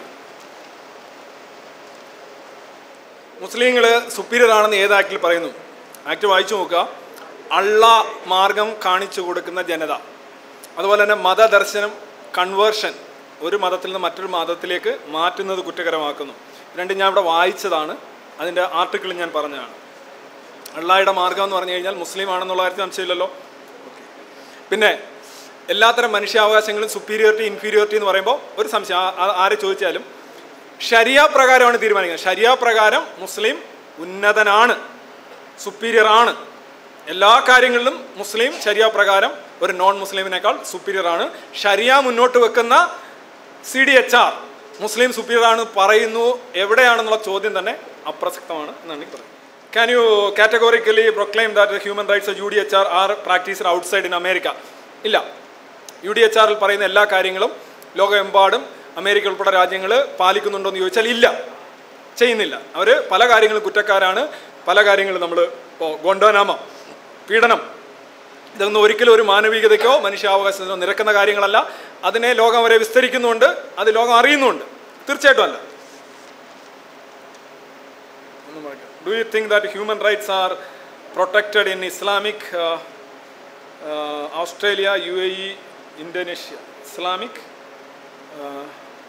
authorities Islamic. U എയിലും ഓസ്ട്രേലിയയും ഒക്കെ ഹ്യൂമൻ റൈറ്റ്സ് പ്രൊട്ടക്റ്റ് ചെയ്യപ്പെടുന്നുണ്ടോ. ഇത് ആ- ചോദ്യത്തിന് അമേരിക്കയുടെ ചോദ്യത്തിന്റെ ഒരു അർത്ഥമാണ്. ഏതൊരു നമ്മൾ ഒരു രാജ്യത്തെയും ഇതല്ല പറയുന്നത്. ഈ ഹ്യൂമൻ റൈറ്റ്സ് പ്രൊട്ടക്റ്റ് ചെയ്യപ്പെടണമെന്നാണ് എന്റെ വാദം. എവിടെയെങ്കിലും പ്രൊട്ടക്ട് ചെയ്യുന്നുണ്ടോ എന്ന് വെച്ചാൽ ചെയ്യാത്ത ഒരു ഇന്ത്യൻ സൈന്യത്തെക്കുറിച്ച് ആരോപണങ്ങൾ ഉയരാറുണ്ട്. നോർത്ത് വെസ്റ്റിലെ ഇന്ത്യൻ സൈന്യത്തെ ഇടപെടലിനെ കുറിച്ച് കാശ്മീരിലെ ഇടപെടലുകളെ കുറിച്ച് ഇന്ത്യ എമ്പാടും ആ പ്രശ്നങ്ങൾ പലയിടത്തും ഉന്നയിക്കാറുണ്ട്. അത് സത്യമാണ്. ഇന്നലെ ഒരാളെ കത്തിച്ചു. ഓ മാരകമല്ലേ? അങ്ങനെ ചെയ്യാറുണ്ട്. ഞാൻ പറഞ്ഞ അടിസ്ഥ ഇന്ന് ഡിസംബർ പത്തിൽ ഞാൻ ആ ഹ്യൂമൻ റൈറ്റ്സ് എന്താണെന്നും സി ഡി എച്ച് ആർ എന്താണെന്നും എന്നാണ് പറയാൻ ശ്രമിച്ചത്. ഒരുപാട് ചോദ്യമുണ്ട്. ഇതിനകത്ത് പുള്ളിയുടെ മൂന്നെണ്ണം do you think that the present thirty rule of human rights are absolute no it's not absolute changeable ഞാൻ പറഞ്ഞു. പ്രായപൂർത്തിയായ ഒരു പെൺകുട്ടി വിവാഹം ചെയ്യാനുള്ള അവകാശം ഹദിയ ഇഷി കോടതി നിഷേധിച്ച് എനിക്ക് പതിനഞ്ച് മിനിറ്റേ ഉള്ളൂ. ഹദിയ ഇഷിയൊക്കെ ഇതിനകത്ത് കൊണ്ടുവരും.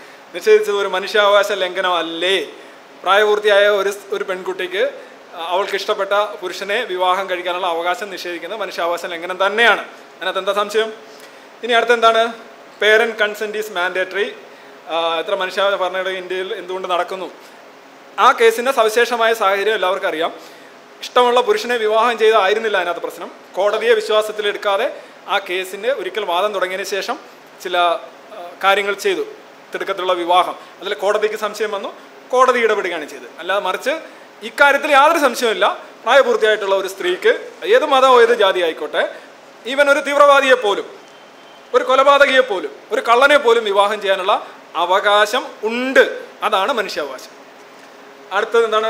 ഇത് ഒരുപാട്. ഐ കനോട്ട് ഈവൻ റീഡ് എണ്ണ സംബന്ധിച്ച് താല്പര്യങ്ങളും മൂലധന താൽ മൂലധനം ഇവിടെ വരുമോ എന്ന് ഞാനിങ്ങനെ കാത്തിരിക്കാറ് താല്പര്യങ്ങളും ഇക്വേഷൻ ചേർക്കാതെ നടത്തുന്ന ഇസ്ലാമിനെ സംബന്ധിച്ച് വിമർശനം ഓവർ സിംപ്ലിസിറ്റിക്കല്ലേ? ശുദ്ധ മണ്ടത്തരമല്ലേ?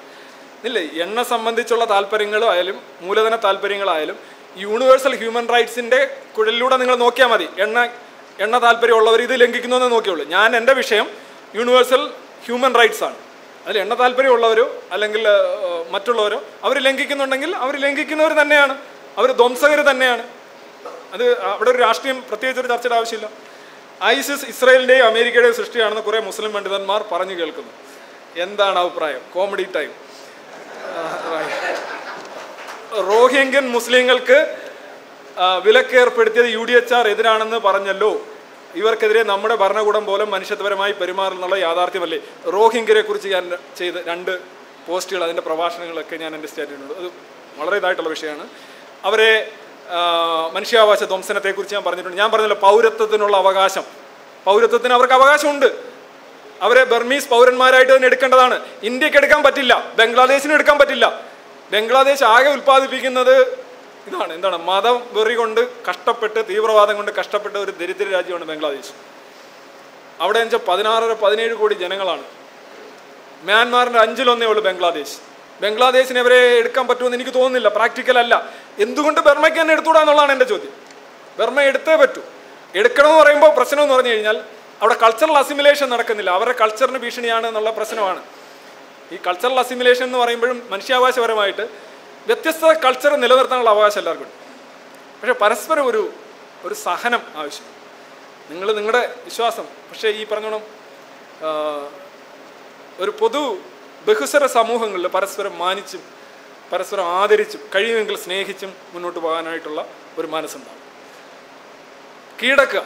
അവരനെ കീഴടക്കുക എന്നുള്ള ഒരു ചിന്ത മാറ്റിയിട്ട് അവരനോടൊപ്പം പോവുക എന്നുള്ള ഒരു മനസ്ഥിതി വേണം. അതൊക്കെ ഉണ്ടെങ്കിൽ മാത്രമേ എനിക്ക് തോന്നുന്നു ബംഗ്ലാദേശ് മ്യാൻമാറിലെ പ്രശ്നം മനുഷ്യാവകാശ ധ്വംസനം തന്നെയാണ് അവിടെ നടക്കുന്നത്. സംശയമൊന്നുമില്ല. ഞാൻ എഴുതിയിട്ടുണ്ട്. ഞാൻ എനിക്ക് സമയമില്ല. ജമാഅത്ത് ഇസ്ലാമിയുടെ സാവന മൗദൂദിയുടെ കൊതിയാനി ഫത്വ കാരണം ആയിരക്കണക്കിന് കൊതിയാനികൾ കൊല്ലപ്പെടുന്ന ചരിത്രത്തിൽ വായിച്ചിട്ടുണ്ട്. കൊതിയാനികളാണ് ഈ അഹമ്മദിയ വിഭാഗക്കാർ ഞാൻ അവരെക്കുറിച്ച് തന്നെയാണ് പറഞ്ഞു പക്ഷേ ഇന്ത്യയിൽ പ്രവർത്തിക്കുന്ന വെൽഫെയർ പാർട്ടി ജമാഅത്ത് സംഘടന പോലുള്ള സംഘടനകൾ അമുസ്ലിങ്ങളും പ്രവർത്തിക്കുന്ന ജമാഅത്ത് ഇസ്ലാമിക്ക് തീവ്ര ആശയത്തെ അറിഞ്ഞിട്ട് എങ്ങനെ പാർട്ടിയിൽ ജമാഅത്ത് അതായത് ഇന്ത്യയിൽ പ്രവർത്തിക്കുന്ന പാർട്ടി എന്ന് പറയുന്നത് ഇന്ത്യയിലെ മുസ്ലിം ഇപ്പോൾ മലപ്പുറത്തെ മുസ്ലിങ്ങൾ.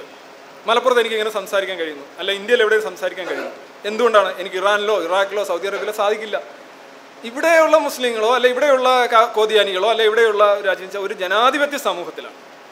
ജനാധിപത്യത്തിന്റെ ചൂരും ചൂടും അറിഞ്ഞ് ജീവിക്കുന്ന ഒരു പരിഷ്കൃത ജനതയാണ് ഇവിടെ ഉള്ളത്. ഹ്യൂമൻ റൈറ്റ്സിനെ കുറിച്ച് ബോധ്യമുള്ള ഒരു ജനതയാണ് ഇവിടെ എല്ലാ മതങ്ങളും ഉണ്ട് എല്ലാ മനുഷ്യരും ഉണ്ട്. അപ്പം അതുപോലെ അല്ല യഥാർത്ഥത്തിൽ ഈ മതത്തിന് സർവാധിപത്യമുള്ള സമൂഹങ്ങളിൽ അവിടുത്തെ ഓക്സിജൻ പോലും ഒ ടു ആയിരിക്കില്ല ചിലപ്പം ഓ സിക്സ് വല്ലതും ആയിരിക്കും. അതൊരു വേറൊരു ക്ലൈമറ്റാണ്.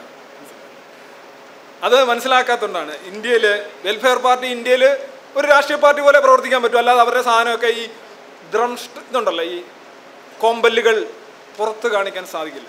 സാധിച്ചു കഴിഞ്ഞാൽ അവർ മുസ്ലിങ്ങളെ തന്നെ അംഗീകരിക്കില്ല മാറിയിക്കാൻ പറയും പാർട്ടി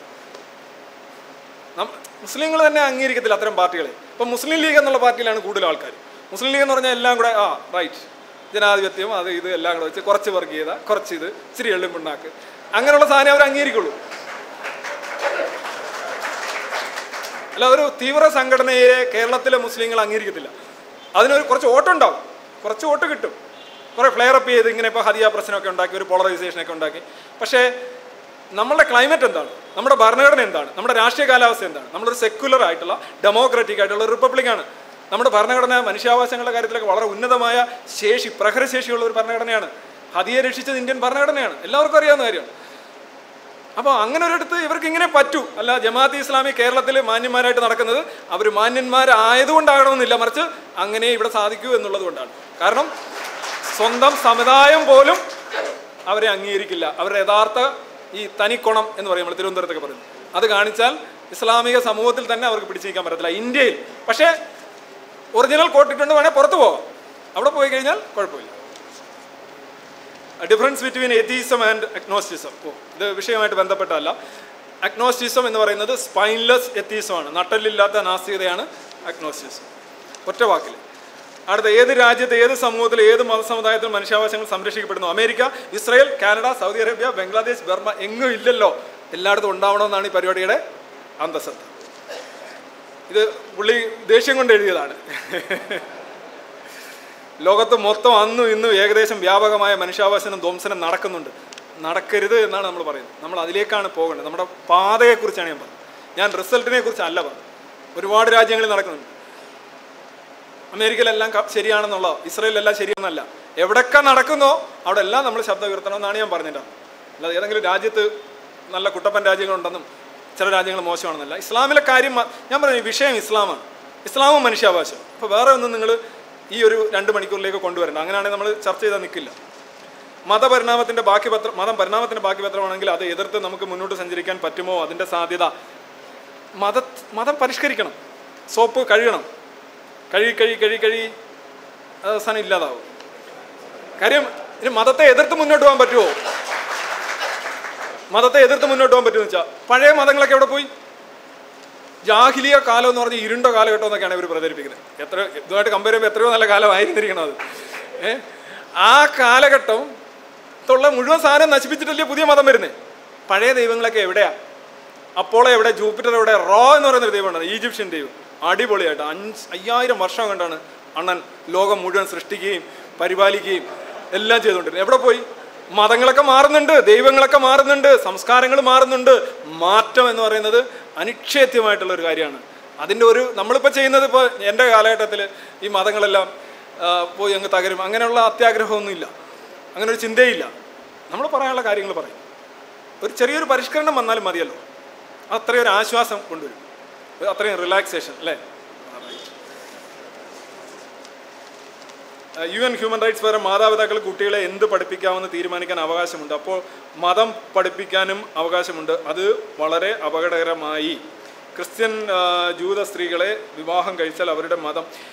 ആ അത് നല്ല ഒരു ചോദ്യമാണ്. ബ്രില്യൻ ക്വസ്റ്റ്യൻ മതം യഥാർത്ഥത്തിൽ പഠിപ്പിക്കുക എന്ന് പറയുന്നത് കഴിഞ്ഞാൽ ഒരാൾ വിശദീകരിക്കുകയും മനസ്സിലാക്കുകയും എന്നുള്ളതാണ് എഡ്യൂക്കേഷൻ മതം എന്ന് പറയുന്നത് ഇൻഡോക്ട്രിനേഷനാണ് അവിടെ ഒരു പഠിപ്പിന് നടക്കുന്നില്ല. കാര്യം പഠിക്കാനുള്ള ശേഷി വികസിക്കുന്നതിന് മുമ്പ് ഈ സാധനം അടിച്ചു കയറ്റുകയാണ് ചെയ്യുന്നത്. നിങ്ങൾ ഒരിക്കലും പഠിക്കാനുള്ള ശേഷി കൈവരിച്ചതിന് ശേഷം സിസ്റ്റമാറ്റിക്കായിട്ട് നിങ്ങളുടെ മതവും മറ്റു മതങ്ങളും പഠിച്ച് വിശകലനം ചെയ്ത് എത്തുന്ന കാര്യമല്ല. മതപരമായിട്ടുള്ളത് ഉദ്ബോധനമാണ്. അതൊരു പ്രബോധനമാണ്. അതൊരു ഇൻഡോക്ട്രിനേഷനാണ് അത് യഥാർത്ഥത്തിൽ വിദ്യാഭ്യാസമാണ് എന്ന് ഞാൻ വിശ്വസിക്കുന്നത് മതവിദ്യാഭ്യാസം എന്നുള്ള വാക്ക് ഒരു ഓക്സിമൊറോൺ ആണ് എന്നാണ് എന്റെ അഭിപ്രായം. മനസ്സിലായി. അതിനകത്ത് വിദ്യാഭ്യാസം ഒന്നുമില്ല. ഒരുപക്ഷെ വിദ്യാഭ്യാസം യഥാർത്ഥ വിദ്യാഭ്യാസം നിഷേധിക്കുന്നു എന്നുള്ള പ്രശ്നം കൂടി അവിടെ ഉണ്ട് ഹോമിയോപ്പതിയുടെ കാര്യം പറഞ്ഞോളാം. ഹോമിയോപ്പതി മരുന്ന് കൊടുക്കുന്നവരെ എന്തിനാണ് പിടിച്ച് ഓസ്ട്രേലിയയിലേക്ക് അകത്തിടുന്നത്? ഹോമിയോപ്പതി മരുന്ന് കൊടുക്കുമ്പോൾ ആ രോഗത്തിന് യഥാർത്ഥത്തിൽ ആ കുട്ടിക്ക് കിട്ടേണ്ടിയിരുന്ന മരുന്ന് അവിടെ നിഷേധിക്കപ്പെടുന്നു എന്നുള്ളതുകൊണ്ടാണ് മാതാപിതാക്കളെ പിടിച്ച് അകത്തിടുന്നത്. അതുകൊണ്ട് മതവിദ്യാഭ്യാസം കൊടുക്കുമ്പോൾ യഥാർത്ഥ വിദ്യാഭ്യാസം കൊടുക്കാനായിട്ടുള്ള സാധ്യത നഷ്ടപ്പെടുത്തുകയും കുട്ടിക്ക് വിദ്യാഭ്യാസം നിഷേധിക്കുകയും ചെയ്യുകയാണ്. അതാണ് ഒരു മതവിദ്യാഭ്യാസ ധാരയിലൂടെ വളർന്ന ഒരാൾ ഒരു കഷ്ടിച്ചൊരു ഏഴാം ക്ലാസ്സുകാരന്റെ പോലും പൊതുബോധം ഇല്ലാതായി പോകുന്നതിന്റെ ഒരു കാരണം പലപ്പോഴും നമ്മൾ കാണാറുണ്ട്. ഡൊണാൾഡ് ട്രംപ് യു എസ് പ്രസിഡന്റിനെ ഇസ്ലാമിനോടുള്ള നയത്തിൽ ഇസ്ലാമോഫോബിയായി കാണാൻ കഴിയുമല്ലോ? ഈ അമേരിക്ക വന്നിട്ട് ആകെ നൂറ് വർഷമായിട്ടുള്ളൂ. ഈ ഒരു സാമ്രാജ്യം വന്നു. ഇപ്പോൾ മൺട്രോ അമേരിക്ക ഫോർ അമേരിക്കൻസ് ഒരു നൂറ് നൂറ്റിപ്പത്ത് വർഷമായിട്ടുള്ളൂ. ഇസ്ലാമൊക്കെ പണ്ടേ ഈ പരിപാടി ഒരു പതിനാല് നൂറ്റാണ്ടായിട്ടുണ്ട്. ഇപ്പോൾ അമേരിക്ക എന്ന് പറയുന്നതേ ഉള്ളൂ. അമേരിക്കയുടെ കൂടെ നിന്ന രാജ്യ സ്ഥാനമാണ് ഇസ്ലാം. എക്കാലത്ത് അമേരിക്കയുടെ കൂടെ അവർ സോവിയറ്റ് സാമ്രാജ്യത്തിനെതിരെ അഫ്ഗാനിസ്ഥാനിൽ അമേരിക്കയുടെ കൂടെ അല്ലേ ഇസ്ലാം നിന്നത്. ഒരു പത്തിരുപത് വർഷമായിട്ട് ഒരു ചെറിയൊരു പ്രശ്നമുണ്ട് സൗന്ദര്യപ്പിണക്കം അതങ്ങ് മാറിക്കോളും. അപ്പോൾ ബാക്കി ചോദ്യങ്ങൾ എല്ലാ ചോദ്യങ്ങളും ഞാൻ പറഞ്ഞു. ഞാൻ ഇത്രയും പെട്ടെന്ന് പതിനഞ്ച് മിനിറ്റ് കൊണ്ട് പറഞ്ഞു. വളരെ സന്തോഷം. ഇത്രയധികം ആളുകൾ എസൻസ് ഒരു വലിയ തുടക്കമാണ് ഇവിടെ വെച്ചിരിക്കുന്നത്. ഇത്രയും ആളുകൾ നിൽക്കുന്നു. എനിക്കൊരു അവസരം തന്നു. ഇത്രയും സമയം എനിക്ക് തന്നു. അഷ്റഫ് മറ്റ് സംഘാടകർ മഞ്ജുലാൽ എല്ലാവർക്കും പ്രസാദ് എന്റെ നന്ദി നമസ്കാരം.